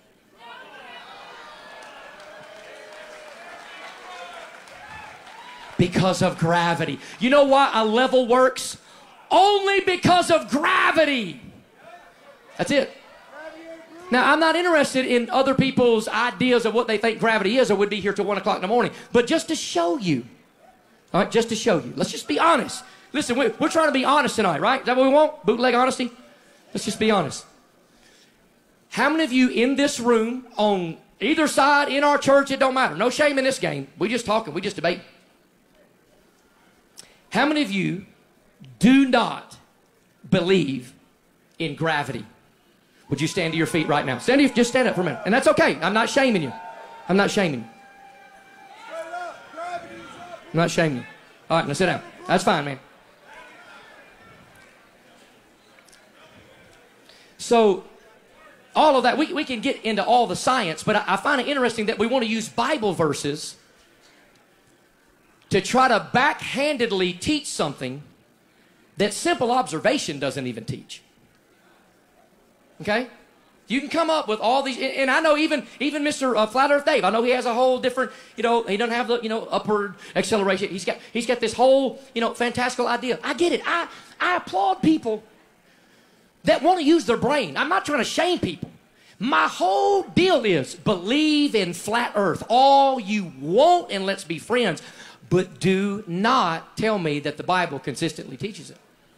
It doesn't. The Bible does not teach any form of cosmology as far as the shape of the earth is concerned. I'm not talking about creation for all of the soundbite technicians that are in the room. But then it says, Earth has ends. There are 40 verses that talk about the ends of the earth. Now, do, do I believe in that phrase? Absolutely. Of course, I believe in that phrase. I wouldn't be a Bible believer if I did not. Deuteronomy chapter number 28. And again, he's got all of these verses. There's no way that I can deal with all of them. But in verse 49, listen what the Bible actually says about this context. The Lord shall bring a nation against thee from far, from the end of the earth. It's pretty plain. He's going to bring them from the end of the earth as swift as the eagle flieth, a nation whose tongue thou shalt not understand. He tells Israel, a nation from the far reaches of the world are going to come and they are going to subdue you. But let's just say, let's just say, hypothetically, from my side,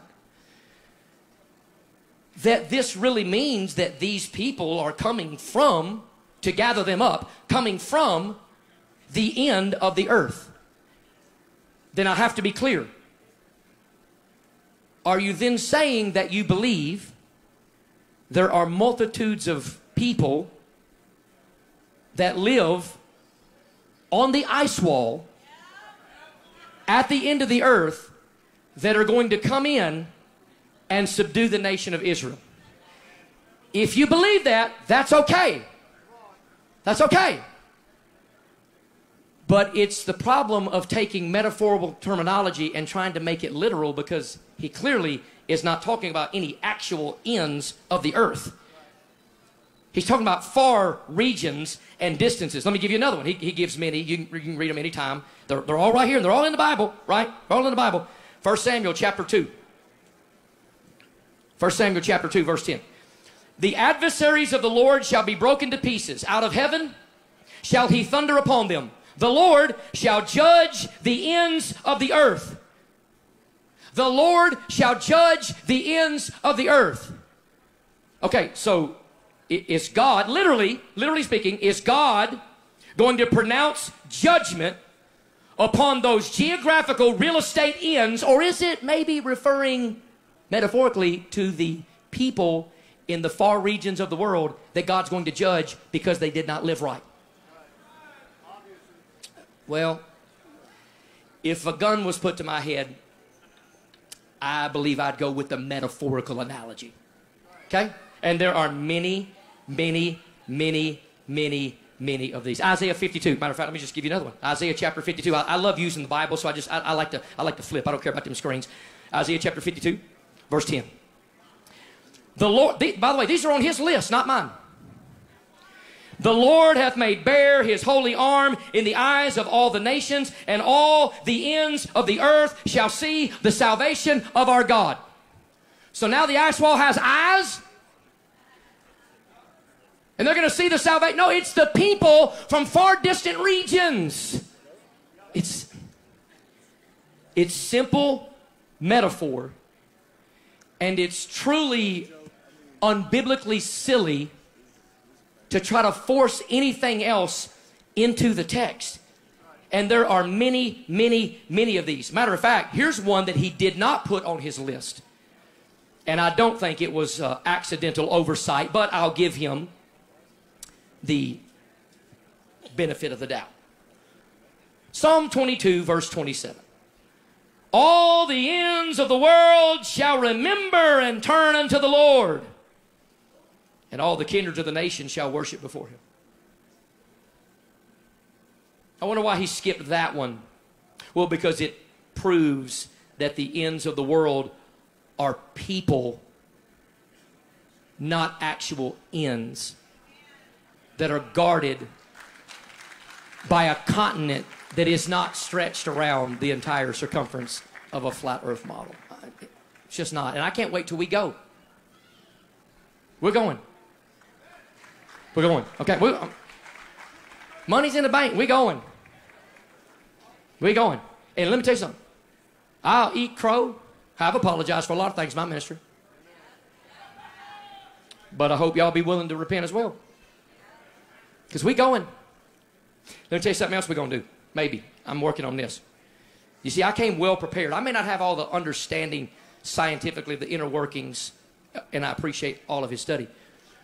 But I do some pretty good due diligence. There's an outfit called World View that launches next year. They got these big capsules that they put six people in. You know what I'm talking about? And they, no, no, no, no. Don't CGI me, because I'm going to put you in one of them. And they, they put six people in these capsules. They put them in a balloon. They take them up to 110,000 feet. Now look, look, I don't care about your fisheye lens. I don't care about your, I don't care about your horizon. I fly around the world all the time. You ain't gonna see no, you know, curvature at 35,000 feet. You're just not. So you win that one. But I love how you say, that picture of curvature out that airplane window is, is curved. Yeah, but when it's straight, the picture's okay, I guess, right? So you can't have it both ways. It's hypocritical.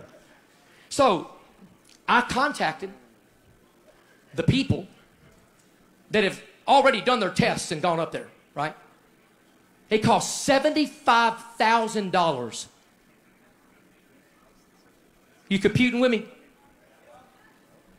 $75,000 to put one person amongst six in a capsule. I got a rancher friend in Texas.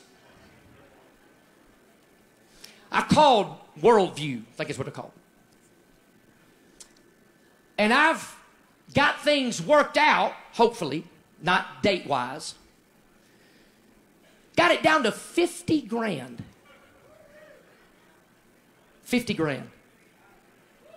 And got a cattle rancher in Texas gonna pay for the ticket. And I'm gonna let either Dave, Dean, Mark Sargent ain't going. Mark Sargent ain't one of y'all, by the way. You know that? He's done more damage to the flat earth movement than any Hollywood actor on the planet. And I don't care if you're in the room tonight, Mark Sargent. You ain't gonna get to Mike No How. I love that show, you know, Beyond the Curve. and they're trying to make flat earthers not look like they're people that are crazy that live in their mother's basement. And then the next scene is Mark coming out of his mother's basement and she's cooking him food. He's not done you any favors. But you can choose whoever you want to. Whoever you want to. We'll get the cattle rancher. And since I've not seen it and you've not seen it, I'm going to take your word for it. You ain't got to take no fisheye lens. You can just go right on up in that capsule, sip you some coffee. It's an eight hour tour. Got them down to 50 grand. What a deal. So when you get froggy, let's jump. You see, I believe in putting money where the mouth is. I don't believe in just open ended say, well, you never saw it, and you know that most people never will. Until now. So we gonna send someone up, and me and him gonna get sent out there. And we're gonna go find your magnetic Mount Meru nonsense. With the spear of destiny. You know who started that? A Satanist. Don't you come about this argument of authority? NASA, NASA. The first person to put flat earth on the internet was Mark Braun, and that guy is a satanic, blood, ritualistic heathen. And I don't care if you're in the building either, I'll cast a demon out of you tonight quick. And everybody's going, NASA's evil. You got your ideas of a lot of this nonsense from Mark Braun, who is beyond evil and even claims to be Satan himself. Don't come to me with that argument of authority. You have no authority. Nobody believed this stuff before YouTube other than a handful of people that got a little bit resurrected in 1971. But before that, it was just a Catholic church, which I find interesting. Catholic means universal. It was a Catholic church that held on to Samuel Rowbotham's stuff for all these years. No, nobody went for it. It's been outdated and disproven for 2,500 years. 2,500 years. Oh, oh, oh, that's fine. That's fine. Oh, oh you know, oh, tells me you're part of the last day's deception. That's what you're part of. Now, by the way, if you can get up here and say that about me, why can't I get up here in this church and say that about you? It's a deception. It's caused more division than anything I could ever imagine. I have been treated better by the alphabet cult than I have flat earthers. In a month. In a month. You know, I, I got Muslims that I call out that treat me better than flat earthers. It has become the most vitriolic, divisive amount of bogusry on both sides. I'm not saying that we're not always, you know, the right ones. Listen, we we're causing trouble too. We're throwing gas on the fire too. But I, I, hope that at least we can understand that when we leave tonight, yeah, we get passionate. Yeah, we get fired up. Yeah, we talk back to the crowd. Yeah, we throw maters and taters. Okay, we get that stuff all the time. We, we've been in the trenches for a long time. But if we're going to talk about being spiritually persecuted, make sure it's for the gospel. Not because of what you think the shape of the earth is. Oh my goodness, I just can't get my family to invite me back to Thanksgiving dinner. I just love Jesus so much. Maybe it's not because you love Jesus so much, maybe it's because you won't shut up about the shape of the earth. It's really not that big a deal. It's really not. Because we believe the same thing about creation, and you've tried to make creation flat earth. We don't disagree about creation. We disagree about the shape of that which was created. Now, look, there's 240 of them on here. I'm not going through all of them, obviously. But it's shocking to me that I can ask, and I don't even know, maybe a bunch of people raise their hand out, but I can ask, who's read this? Who's seen this? And everybody's like, uh, look at this whole full room. And, and, and these are the definitive doctrinal verses for flat earth.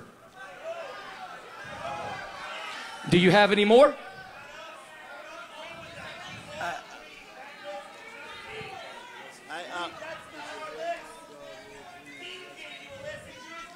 Oh, I got Dean's list too. Got all the verses. We've already dealt with some of the verses that Dean gave me. Every single one of them. Do you need to say something? Well, hold, yeah, go ahead. Go ahead. You got the mic. Just go ahead. Let Okay. me finish my verses, but you go ahead. I just want to say this about about that list and about Nathan Roberts. Okay, Let, let's. And I'm not saying you're affiliated with him. No, no, no, no, no. We. No. All right. Shh. Let me. Just a second. Just a second. I just want to say this about Nathan Roberts. Okay, what you're doing with that list there, you're debating Nathan Roberts, not us. No, no, no. Okay, hold on. Hold on. I'm telling you the Bible. And here's how I know that. Because when I discredit, Let me let me finish what I say about Nathan. Okay. but I'm not worried about Nathan. No, but but you've been debating his list. I have No, no. never, I have let me let me say what I got to say about his list. I have never posted his list because I don't agree that all of the verses refer to. I don't uh, okay. believe that you agree with all of them. Okay. Absolutely. There's some of them that are just foolish. Now, some of them refer, he says flat earth, but he's talking about just cosmology in general. But listen, Nathan Roberts was a young believer who I had to correct and rebuke and instruct on many things. He was a very young believer and he was wrong about a lot of things, and he has since disappeared. Now, if you want to debate him, you can I know he's since him. disappeared, but here's the deal. These verses have so infiltrated the movement, whether you wrote them or not. That's why when I contextually disprove them, the crowd shouts at me and they're mad. Here- well, here, here, well, hear what I'm saying, though. I hear what you're saying. Hear what I'm saying is Nathan Roberts is not the issue. And we don't agree with a lot of scriptures that's on his list that he took them out of context and they don't apply. So using his list is not debating me, it's debating him. Absolutely. But the question is, how many verses do you have for flat earth? How many? No, he didn't. No, he didn't. He only dealt with the firmament. He only dealt with the firmament. There were no verses that he used on flat, not one. Y- Yes, I did. Not Yes, I did. only the clay, and I explained that. That's No, sunrise. no, no, no. No. You didn't deal with the other verses I pulled from Isaiah and Psalms. You didn't deal with that. Well, but I will. I was going to say in my rebuttal. Do I still get a rebuttal? Sure, Okay. absolutely. I mean, we are not going to be able to go all night, but yeah, go ahead and start doing a rebuttal right now. Be all right. I got so much to say. These verses, there's, there's tons of these verses. I got, I got pages of my own notes. Pages. Amen. Amen. All right. I'm going to be I'm going to try to be brief here. And I do you said and I'm going to hold you to your word. You said that I could bring anybody I wanted. So I'm going to call up a couple of people to answer some things.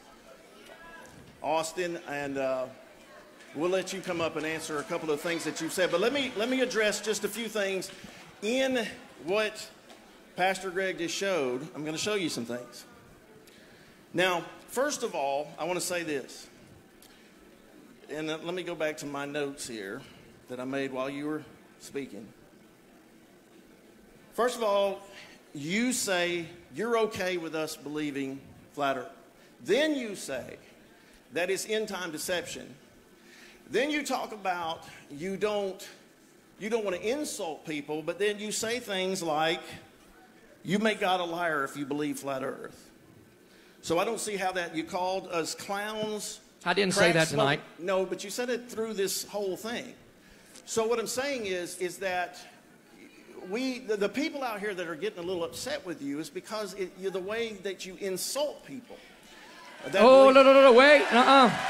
You said we weren't Christians if we didn't believe in No, flat no, earth. no, yes, you most certainly did say Oh, that. Oh, no. Absolutely. No. Don't you shout me down gonna in my it. own church. Listen to me. I never said, and then this is a fact. I- Absolutely you I did. preached this for years. Don't interrupt me.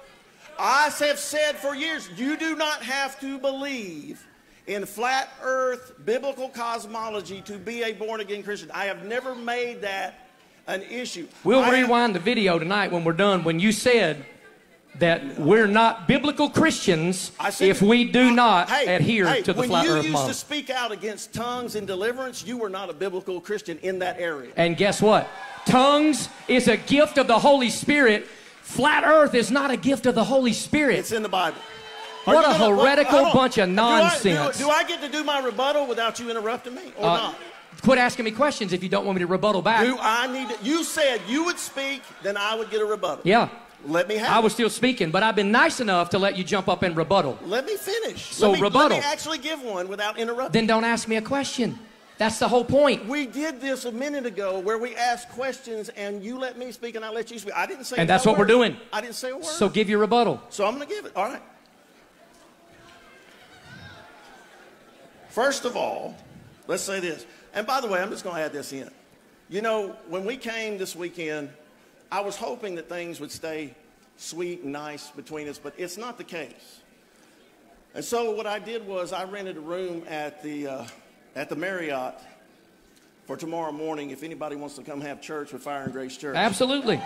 Because I'm not going to sit here under this kind of belligerent attacks and calling people names and stuff like that. I'm just not going to, I can't, I can't come back here because of it. Okay. All right. But So you but- can do it, but I can't be abrasive, and because then that hurts I'm everybody's not- feelings. I- I- I Uh, that's okay. I get it. I get on, it. Hold on a second. I get it. Has anybody, has anybody, I've never called you a clown.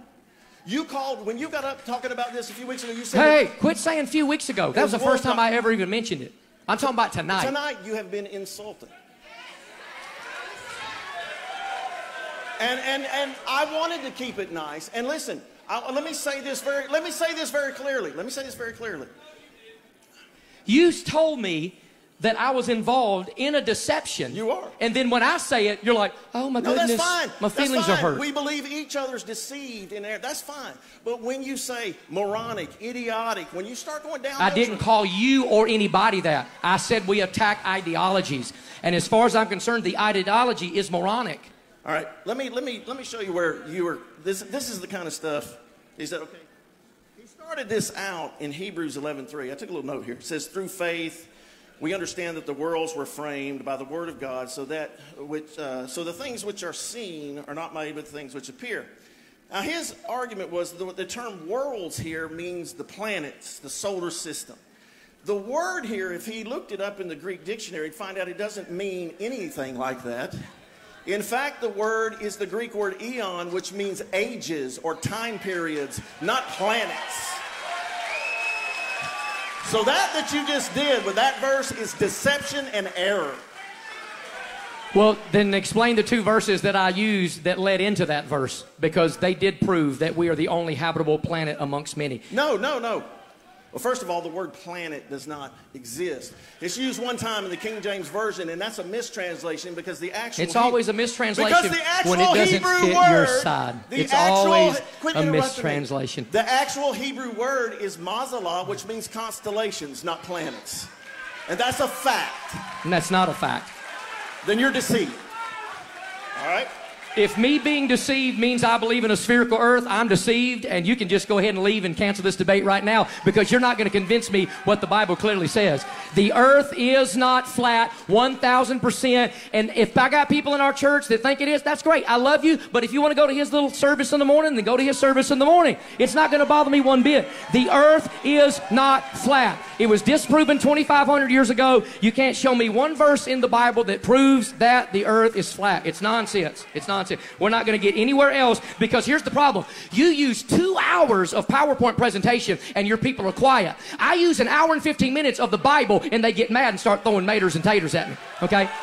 All right, So- here- here's the deal. Let me just say this, and I, I will, I'm, I'm walking out now. But I want to say this. Oh, listen, uh, your, your folks are standing up yelling, go, get out. Okay, you know what?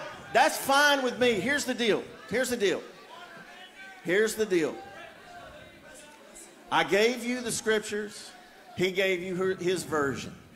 It's Well, you- always no, somebody on, else's hold version. On, hold on, hold on. No, no. This you, is nonsense. You came up with your scriptures and gave your interpretation of them. I gave mine. I gave you the Bible interpretation. I gave you the. Bible. I gave more Bible than you did, for a fact, right there. All right, Oh, really? that's a fact. Well, I'll tell you what. How about how about in your rebuttal, I'll keep my mouth shut and you tell me how wrong I was about your misapplication of the ring stamping no, uh, in yeah, Job yeah. chapter 38. First of all, Hello? Is it sunrise or not? Not, not at all. I don't agree with Turn you. Turn his mic off. Get out. Wow. You're a Bible denier. You're a Bible denier. You're a Bible denier. That is ridiculous. Bible denier. Just get out. Get the band up here. Woo! Let's worship the Lord. I ain't putting up with this nonsense no more. I gave you our platform. And y'all want to get up here with a bunch of nonsense. Come up here, band. Let's worship the Lord. We're going we're going to actually do something spiritual in this room tonight instead of talk about flat earth nonsense. And by the way, if you go to this church and you're upset about me taking the Bible in its context and dealing with it, and you're going to keep sowing that discord, don't ever come back. That's all I'm going to tell you right now. Don't, I'm not listening. It's a last day's deception. I do not care if this is a UFC smackdown to the mat. I would highly suggest that people keep their mouth shut, get in their car, and go where they need to be. We'll see you at 10:30 in the morning. We're gonna have a packed house, and we're gonna preach what the Bible says. If you believe the Bible, Global Vision, shout Amen.